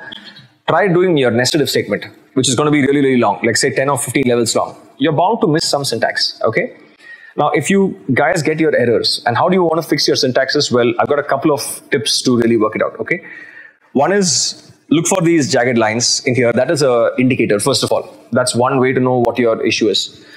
Your uh, second way to fix it up is click on the error itself. It'll tell you what the actual error message is, okay? And um, one more little help is, you know, if you still can't find out, click right on the error itself. It will try and, in many cases, highlight the actual part where the error is. Okay. This is the maximum level of spoon feeding that you guys will get from the tool. Okay. Beyond this, God bless you. Okay. Okay. Now close your brackets, and let's close your and and and, and okay. Yeah. And we get we're done with this. If you guys want to type notes, okay, suppose you want to create a calculation, you want to put in notes in your calculation, that's also doable, okay? Just put in a couple of slashes in here, okay? And you can type in any notes in here, it will not interfere with your function as well, okay? So these are some tips that will sort of help you to work this out, okay? Done. Click on OK now, we're good to go. And that's your measure called corrected targets, okay? Let's now test it. Drag and drop your corrected targets in your columns as well. And if I check this out, there it is. I've got my corrected targets on the side here. So these are my original targets, same numbers. Okay, and here I've got my null values converted to zeros. So I'm kind of okay with this field. So now for all future purposes, I'm going to ignore my targets and I'll just take my corrected targets. End of story. Okay, every time this data is going to keep coming in, even if it's a real-time database, it's a live da- dashboard, this will keep coming in, but I'll ignore this and use this variable for all my purposes. That's it. Okay? The zeros are not getting displayed. You must have picked up the same va- va- value. Corrected targets. Take your corrected targets, the new field. Yeah, it's showing us zero if you hold the mouse. Yeah, that's because of spacing issue. Doesn't matter. Uh, Same thing happened to me as well. Okay, so when you check this out, you might have issues like these.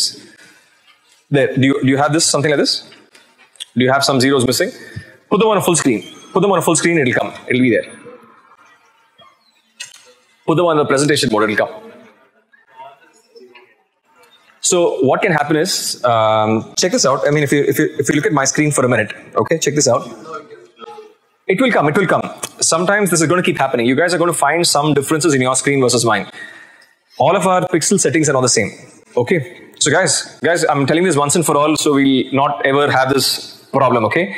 If our views look a little different from mine, some labels are missing in yours, some are looking different, this, your scale looks different, that is going to keep happening. Yesterday somebody had some hundreds and thousand scales, mine had some hundreds, that is going to keep happening. If your settings are different, your pixel size is different, it is not going to match, okay? Now, if you notice in here my screen, I don't know if you guys have the same issue. My second state is missing values. Label is missing in my second state.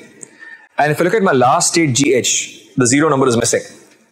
It is not because of a problem, it's not because of any missing values. It just means that the, the tool has been designed in such a way that in case, while it puts labels, if the label's font sizes are too big and the tool detects that there is some sort of overlap on the labels from one label to the other, it hides one.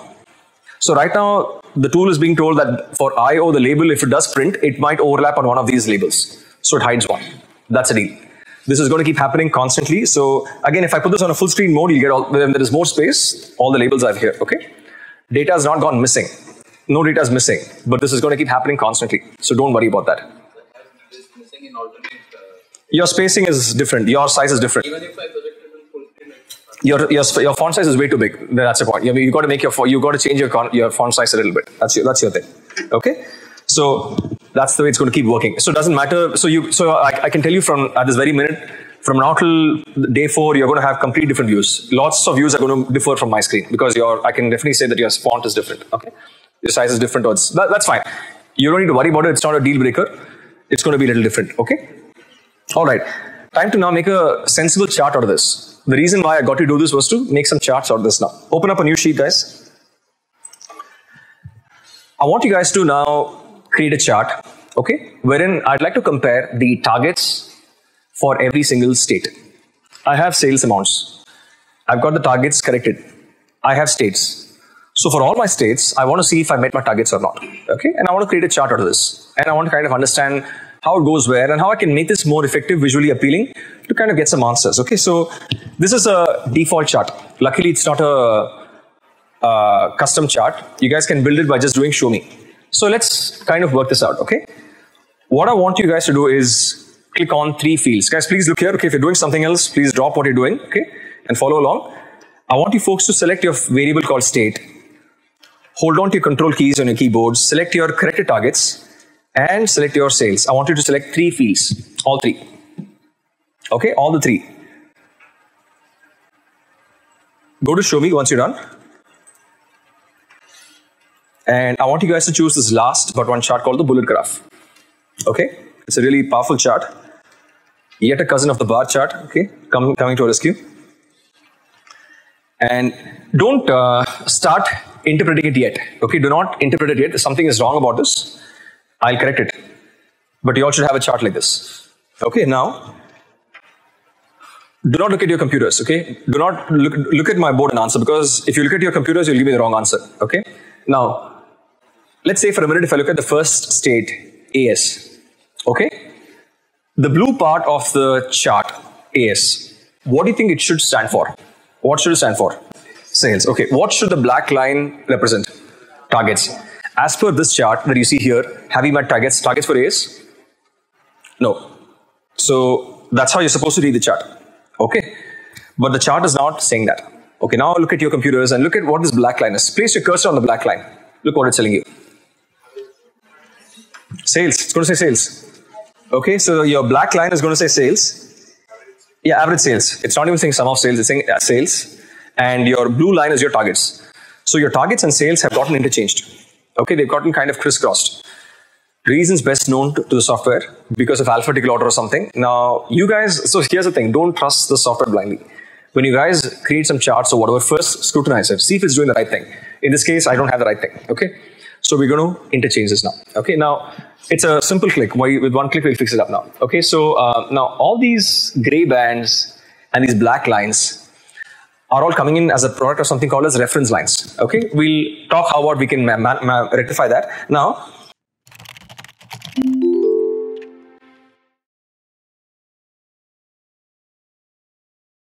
all I want you guys to do is in your x-axis. Okay, what you see here is corrected targets. This has to mention sales. Okay, and what you see here on your detail card right in here, if you see right in here, this card here, this must say this must have your targets. So targets has to come here and sales has to go here basically. They've got to be interchanged basically. Okay. Again, target is in your columns. That has to get changed with your sales here. So there must be a swap of fields basically. Okay. We'll fix it up. Right click on your x-axis. Right click on your x-axis and uh, select this option called swap reference line fields. So now with that, your data is looking accurate. So now let's uh, sort the data from high to low. Okay, I'll put this on a full full sort, and let's now look at the data here. Okay, all right. Now let's analyze this chart.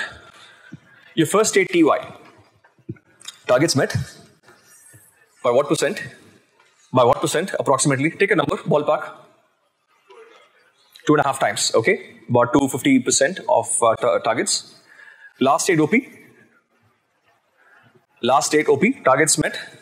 No. What percent of targets have you achieved in OP? About 10%? Okay. Yeah, that's the way to read the chart now. Okay, now, a um, couple of more things now. Okay, if you notice on your all your all your bars, there are some gray colored bands. There are two and, and there are two color, two gray color bands. There's a dark gray and light gray. Okay, now that means something. So let's let's understand this for a minute now let's say the state OP, last state OP, okay? Your uh, sale is about uh, some amount X, about, about a very small amount, $10,000 or whatever, okay?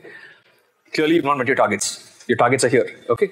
Now, if the sale amount, if the sale amount, had it been all the way up to the first dark gray band, till the end of the dark gray band, that means you would have achieved 60% of your set targets.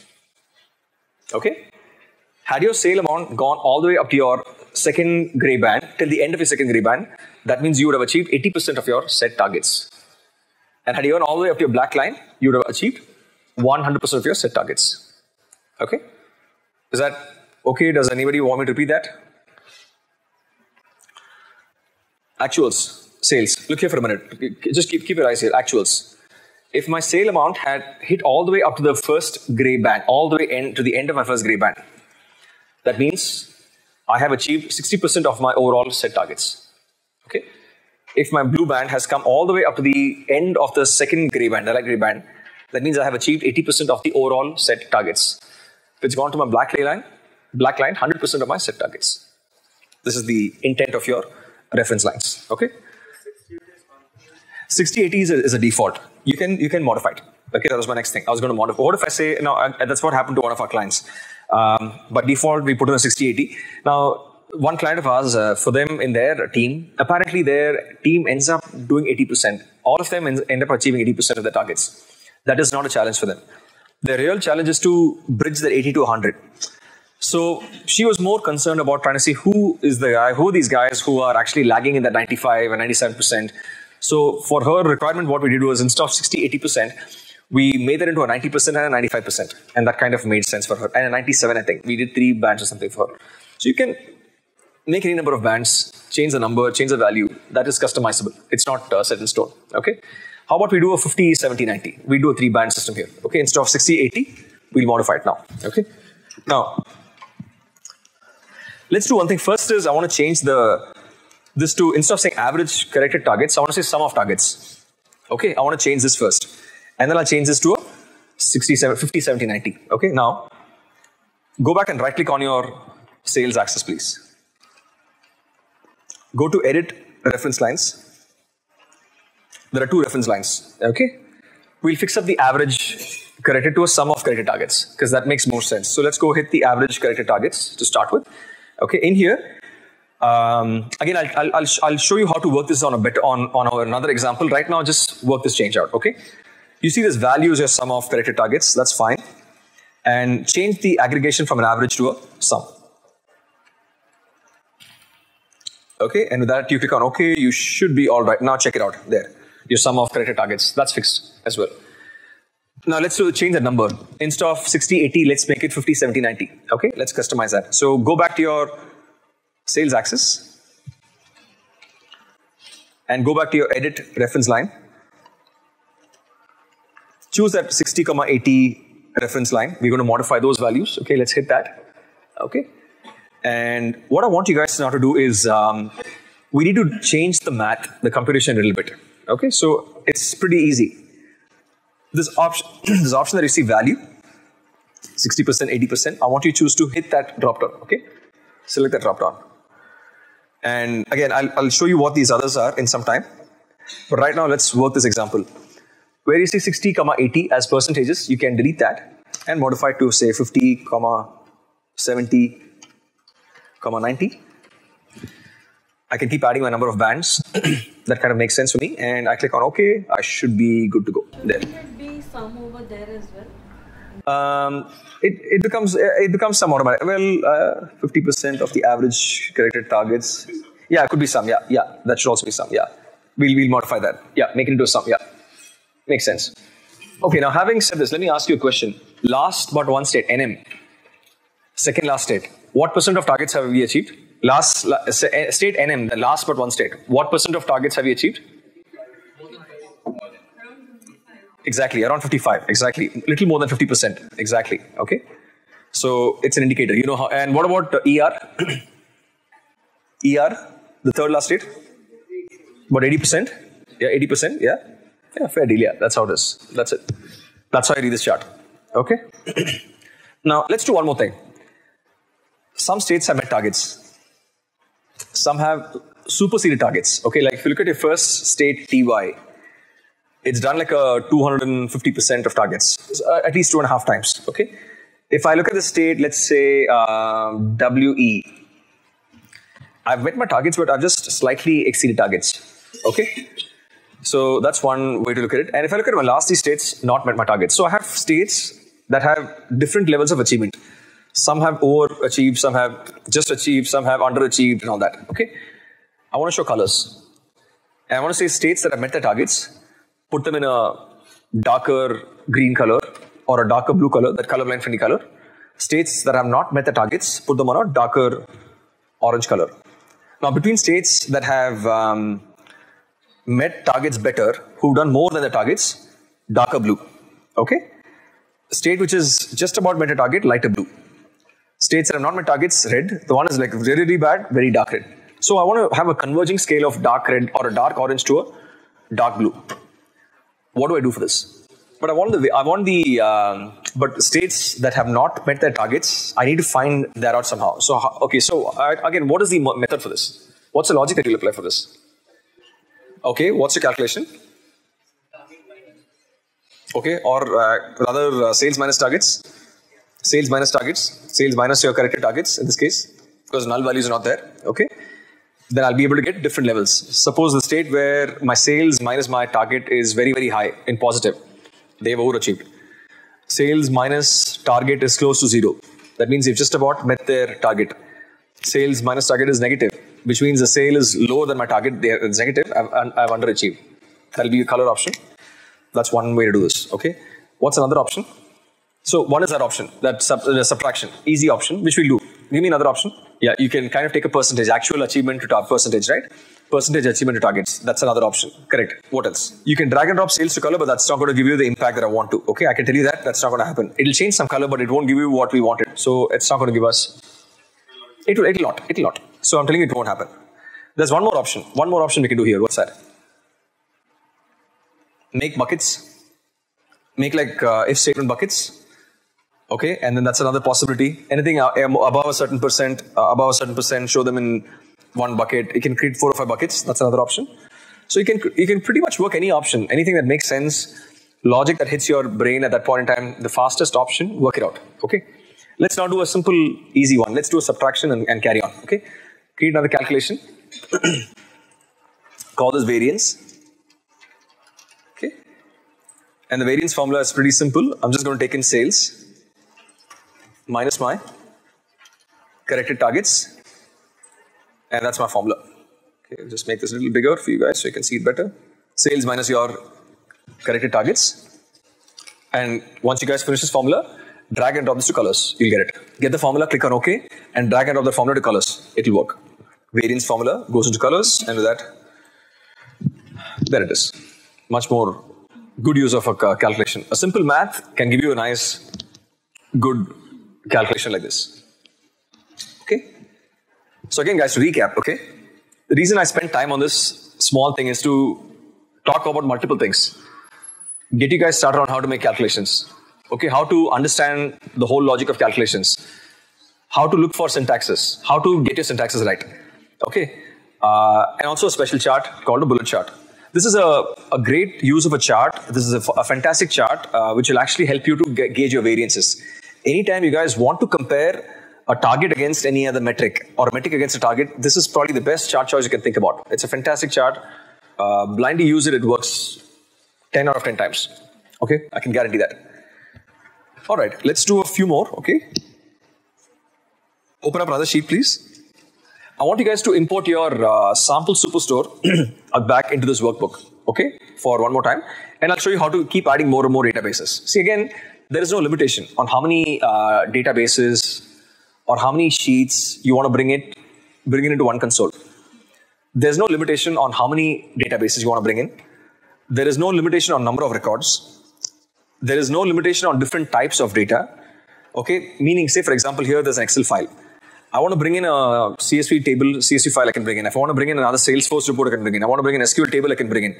It will not uh, reject any of those. As long as once you have identified that as data um, through a native connector, it will not ever reject it. So again, there is no problem in that. Now, if you want to connect the two sheets, you can blend it.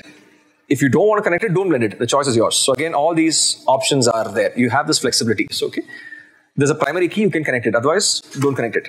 Now let's um, import another file here. I'll show you how to do this. Okay, on your uh, toolbars, okay, next to your save button, there's a little icon with a cylinder in it. If you kind of give it a click, it'll become all familiar to you. Okay, so there's your set of connectors again. You guys can pick up your Microsoft Excel again, and uh, let's go into documents. Okay, uh, my Tableau repository, same thing. Yesterday's locations. Please go there again data sources. Okay. sample hyphen superstore. And uh, what do you do next? Yeah, this time you drag and drop your order sheet because this time you didn't find it, it's coming automatically. The other database came on its own. Now you have to drag and drop your order sheet into your drag sheets here. Okay, this is a must. Do not skip this step. If you don't do this step, you'll have a problem. This is a compulsory step. Okay, and go to your sheet. So now you can see both your databases are in the same console. If you check on your uh, right side, left side, topmost corner, this tab called data, the number calculation is right there. You also have your orders sample. You click on numbers, you find its relevant dimensions measures. Orders will have its relevant dimensions measures. Okay, that's how it works now. Okay, let's make uh, a few more small calculations. Okay, and then I'll uh, take on to the next uh, thing after that. Uh, let's create some simple text calculations just to give you practice. We'll do a very simple thing. Let's join two strings. Okay, how do you join strings in Excel? Excel, how do you join strings? So concatenate is one option. Okay, the other option is use the ampersand symbol. Okay, I have the exact same relevance here as well. Tableau also has a concatenate function, by the way. I can use that. Now, instead of the AND symbol, I have to use a plus symbol in Tableau. That's the only difference. Okay, so we'll do a plus and we'll carry on. Okay, let's uh, say I have a field called uh, category. I'll, I'm going to create a simple chart here. Okay, I'll drag and drop my categories to my rows for a minute. That's a bunch of strings.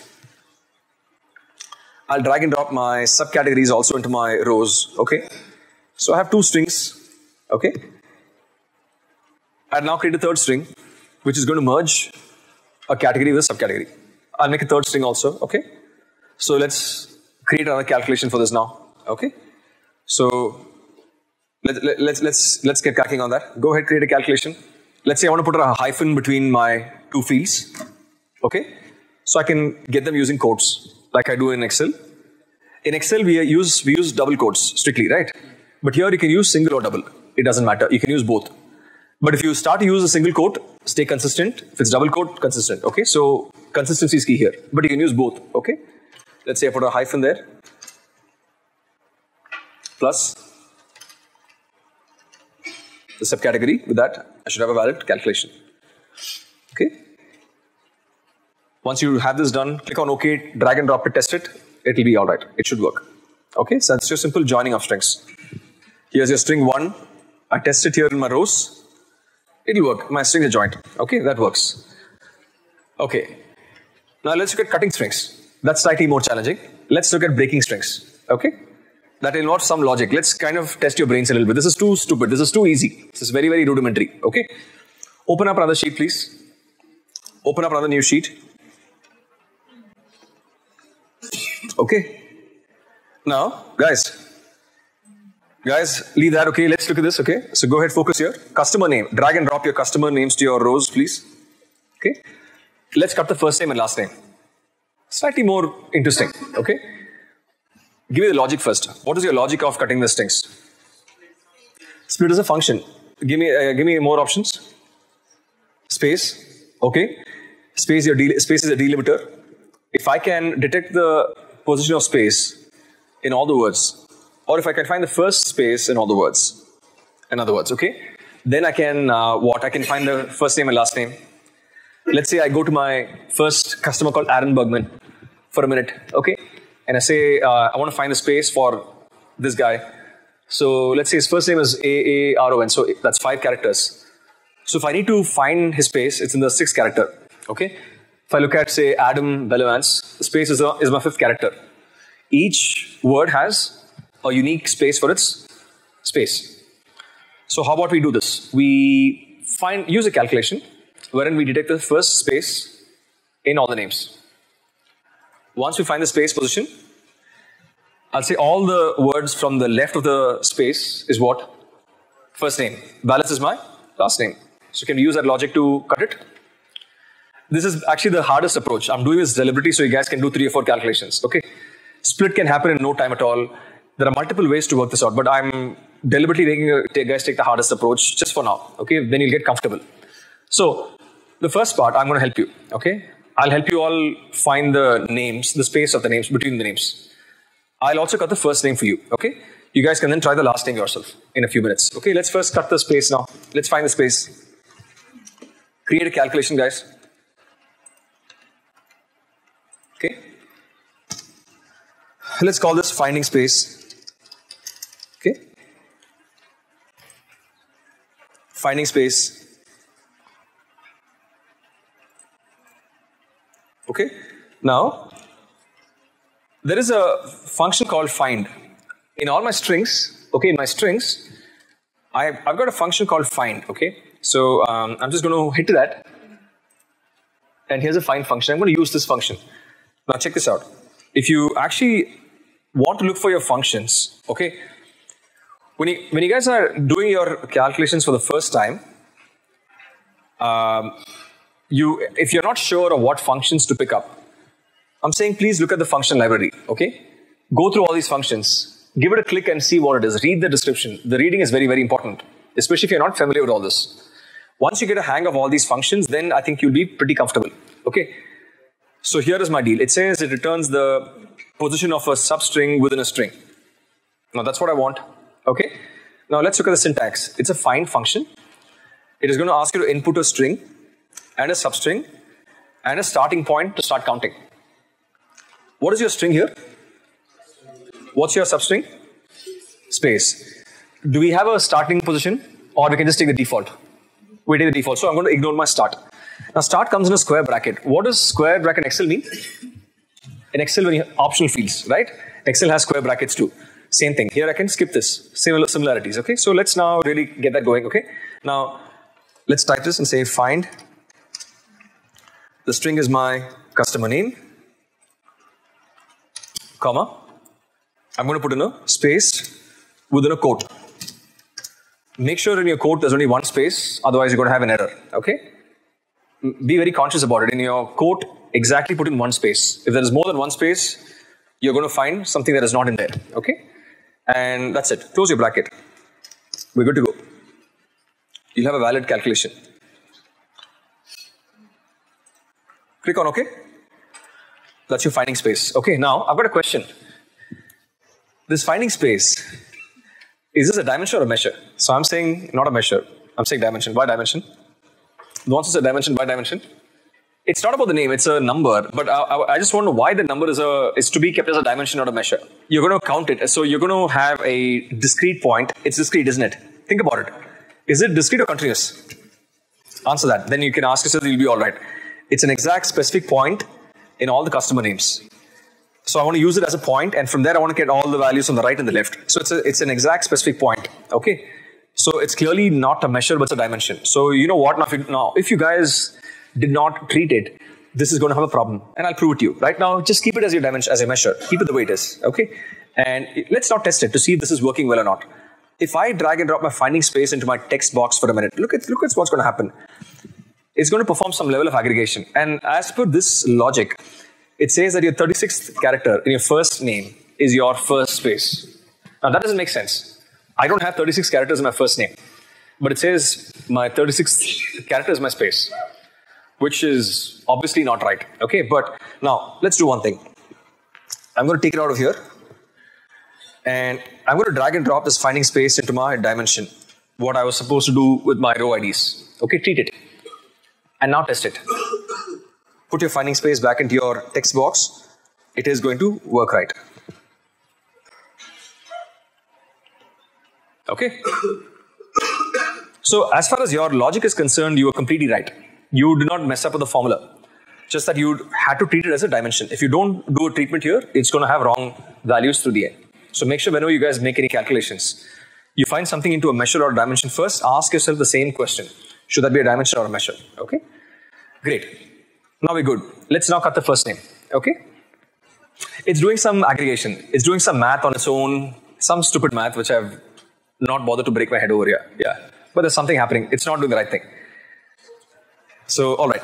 Now let's cut the first name. Okay. Let's cut the first name, guys. Okay. So create another calculation, please. Have you all used um, left, right, mid functions? Have you all done left functions, right functions, all that? Who is not, anyone not used left, right here? Left and right and mid, anyone here? Just give me a show of hands. Yeah, Excel has these text functions called left functions and right functions. So we'll make one. All I'm going to do here is I've got the space in all my names. Space is here in all my names. Okay. Now, I want to say, suppose let's say Alan Hwang, this guy. Okay. I know that the space is the fifth character. All the characters from the left of the space is my first name. So my left function will help me get that. Okay. We're gonna now get this function here. So let's try that. Type in left. It is asking for a string. What's your string here?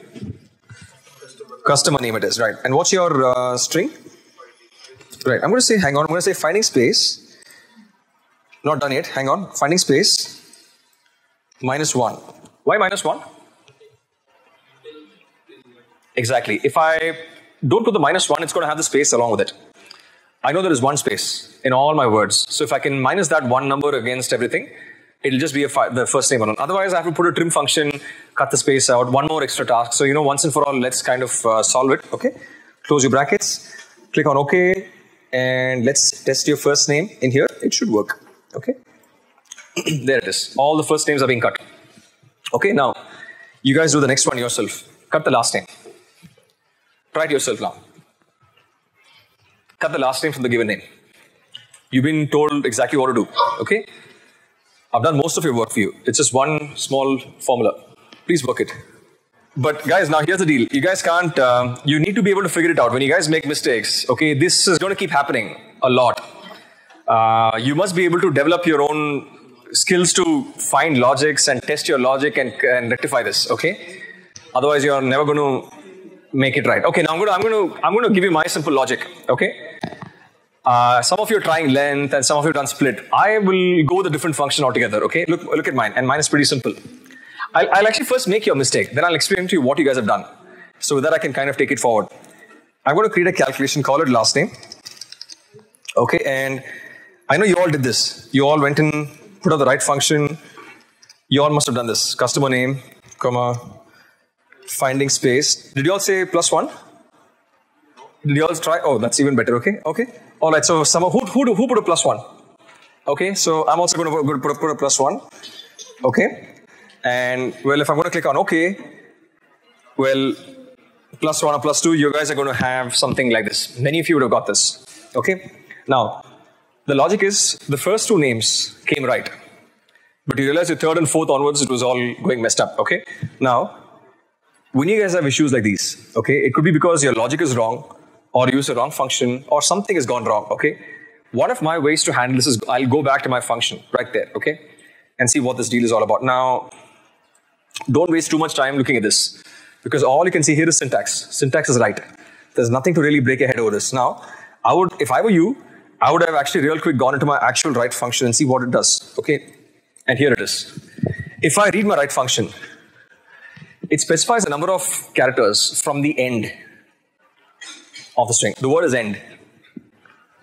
The key word is end. It goes all the way to the end of your string, and from the end, it pulls so many from the right. So, if I look at, say, uh, Alex Russell, okay? Alex Russell. You guys were expecting to go from this space onwards and make sure all the words from the right came in here. It doesn't do that, by the way. It takes a character, it goes all the way to the end, and from the end, it takes in those many characters. So I gave what a finding space plus one in my logic. So if it's Alex Russell, okay, here's my number of five. So five, five plus one, six. So all I should have is say L L E S S U, six words. So that's what I have. Instead of Russell, it's U S S E L. So I don't want my function to go to the end. I wanted to basically catch it from this space onwards. That's my logic. If I can fix that, I'll be good to go. So all I'm going to do is just one thing. Instead of a right function, if I use the mid function and click on OK, I'll get it. Also works. This also works. Okay? So a little bit of logic is required, a bit of kind of familiarity of the functions is important. If you or, or if you read what the issue is, guilty is charged. When I did this the first time, I made the same mistake. Okay, ten years back. But um, yeah, as you kind of practice it more, you guys will get a hang of it. That's how you guys you need to kind of really work this out. Okay. See, at the end of it, if your answer comes right, that's all matters. It doesn't matter what approach you take. If you get the right answer, you're good to go. Okay. All right. So I'll just take one more example for a calculation, and with that, we'll move on to our next topic. I'd like to work on uh, something called, I'd like to take a da- date calculation, okay? A date calculation, and let's do a small case out of it. So let's assume that here's a data set. Okay, we have uh, operations in different states in the US. Let's assume I'm a, I'm a, I'm, I'm selling, a, I'm some kind of an e-commerce guy, okay? So um, what I would like to see here is um, how quickly am I sending my goods to my customers? Okay, let's say I have a standard which I plan to stick on. Okay, when you look at your Amazon Prime, for example, it gives you a same day delivery. Okay, no matter what you do, one day delivery, two day, there's a, there are multiple options to kind of really pick on that. If they are able to give you that quick delivery time, obviously there is something to it. One is you pay. One is you pay for it, right? The other option is uh, they should be able to deliver to you in that speed, right? Eh, Now, now you might be willing to pay that kind of money, but what if I don't have the bandwidth to send things in a day's time? Okay, so there are a couple of things that I need to kind of be prepared with before I make a promise to you. Okay, I can just say I'll give you in a day, and if I give it in three days, and you travel somewhere and you guys are going to miss the package, it's going to be a case of uh, you know it's a it's a, it's a it's a poor service from my side. I can't do that. So I want to make sure that I have the service guarantee. Okay, I'd like to now test and see how my standard is right now before I make any tweaks to this. Okay, let's assume that in all my states in the US, I've got multiple warehouses. Okay, and um, I'd like to say that uh, a decent delivery time is about three and a half days. Okay, three and a half days from the time of delivering. So what I would like to see here is if any state takes more than three and a half days on an average to deliver items to customers, that's a bad thing. Okay, anything less than three and a half days is a good thing. So in this case, I'm going to do some calculation, put this in the map on colors, states which are more than three and a half days, red color, states lesser than three and a half days, green color. Reverse, lower the number green, darker the number red. Okay, it's a reverse metric. How do we start working this logic out? What's the first step for this? What is the calculation for here? What, what, what date? Exactly. You do your ship date minus your order date, you guys will get this. Okay. Now here it's very simple. If you just subtract ship date minus order date, your answer will come out pretty simply. Okay. But um, what if I say I want the output in, uh, if, uh, if I want to get my output in terms of months, what do I do typically? If suppose I have two dates, okay, I've got a start date and date. I'm saying I want to estimate all the output in terms of months. If I subtract ship date minus order date, I'll get the number of days. Okay, in case you, uh, do you guys know what's the first date in Excel? Excel's first date is what, you know? 1 1? 1 1 1900. In Excel, you cannot have a date before 1 1 1900, by the way, okay? Uh, so if you guys actually put in a number 1 in Excel, okay, and convert that to a date format, it picks up 1 1 1900. So if you type in a number of 2, it is the 2nd of Jan 1900. If you type in a number of 366, it's the 31st of December 1900. So every day a number keeps getting added on in the Excel date format, basically. Okay. So from the first date of Excel, 1 1 1900 till date, we've had about some 43,000 dates approximately. Okay. So uh, here's the deal. Suppose I have an order date and a ship date. My ship date is always going to be higher or the same to my order date. It can't be lower. So that's a given, right? So, um, so if I'm going to subtract ship date minus an order date, technically all I'm doing is subtracting a higher number from a smaller number. It's like subtracting 43,201 minus 43,000. Okay, and then I'll get the numbers basically. And I'll get some number of 201, 202, whatever number. Okay, so that's my that's my date. So again, when I just do an actual subtraction, ship date minus order date, I get the output in terms of days. Yeah, makes sense? Days. What if I want my output in terms of months? What do I do? Divided by? What about 31 days? What about 28 days? What about 29 days? What about uh, years? I can't do 365. Why? Because I have 366 as well. Okay. So I've got a way to handle this now. Okay. There's a function. Uh, Excel, every tool has this. So does Tableau. There's a function called date diff. Have you all done the date diff in Excel? Yeah. So has anyone else done the date diff in Excel? It's a hidden function. It's a hidden function, by the way. Okay. It's a brilliant function. All it does is now this exact issue. This 30 days, 31 days, 28 days, 29 days of the month. Just think about this. If that software had a calendar in front of it, and it's able to look at the number of days and give it a denominator basis the calendar, now that's fantastic. Okay, that's exactly what's going to happen in the date diff formula. All I'm going to do is understand the syntax and tell it that, hey, listen, I want the output in days or months or weeks or quarters or anything. Okay. I'm going to input my parametrics and it gives me the answer. I can get the same days output, months, years, and all that. Right now, I want to get the output in days, but I'm going to show you the date diff function and we'll get the math out. Okay, so you guys can use the same logic for months, quarters as well. Okay.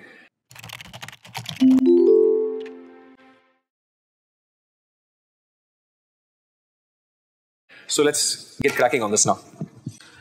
Let's first get a map of the US, okay? So if you all can just uh, double click on your state field, just double click on a state field, okay? And uh, rectify the unknowns, guys. We did this yesterday, fix up the unknowns. And let's also change the mark type from this automatic mark into a state mark. Same as what we did yesterday. Sorry, map mark. Sorry, map mark. We should just have the atlas of the US ready, nothing else but the atlas. Let's now do the calculation. Okay, ship date minus order date using the date diff function, and I want the output in days. So I'm going to create a calculation for that now. So let's go ahead, create a calculator field. Okay, create a calculator field. Let's call this days to ship days to ship, okay? And just to again induct you on the on using syntaxes. If you don't know a syntax, you're seeing for the first time, I would strongly recommend that you guys use the library and let that guide you. Okay, and here it is. If I look at these functions, this is a date type function, so I'm going to pick up date functions, and I have something called as date diff, D-A-T-E-D-I-F-F. Okay, now when I look at date diff at this minute, I see what the function tells me here pretty much. It says you need a date part. You want a start date. There is an end date. And it's also starting of the week. Okay? Start of the week is square bracket. So what does that mean? Option. So I'm going to skip it. I don't have a starting day of the week. Okay? All I want is to get the start date, end date. Date part is the output I want to see it. If I want to see months, I put in month. If I want to say day, day. If it's year, year, quarter, quarter. Okay? Now, let's really use this function logic and we'll now get going here now. Okay? So, date diff. Okay? I'll hide this for the minute. Okay, I don't want this. I'll make more space here for us. Okay, date diff. Okay. Now, the date part is what you need first. To bring in a date part, there is a syntax that you have to follow. Okay. Open a single quote, single quote. Okay, and type in your date aggregation all in small caps, all in small. If you want a day, if you want it in days, type in day. If it's month, if it's month in small. If it's year, year in small. Quarter, quarter in small. No capitals, all small words. Okay, all lower cases. That's the only syntax that you have to keep in mind. So that's your day, comma. It's asking for your start date. What's your start date? Yeah, so let's get your order date. And it's gone into measure. This days to ship, is it a dimension or a measure? This time fell right. So you first ask your question, scrutinize it, this time it is a measure. Where would you apply this now? Colors, okay. Drag and drop your days to ship your color card. Okay, let's see if it's doing things right. Okay. Okay. And the color legend tells me 5 days to 7738 days. So let's look at California. It takes almost 7,738 days. Are you kidding me? It takes 20 years to get a product in California? Okay, that can't be right. What's wrong here? Exactly.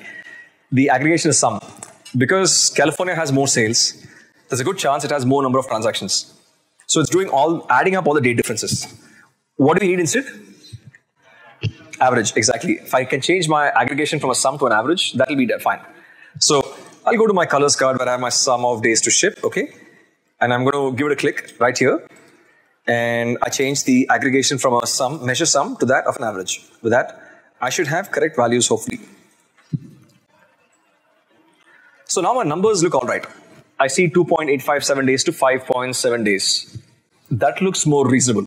Okay, that looks more sensible. Okay, but I still don't have the coloring effect the way I saw expected. I mean, I've not got that impact. We'll get that going. I gave a standard. What's my standard? We said when we started. I said that there's a standard we're looking at. There's a standard for number of days. I, I gave you guys a standard here. Remember that? Three and a half days. I said 3.5 days. Okay. So that's my standard. Let me do something. I'm going to go and edit my colors. Okay, let's go and edit colors. Okay, let's first change the color scheme, guys. Guys, look here, please. Change your color scheme. And see, I wish I had a green to red, but I don't have that. So my nearest option is a red to green. Okay, I'm going to choose a red to green. And I have an option to reverse my colors. Okay, still not done yet. My standard of 3.5. Where do I put it now? Yeah, in my center value. Yesterday we had a center value of 0. Today if I say my advanced, if I can take my center value to 3.5, my standard gets incorporated right there. So let's change this number from a 4.2 whatever into a 3.5 and click on OK. Now I can see exactly how my states are faring in terms of that standard. Here it is. This is the real picture. Okay. So not very promising. Three and a half days. If I need to give a commitment, given my current conditions, I don't think that's very feasible. I don't think I can really go this approach. Maybe I've got to tweak it a little bit. I have to kind of, before I make a commitment, see now this involves multiple things. For me, just making a promise of four days or five days or something, it's easier said than done. I have to do a lot of research, okay? I'm a store owner. I'm not the logistics guy. I don't own planes and cars and trucks to deliver goods on time, okay? That is not my business. I have to talk to multiple vendors and say, hey, is it possible without adding extra cost? A lot of factors are there for me now. So I want to be able to make sure that I get this right. Now, let's do one thing, okay? Let's try something. Um, let's try and tweak the standard a bit. My logic is that if I promise you an item in three and a half days, if I can, and let me assume that I'm largely catering to office goers. If I'm promising my item in three and a half days, there's a good chance that in that half a day time, you're going to be in office. So what if I can take an extra half a day and say instead of three and a half, I'll try and make it to a four day and let's see what that looks like, okay? So let's look at that option instead and change your center value to four days, see if that is any better. That's a sea change of a difference. A whole lot of states have gone to green. So looks like maybe that's like a much more reasonable bet.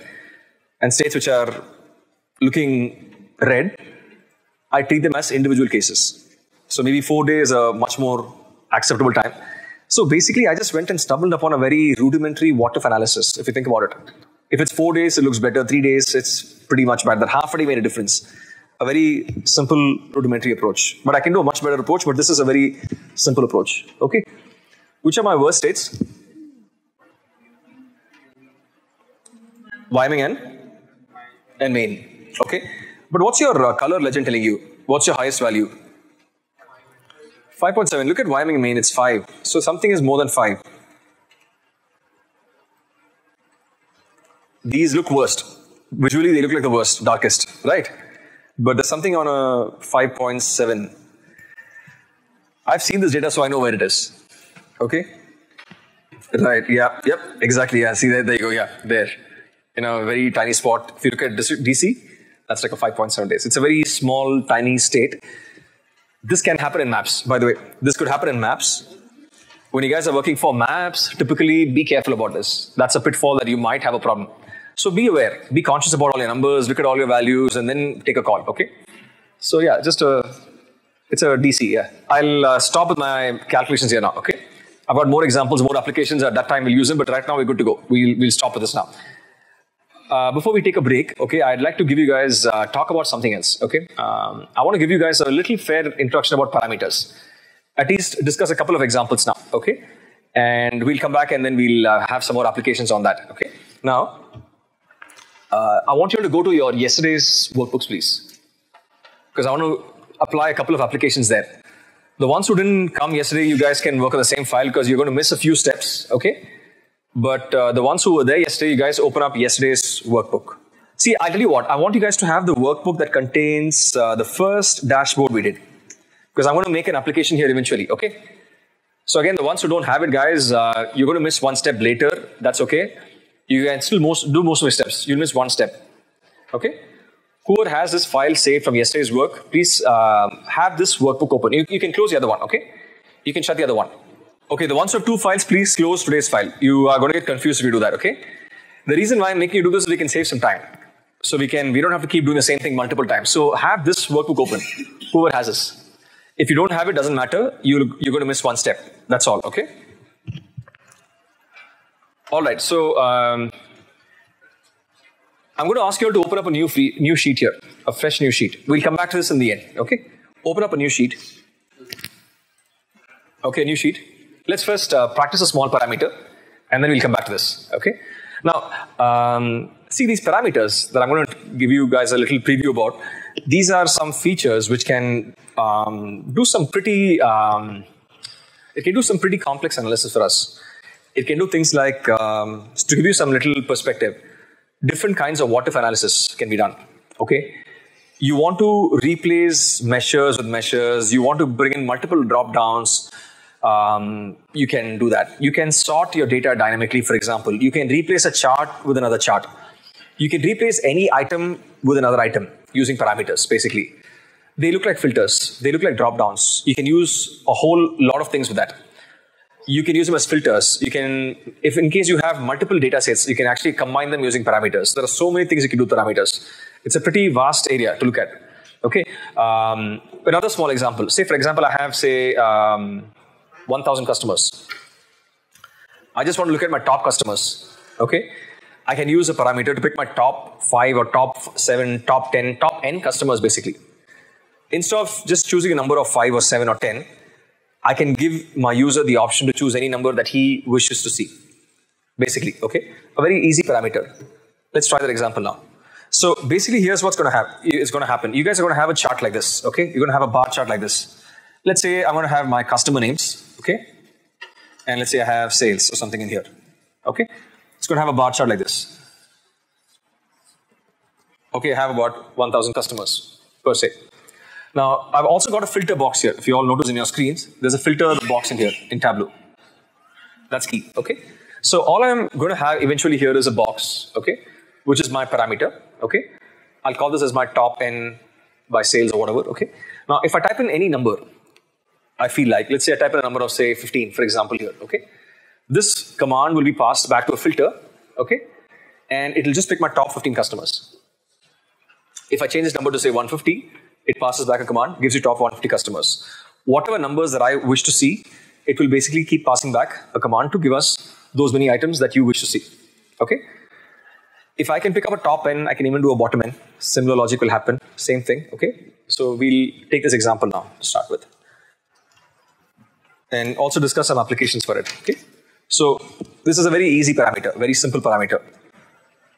Let's first make a bar chart. Okay? Drag and drop your customer names into your rows. How many customers do we have in the data set? Unique customers? 793 customers, okay? Yeah, now don't count, okay? Drag and drop your sales to your columns. Okay. And uh, sort the data from high to low, okay? Give it a sorting order, okay? Let's do another thing here, okay? Now, I am going to have the parameter here in a few minutes. Before that, uh, just one more thing.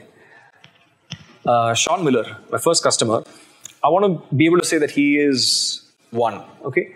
Uh, Tamara is two, Raymond is three, Tom Ashbrook is four. So I want to have a number against all these customers. Their position, basically, one, call it rank or position or whatever it is. I want to have those numbers against all these customers, almost from one down to 793. Okay? I've got to use some kind of a field here to get these numbers. Okay? Do I have any fields in my dimensions I can use? Row ID is close, but think about row ID. How many row IDs do we have in Excel? 10,000. Your customer ID must be saying like 5175ABQ or VIV741 or something of those sorts. So no, in fact the closest can be row ID.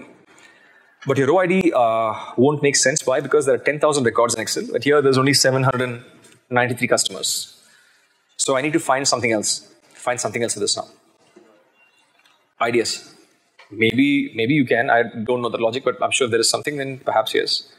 Give me some more obvious uh, recommendations. Rank is one option, correct? Yeah. Rank is one. What else? Number of records. It's not. It's it's total sales. It's not number of records. Rank is one. Rank by sales. Ranking customers by top sales is one option. What is the other option? Easy option. Descending is already here. I just want a number. What if I make an index? An index for anything by default. So I'm going to make a function. Sorry? Row ID is 1 to how many items? 1 to 9994. But how many customers do I have here? I'll make some index. That's an index for the Excel file. But I want an index for how many items I have. Index for this view or any view. I just want to have an index as a record. Okay. So I'm going to create an index, by the way, for this. Okay. Which can be used as an index for any view. Okay. This is a simple function.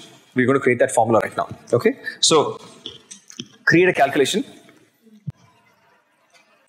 Call this index. Okay. And the function is pretty easy. Okay. Just type the word index, open close brackets. That's it. That's your function. Index, open close brackets. Very simple function. Okay. Okay. That's it. Click on OK. Index now sits in your measure. Okay, question. Is this index a dimension or a measure? Okay, so now you're going to have a new problem. Try treating it. Look what happens. You guys try putting it back to your dimensions. For some reason, this doesn't happen. I don't know why it doesn't happen, okay, but I know how to fix it. This also happens sometimes, okay? So uh, now, if I don't treat this, if I keep this index the way as it is, as a measure, it's going to throw back some funny results because the treatment has not been done. Now check it out. If I try dragging and dropping index into my rows and do this, all of you try this, okay? Put it in your rows, look what happens. It's going to completely distort your chart. It's going to make a funny chart, by the way. What chart is this, by the way? What chart is this? Scatter plot. Okay, let's let's think. If I need to make a chart for two measures, what's the chart choice? Two measures, just two measures. Yesterday we made this chart, two measures. We made a chart for discount versus your profits when you came with the recommendation, scatter plot. The tool now thinks that we are now trying to make a chart using index and sales. So it's made a scatter for us. Because your index has been picked up as a measure. But if you can treat your index into a dimension, yeah, but if you make your index into a dimension or have dimension properties, then we don't have this problem. Dimensions are what? Discrete. Measures are continuous. So here's what I'm going to do. In my index, if I just do a right click on it, there is an option to convert this into a, a discrete variable as well. So let's choose discrete. It will then rectify the problem there. So guys are being exceptionally quiet. I don't know if that means something. You guys are getting nothing or you got everything, okay? So there's no response, so I don't know, especially that side. No one's even responding there. So no, but at least at least it's giving me what I wanted. Even though it's not become a dimension, it's not happening for some reason. At least it is behaving the way I wanted to behave. That's all matters. Okay. Let's now ch- eh, slightly move them aside. Okay. Let's put the index first and the customer names here. There. That is done. Let's now make the parameter. Okay. This is a very simple parameter. Easy kind of a parameter. Very easy parameter. Okay. Now, if I told you, if you look, if you look at the whiteboard for a minute, okay, this white this box that you're going to have is going to keep getting control with your filter back and forth. So your key is to actually make a parameter that talks back to your filter back and forth and throws back a result. Okay. Now here's what we got to do. Okay. Now I need to create a filter. From a filter, make a parameter, and that's what's going to happen for me. Okay. Now, yesterday we made a simple filter. Okay. I just want you guys to focus on this for a minute. Now here is the deal. There are three kinds of variables in the data. In any kind of data, you have discrete variables, you have continuous variables, you also have date fields. Why date? Date can be both discrete and continuous. Three kinds of data. Okay. There is a so in other words, there's a dimension, there is a measure, and there's a date field. Okay, three kinds. Date can behave both as a measure or a, or a dimension because it can behave both ways. Now, you guys will experience this in just a minute. If I drag and drop, say any dimension, just watch for a minute, don't do this. I drag and drop any regular dimension, not except for a date. Say I pick up my field called category. The filter looks different. Check this out. It gives you options called general, wildcard, condition, and top. The filter is something, okay? Again, I'm, I'm repeating it's general, wildcard, condition, top. If I drag and drop, say, a measure into my filter, there's no general wildcard condition top because it's not a measure. It behaves differently. Date can behave both ways. And I'll show you that, okay? Date can behave both ways. Now, check this out. If I drag and drop a date into my filter. And here is where I can either, let's first make it into a general condition top. If I click on say the years for a minute, okay, and I choose next, there you go, general condition and top. It's now behaving like a dimension.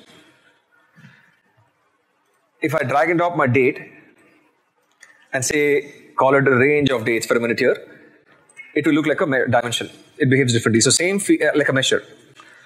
So dates have the properties of behaving both ways. Okay.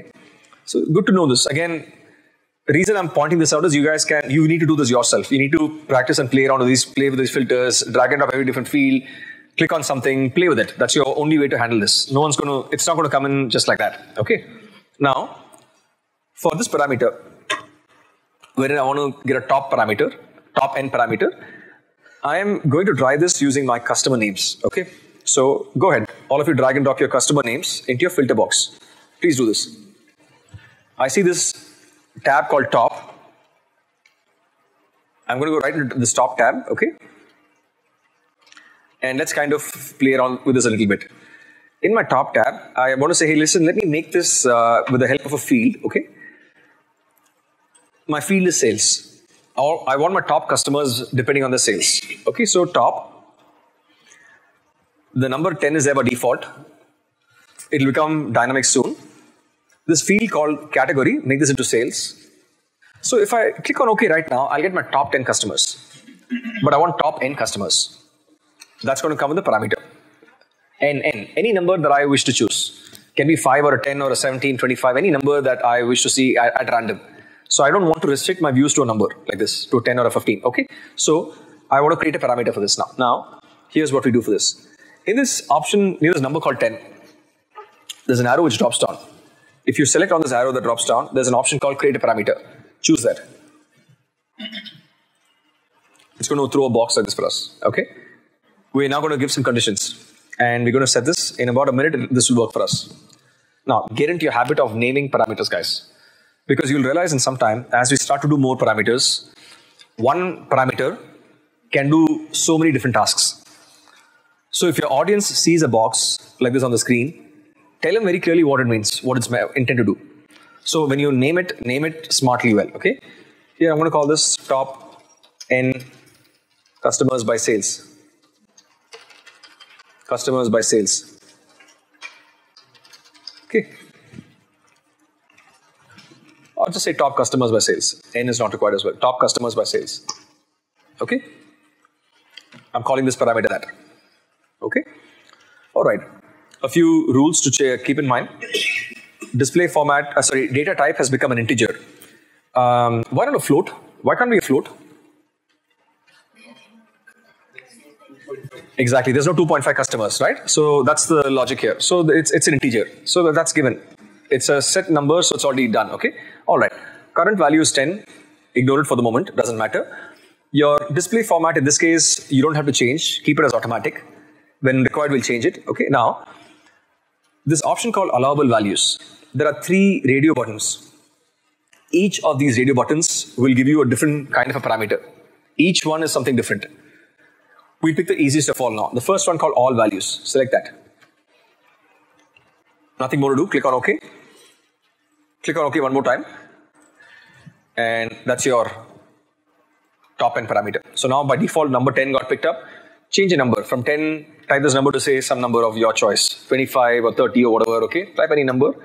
You'll find those many customers are getting populated. Every time you type in a new number those many customers will get appeared on the screen here. Okay? I have a story to share this. It's a rather well i'm not proud of it but i have a story to share about this okay uh, we wasted millions of dollars because of this parameter i have to bring this out not me but my clients um, so one of my clients, um, what they do is uh, well, they it's a semi, uh, let's say semi-government owned entity in the US. Okay, so what they do is, I mean, they have uh, for them employee satisfaction is very very important. Is very important. It's one of the top KPIs for a CEO. In her top five, it's zero maybe. Okay, they don't care they make money or not. They don't care whether they are um, optimized, having optimized outputs of their power and all that. But if their employees are unhappy, she's in trouble basically. Okay. So they're very, very particular that employees has to be this thing. So you guys can have a great ball of a time. If you work there, your life is set. They take such good care of you there. Employees come first. Nothing matters. Customers, they don't care, but employees first. I can't tell you who the company is, okay? But yeah, but uh, but it's a, it's an awesome company. I love them, okay? So uh, they have a couple of ways to gauge employee satisfaction scores. Have you all? Uh, has anyone given Gallup surveys here? Gallup, have you? Anybody? Yeah. So, do you guys work for a Tata company? Do you guys work for the Tatas? Anyone? There, it's very widely used. Which uh, whom do you work for, you guys? They use Gallup, is it? Okay, all right, okay. So I didn't know that. Okay, so Gallup has been there in this business for a long time. Gallup is a third-party uh, uh, third-party enterprise that helps in customers in, in surveys, different kinds of surveys. Employee satisfaction surveys is one of the services that they offer. Okay, so if you don't know what that is, say for example, um, let's say I'm your immediate supervisor. Okay, and I'm a complete jerk and I don't let you progress. I'll take credit for all your work, and I kind of, I know I'm one of those kinds. Now you're scared to bypass me and go to my boss and say that he's an idiot. Okay, so uh, here's what Gallup does for people like you all, and you're a good employee, and I'm the black sheep. So for people like you, they kind of pick people at random in different levels in the organization and they give you surveys discreetly without their bosses knowing. So suppose you're my reportee, I would not know that you have got the survey, but you'll be given questions to talk about your boss and all that, okay? So it's a nice way, yeah? Yeah, anonymous, totally anonymous. It's very strictly anonymous, okay? So they have different questions. There are 12 questions. Uh, in, I, mean, I don't know how many you saw. There were 12 questions. 12, same thing, it's not changed. There are 12 questions in uh, Gallup by default, okay? All the questions are uh, Likert scale ratings on a scale of 1 to 5 are you happy with your boss are you happy with your job roles are you content you know are you motivated you know that kind of questions 1 to 5 where 5 is highest and 1 is the lowest so uh, a standard regulated by the municipality is that employees must at least have a satisfaction rate of 3.5 on 5 at least 70% of satisfaction rates okay? So just imagine i mean that's like an idiotic most idiotic rule. And for that the company goes all out to make sure that these guys give the surveys right and they just and towards the end of the surveys they are sucking up them left right center ensuring that the surveys goes high and all that okay? So we got this data okay? And uh, we got it for about four or five years data. We put this into a dashboard all i did was made a bullet chart a very simple bullet chart and said for every question there was a score on a scale of 1 to 5 my bullet chart target was 3.5 so any chart, any bar that was more than three and a half, I showed that in a green color, less than three and a half on a red color. Okay, I did this. And I gave it to her.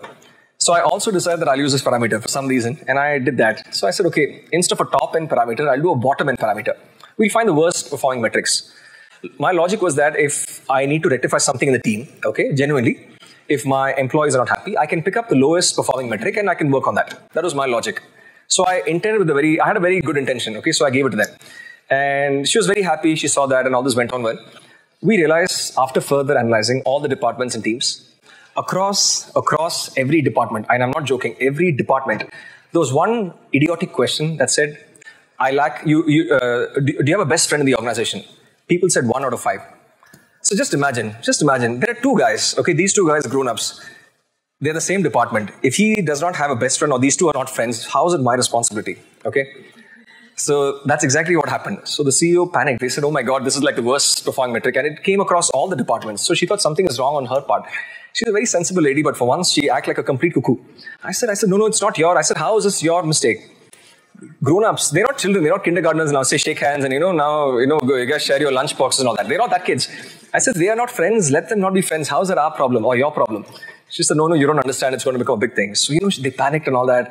They had this actually. They actually had a big meeting for this. They had a they had a real C-suite meeting. All the directors were there. I was also there because I made the dashboard. So they were calling me for this. Okay, to me it was complete fun and drama. I just wanted popcorn and some soda there to drink and watch there. So and they were panicking and they were strategizing how to make this better.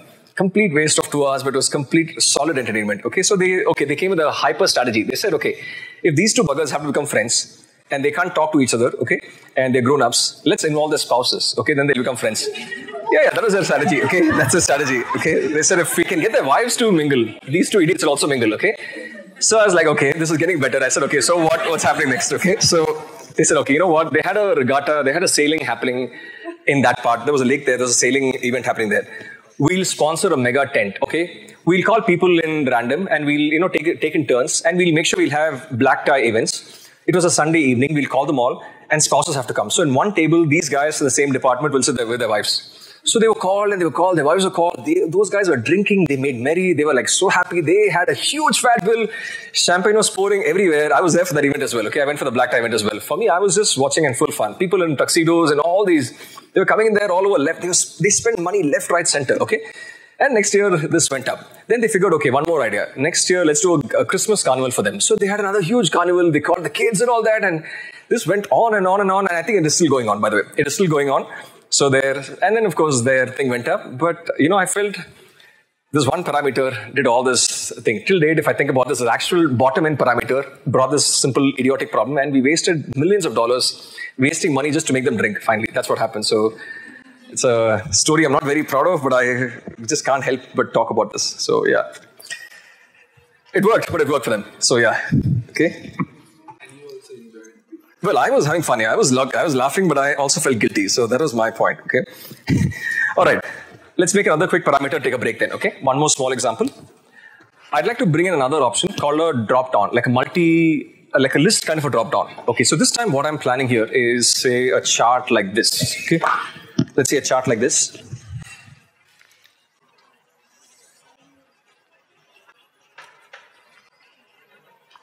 Let's say these are my different subcategories for a minute. And let's say here is a bar chart. Okay, okay. Now all I want to have here is a drop down that involves two options, sales or a profit. Okay, let's say two metrics. So when I choose this drop down, one of these words will pop up, list. Okay, now if I choose sale, this metric will become a sale. If I choose a profit, this metric becomes a profit. This external box is going to control this chart for me, basically. Okay, so I'm now trying to replace a value with the help of this parameter. Okay? Now think about what I'm trying to achieve. I'm trying to basically replace a column. If I, if, if, if you think about this, I'm trying to replace one variable with a completely different variable. That is the intent of this parameter. Okay? And if I can make this in one chart, I can make this anywhere. I can make this happen anywhere, primarily. Okay? We'll in fact make this change in the dashboard eventually. Okay? But let's first make the one chart. We'll take a break and come back and work on the dashboard. I'll show you some tweaks and some more tricks there. Okay, now there are, uh, let's first make a chart here to start with. Drag and drop your subcategory into your rows for a minute. Okay, and uh, drag and drop say your sales for the moment. For the moment, just bring sales to your columns like this. Okay, just for the minute. Now, I'd like to give you guys a small checklist. Make a note of this. I would recommend you do this. Write it down. It will help you out if you follow these four steps, your parameters will always work. Okay? These are broad guidelines. The how and what will change as per every scenario. Okay, just I'll give you these four broad lines. Step one, just mention create parameter. Create parameter. So in other words, you're trying to create a button. Okay? Step two, show parameter control. so that I can use it. Okay. Step three, create a calculated field using the parameter. Step one, you create parameter. Step two, show parameter control. Step three, create a calculated field using the parameter. Okay, just write it down, give you a minute. Create a calculation using the parameter. And the last step, you apply that calculation on a worksheet. The how and what will differ as per scenarios. Everything will differ. But if you follow these four steps, if you give a thought about these four ideas, your parameters will work.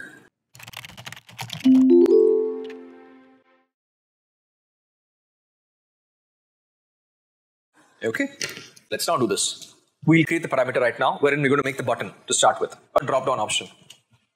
Okay, now here's what it is. You guys are going to create a parameter from scratch this time. Okay, now to create a parameter, the same place where you guys were trying to create a calculation, go back to the same drop down. You'll find an option called create parameter. Okay. This will look very similar to your top n parameter, basically. Okay. Now let's start to name the parameter. Okay. I'm going to call this sales slash profit. Okay. Now, I'm doing nothing but creating a button right now. When I'm creating a parameter, it's just a button creation process. Okay. It's not doing any actual math. It's just a button creation. Now, I need to define the data type for my parameter or for the button. What do you think is an appropriate data type for the button? Boolean, okay, uh, something, okay, string. I'm saying it's a string.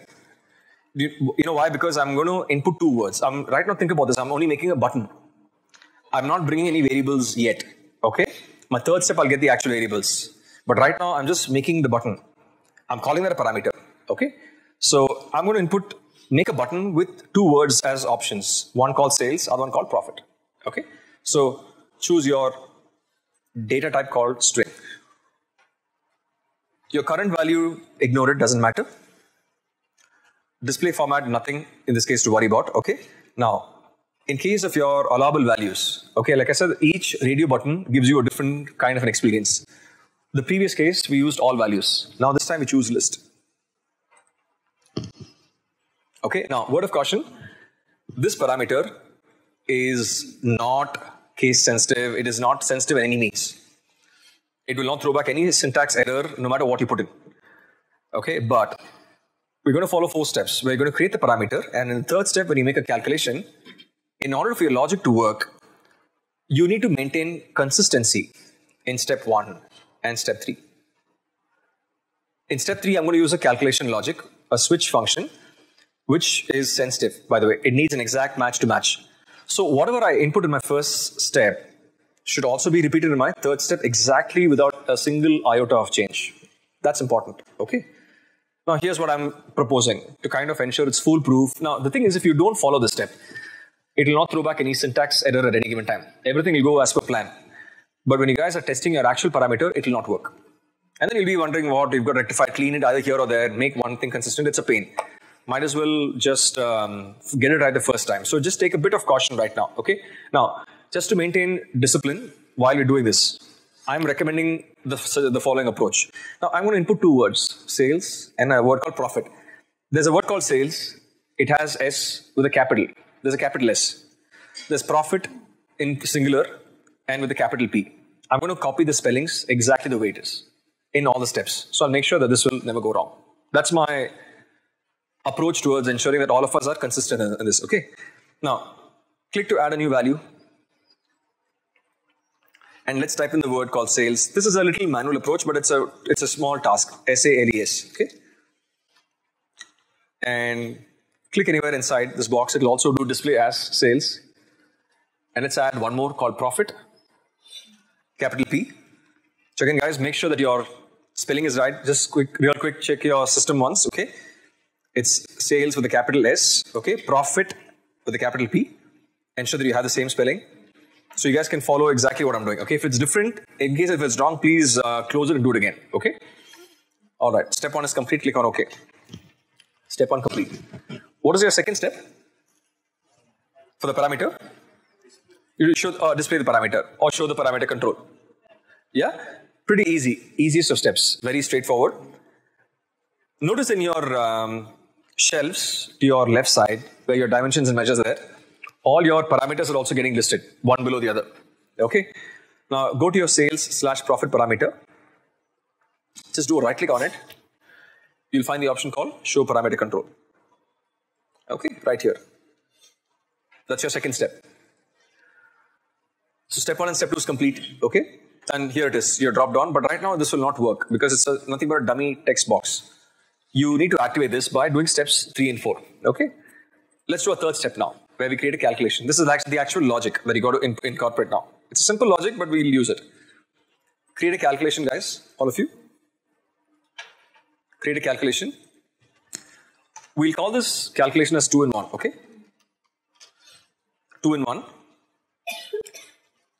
Have you all, has anyone used uh, switch function, switch case function here? Yeah? The ones who have used that will know what I'm talking about. I'm going to use a similar kind of function in Tableau right now. It is called case. It performs what the switch function does, okay? And uh, in case you have not used it, Well, let's use it, then you'll understand what it is. Okay? Now, you need to type this formula for me. Okay? Type in the word case, which is the function. Case. Okay? And I'm going to get the parameter. Okay? I'm going to say when within quotes sales with a capital S then get the actual sales variable. Okay? First copy the formula, then I'll explain to you the logic if you don't get it. Okay? When within quotes profit then the actual profit variable and end the syntax with the end operator. Just copy this formula and then I'll just walk you through the logic. Okay, so so here's the deal. Okay, now um, I've got a parameter called sales slash profit right here. It's a text box. Okay, I've I, I entered these words in here myself, sales and profits. Okay, now my step one is complete. Step two, I've shown the parameter. Step three, here's my calculation. Now, the case is your switch case function basically. Okay. Now that is first going to scrutinize what is in your parameter. This purple colored variable is your parameter. This has two options as a list called sales and profit. Again, I'm repeating, you got to be consistent. Sales with a capital S, profit with a capital P. Okay. So that's what I have here now. When I make a selection here in one of these drop downs, it is going to be either a sale or a profit. Okay, now let's say if it is sales to start with. So the case function is going to see what is the content in this as my selection. So it's going to expect a match for a sale. So it's going to come to your first line and this sales is going to match with your choice that you made in your parameter. The moment this match meets the condition, it's going to bring the actual sales variable in that position. And if I choose a profit, the case is going to have a profit. It looks at the first match, sale won't match with the profit. So it is going to ignore this line. It's going to come to your second line. If it finds an exact match to match, it's going to throw back a profit. Now, if you guys have made a mismatch of spelling, say in your parameter, instead of a capital S, you put a small s in your parameter. Then your case is going to look for a sales with a small s. Just imagine, hypothetically, okay?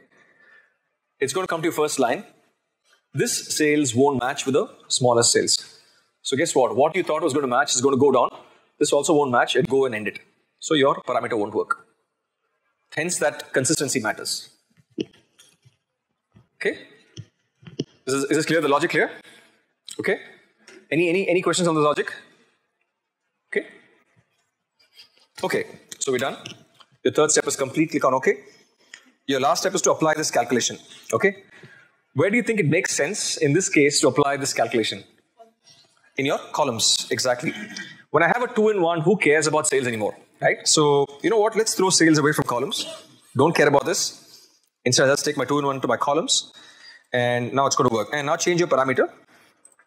It's going to change your metric depending on the selection of the variable that you make. Okay, that's what a two in one or a, let's say a multi-measure or a multi-dimension selection parameter. All right, so um, we'll uh, make some good use of this parameter. Now this is nothing. This is really, to me, it's a one chart. It makes no big deal at all. Uh, this power will become a lot more magnified once you can actually translate this back to a dashboard, see how this works. So yesterday we made a dashboard, the first one that had like your four metrics, you know, like the four in uh, four four views, your category, your trend, your two maps and all that. How about we make that into a two-in-one dashboard now? Okay, and with the help of this parameter, I'm going to pretty much get that now. Okay, so we're going to apply this parameter to this dashboard. Okay. All right. So uh, again, four steps of your parameter is going to work. Step one, you're going to create the parameter. In this case, the fact that you worked on the same workbook, you don't have to repeat this one more time. Okay, that's why I made you work on this workbook. Step two will show the parameter. Pretty easy step. Step three, creating a calculator field. Again, you guys don't have to repeat this again because you've just got this on the same workbook. It is lying in here. We don't have to repeat that as well. The last step is what? What's the last step for the parameter? You apply the calculation. Now you got to make sure that you apply the calculation on all the sheets wherever relevant. There are four sheets. so each of the four sheets in its customized spot, you have to apply it. That's the only thing that you have to do. With that, your dashboard will become a two-in-one dashboard. Okay, and then we do some multiple uh, small small tweaks in that, and we make it better. Okay, so again, um, again, just a quick scrutiny. Okay, if I look at my category sales chart here, okay, check this out. Your sales slash profit parameter is there. It will stay consistent. It is per workbook. If you, I mean, it doesn't matter. You can have as many sheets as you want to. You make it one time. You can keep reusing it as many times as you want to. Okay. So that's done here. Step one, it's already made here. It's there in this workbook. Now, step two, I have to show the parameter.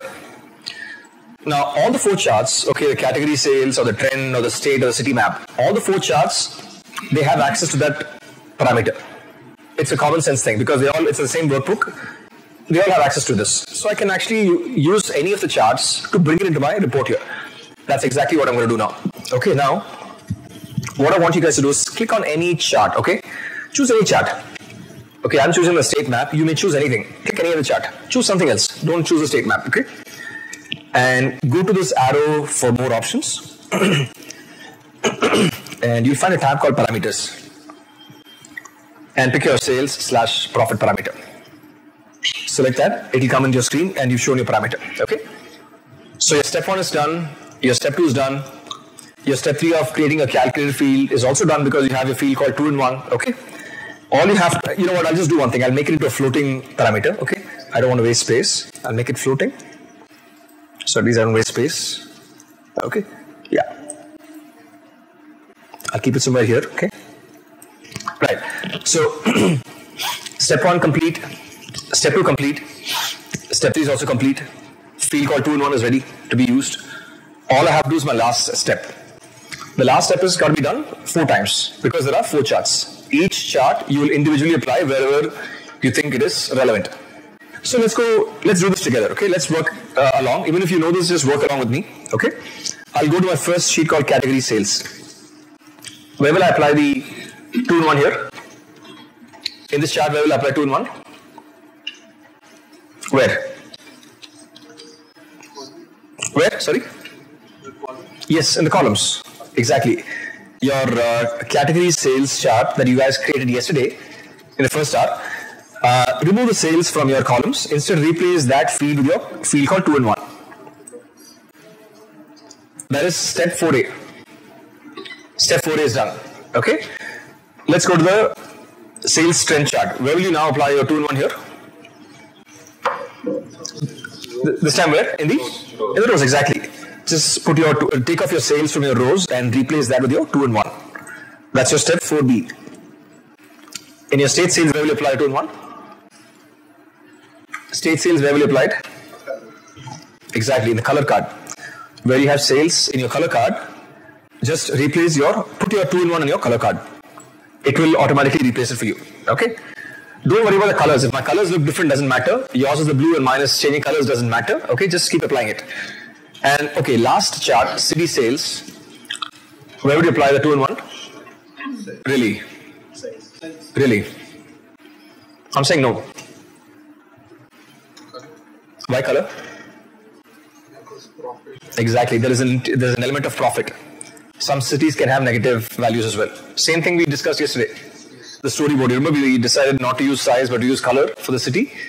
So same logic. Now the fact that I have a two in one metric I've got to be sensitive where I use it. So if I can use it on color, nothing will go size, nothing will go wrong. I mean, in the sense, not, it's, not, it's not going to throw back an error, but you'll have a silly view, which is not going to make sense. So, well, let's remove sales from the size. Okay, instead, just put the tool onto your color card.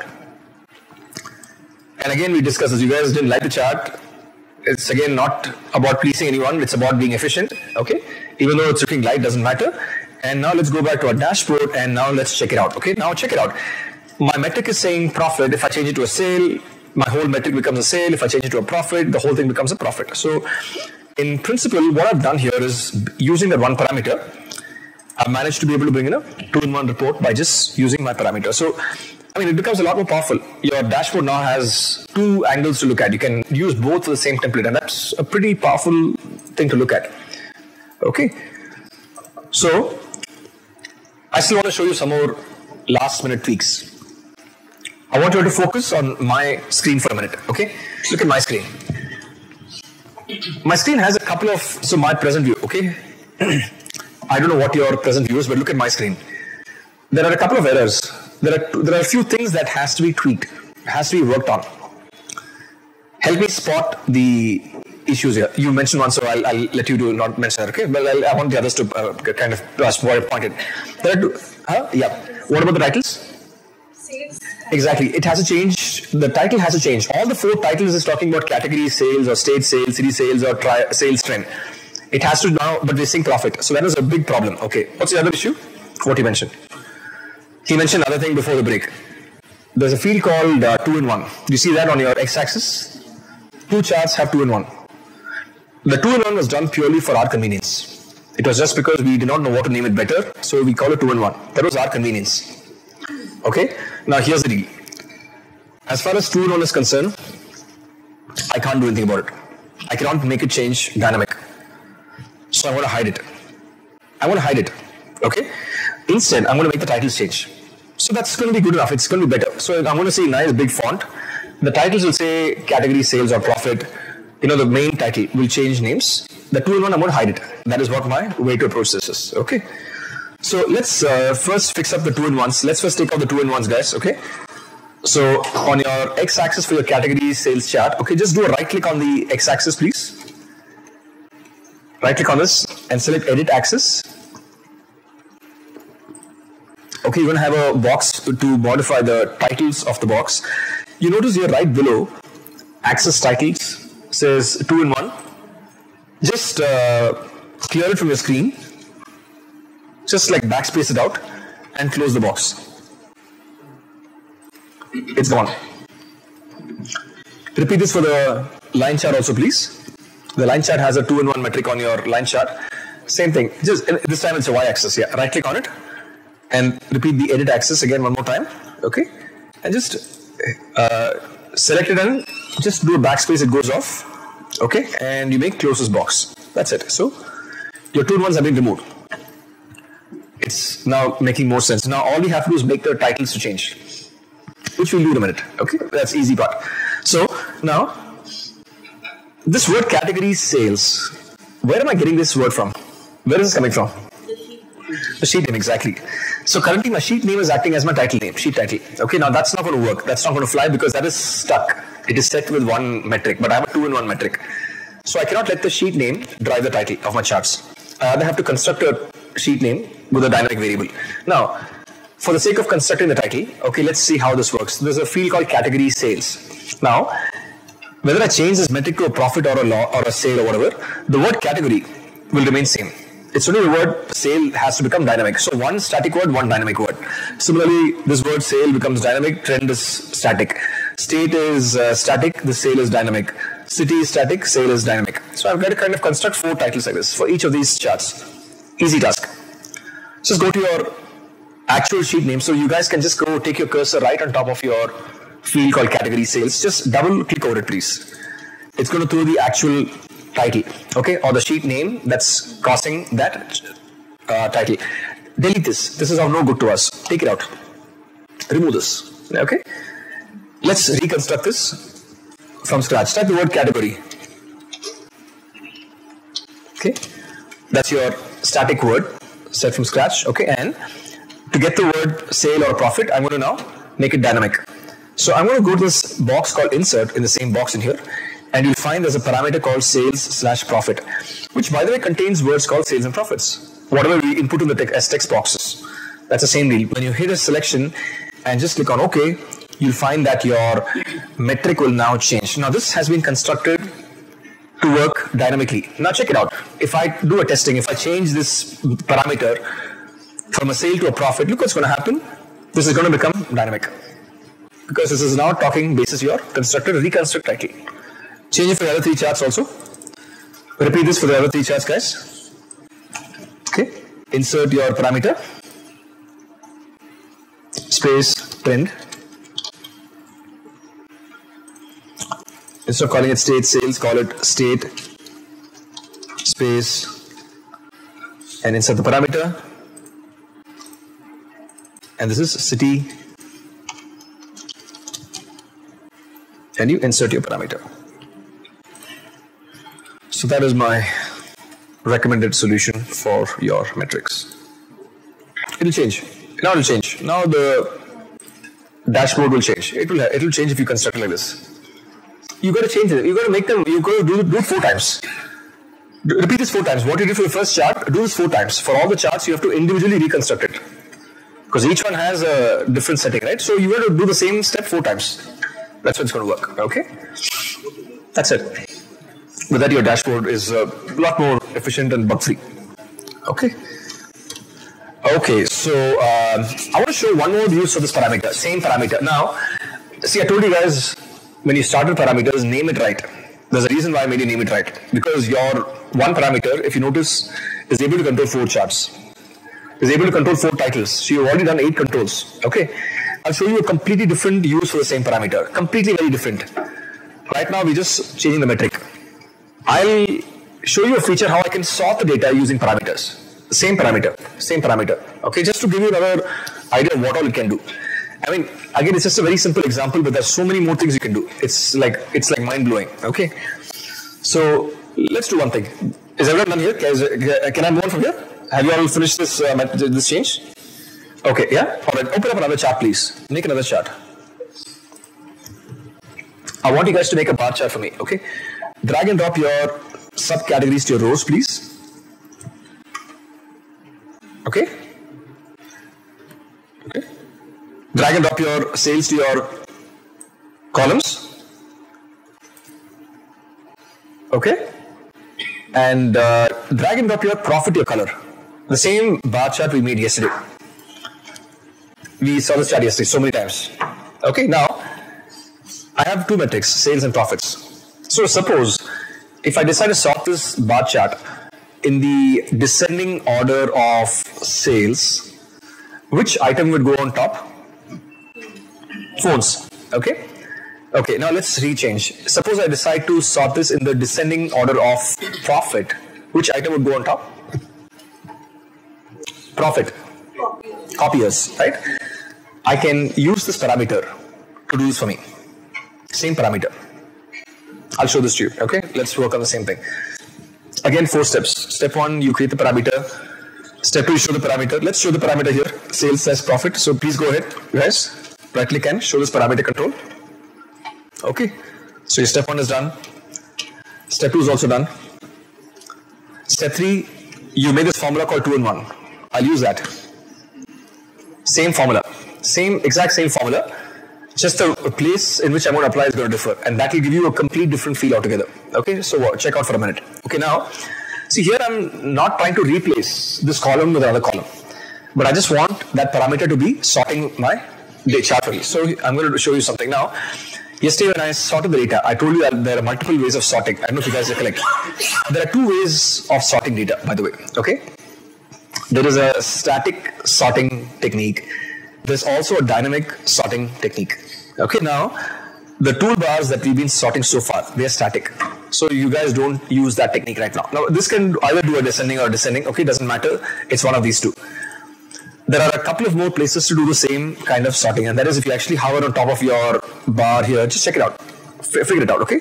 This will give you a static ascending, descending, and alphabetical. Same thing if you click on the sale axis or the x axis, same thing, ascending, descending, and alphabetical. You can get all these sorts. Okay, now all these three sorts are static sorts. I will not sort it. Now, here's the thing. The ones I, I make you guys do a dynamic sort, after that, don't do a static sort because then your static will replace your dynamic. If you set your dynamic, take your hands off the sorting button once and for all. Okay, that's the, that's the thing. Now, I'll show you how to do a dynamic sort. Okay, now I want you guys to, and, and again, I want you guys to right click on your dimension called subcategory. You'll find an option called sort. Select that. Okay, now, once you guys are in the sorting control box in here, okay, you can sort it based on multiple techniques. Let's just say I want to sort it not on the data source order, but I want to sort the data using a field. My field is called two and one. There, it picked up the field name, the first one. So that's my two in one. Okay, so that's done by default. And you want to keep it ascending? Keep it ascending, doesn't matter. No harm. Okay? And close this box, please. So now check it out. You have done a sorting ascending order of profit, and automatically your orange, darkest orange has gone on top because table is the least profit maker and your copy is the highest profit maker it has taken the ascending gradual sort of your profits. And now I make it to a sale, you'll notice that the length of the bar will do the dominate, will, will kind of do the sorting. So now it's doing a sorting as per your sales. And it's a parameter doing this. So the same parameter is actually even helping you sort data. So the point I'm trying to make here is name your parameters right. And I just I just gave you a little very brief thing. I mean, if you keep exploring, there are so many more things parameters can do. It's it can do crazy things. Okay. Um, so naming your parameters very very imp- naming it right is very important. Okay. So that's the deal. All right. So let's uh, do one thing. Let's now create some special charts, custom special charts. Okay. And uh, a couple of them, uh, quite a few of them are there. In fact, let's explore them all. Open up a new sheet, guys. Before we start creating these custom charts, okay, uh, a little bit of background or a bit of uh, working on some fields will help you guys out. So I'm going to introduce you to something called as something called as quick table calculations. They are inbuilt calculations. Unlike what you did in the first half today, you guys don't have to create manual calculations. Okay, that's the good part. You just need to understand simple English and understand what math that is doing for you when you read it. Okay. And if you all have uh, worked on pivot tables a lot, you would have seen these functions before. This will not seem very unfamiliar to you. So I'll, I'll show you what it is. Okay. But let's first do one thing. I first want to construct a table. And I want you guys to do it yourself, the ones who at, at, at least, okay? So what I want you guys to do is in your columns, in your columns, I want to see all the four years of data, okay? 15, 16, 17, 18, four years. In my rows, I want to have months from Jan through December. Okay, so my rows, again, just uh, make a mental note. In my rows, Jan through December.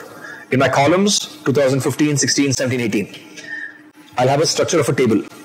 Make a pivot table for sales. Please make it yourself. Columns is years, rows is months.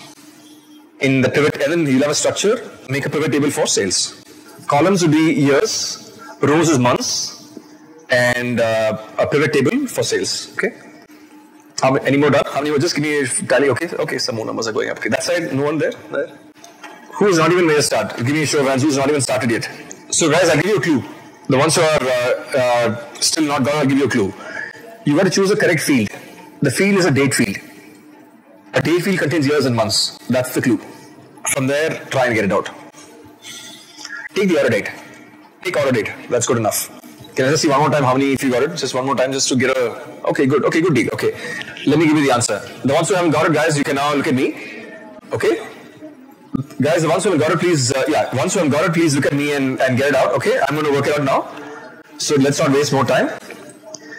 Drag and drop your order date into your columns. You're going to see years. There are my four years. I click on the plus symbol twice. I get years and quarters.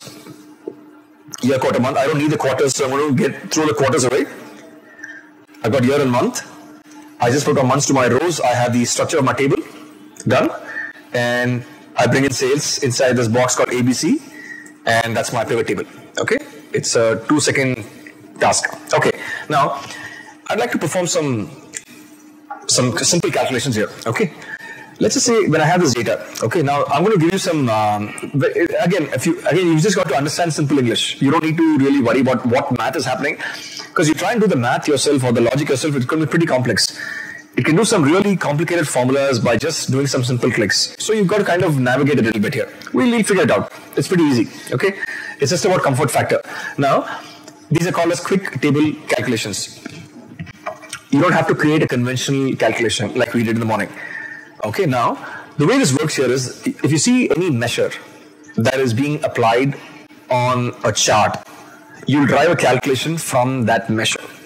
Okay, now say sales is my measure which is currently being used as a text field in my chart, hence it's come as a pivot table. Okay, so I'm going to go and right click on the sales in here. Okay, now once I give it a click, I notice something called as quick table calculation, my last but one option. And when I actually look at the tab there, I see all the calculations. This is it. It's really about trying to get comfortable with this. This is all it is. Okay. Now, let me th- throw a small situation and see if you guys can guess it right. What I'm interested here is to do a couple of things. I want to see if I'm, if I have, if I have shown. I mean, I want to create a couple of views, two views. Okay, one step at a time. I want to see if I've been able to have, if I'm able to find a growth over the same period last month, month on month growth. Okay. I'd also like to see if I'm able to see if I'm growing over year over year or whatever kinds in here. What function do you think you might want to choose here? Percent difference. Okay. Okay. Let's say. Okay. Let's for a minute. Um, say between the month of Jan and Feb. Okay, the first year to 2015. Jan uh, to 2015 was fourteen thousand two thirty-seven dollars. Okay. Feb was four five two zero. There's been a degrowth. Okay. If I need to show this as a percentage, what's the actual formula in here? Exactly. Feb minus Jan divided by Jan, the whole thing as a percentage. Okay. Okay. Feb minus Jan, current period minus the previous period divided by the previous period, times 100 is your percentage difference. If you had a growth, it'll be positive. If you had a degrowth, it'll be negative. That's the actual math in here. Okay. I'm going to now construct this now. So I can do the same thing for a, if I go on left to right, it becomes year to date. If I go down, it becomes month to date. So I'm going to look at both options and play around with this. Let's do the percent difference. Whenever you guys use your quick table calculation, first kind of scrutinize it. Okay, don't just blindly trust it because you know you never know what settings it might pick up by default, if especially if, if you don't know the first time. Okay. Now um, year on year, but I don't know. Okay, now again, okay, while it's taken year on year, I have another question for you. Okay, now that you're mentioning it, this number of one thirty-seven point one percent that you said is year on year. Okay, how do you interpret this number? How do you interpret this number? Has it okay? Uh, my question is: Do you think it has it grown from a period of 2017 or 15? Absolutely, can't say. Exa- that's the response. I Can't say. Yeah, can't say is the response is exactly what you should be saying. Okay, you got to find that out. Exactly what I wanted. Okay, now let's see how I, I can do both. By the way, the ones who said 17, I can make it 15. The ones who said uh, 15, I can make it 17. I can make it even 16. I can make any number or some number of my choice. I can put any number. Okay. Now I want to know how to get this, how to really crack this. Let's see first what the deal is. Then we can change it. Now, once you guys create this, go back to your. Okay, one more thing. This is, by the way, uh, a calculation that is basically embedded. Now, this has done some math. Current year divided by the previous year, uh, current year minus the previous year divided by the previous year times 100. That formula is done here, right? Which is why you see them from actual dollars into percentages. You will not find a calculation for this. But you'll notice one thing about this chart. Your sum of sales contains a triangular icon on it. It has an embedded calculation within it. That's what it is. Okay, and hence this percent difference. And if I want to make it to 2015 or 16 or 18 or whatever, I can tweak it. Now, now go back to your sum of sales. A couple of things to play with, just two places. You can either look at a compute using, okay, table across, that's fine. Table across is year to date. Okay, there's an option called relative to, and it tells me exactly what is my comparison against. So it says it's your previous cell as your comparison, and hence now you can answer your question with with, with 100% assurance. Now I know for a fact exactly how it's happening. If I wanted 2015, I can still make it here. If I wanted 20s uh, the previous year, I can still do whatever. So I pretty much have what my choices are. So now I know it's the previous year. So 137.1% is a growth over 2017. So I know this now. Okay, great. Now 2015 obviously won't have because it does not have a 2014 as a comparison against. That's the deal. Okay, let's do a month-on-month growth now. Okay, same same data. Go back to your sum of sales. Let's do a compute using table down. That's going to give me a month on month difference, month over. Okay. So now I can tell, I can exactly tell you what is my growth over same period last month. Okay. Great. Now, just one other point. While I have this view, period over last month is good. See now, in my previous data where I had the year over year growth, 2015 did not have a 14 to compare it. So I was not going to get any values for 2015. But now um, I can see that all my Jans have gone blank. Okay? Because every year is taken as a discrete point. That's the deal. But I don't want that to happen. I want to say, hey, listen, Jan 2015 is the only exception where I'm where I, is the only place where I'm willing to make an exception. All the other months, I have a month to try to compare it against. Your Jan 2016 has a December 2015. Your Jan 17 has a December 16. So everything has a previous month to compare it against. I want to use those values to compare it now. I'm going to get that. Thank you.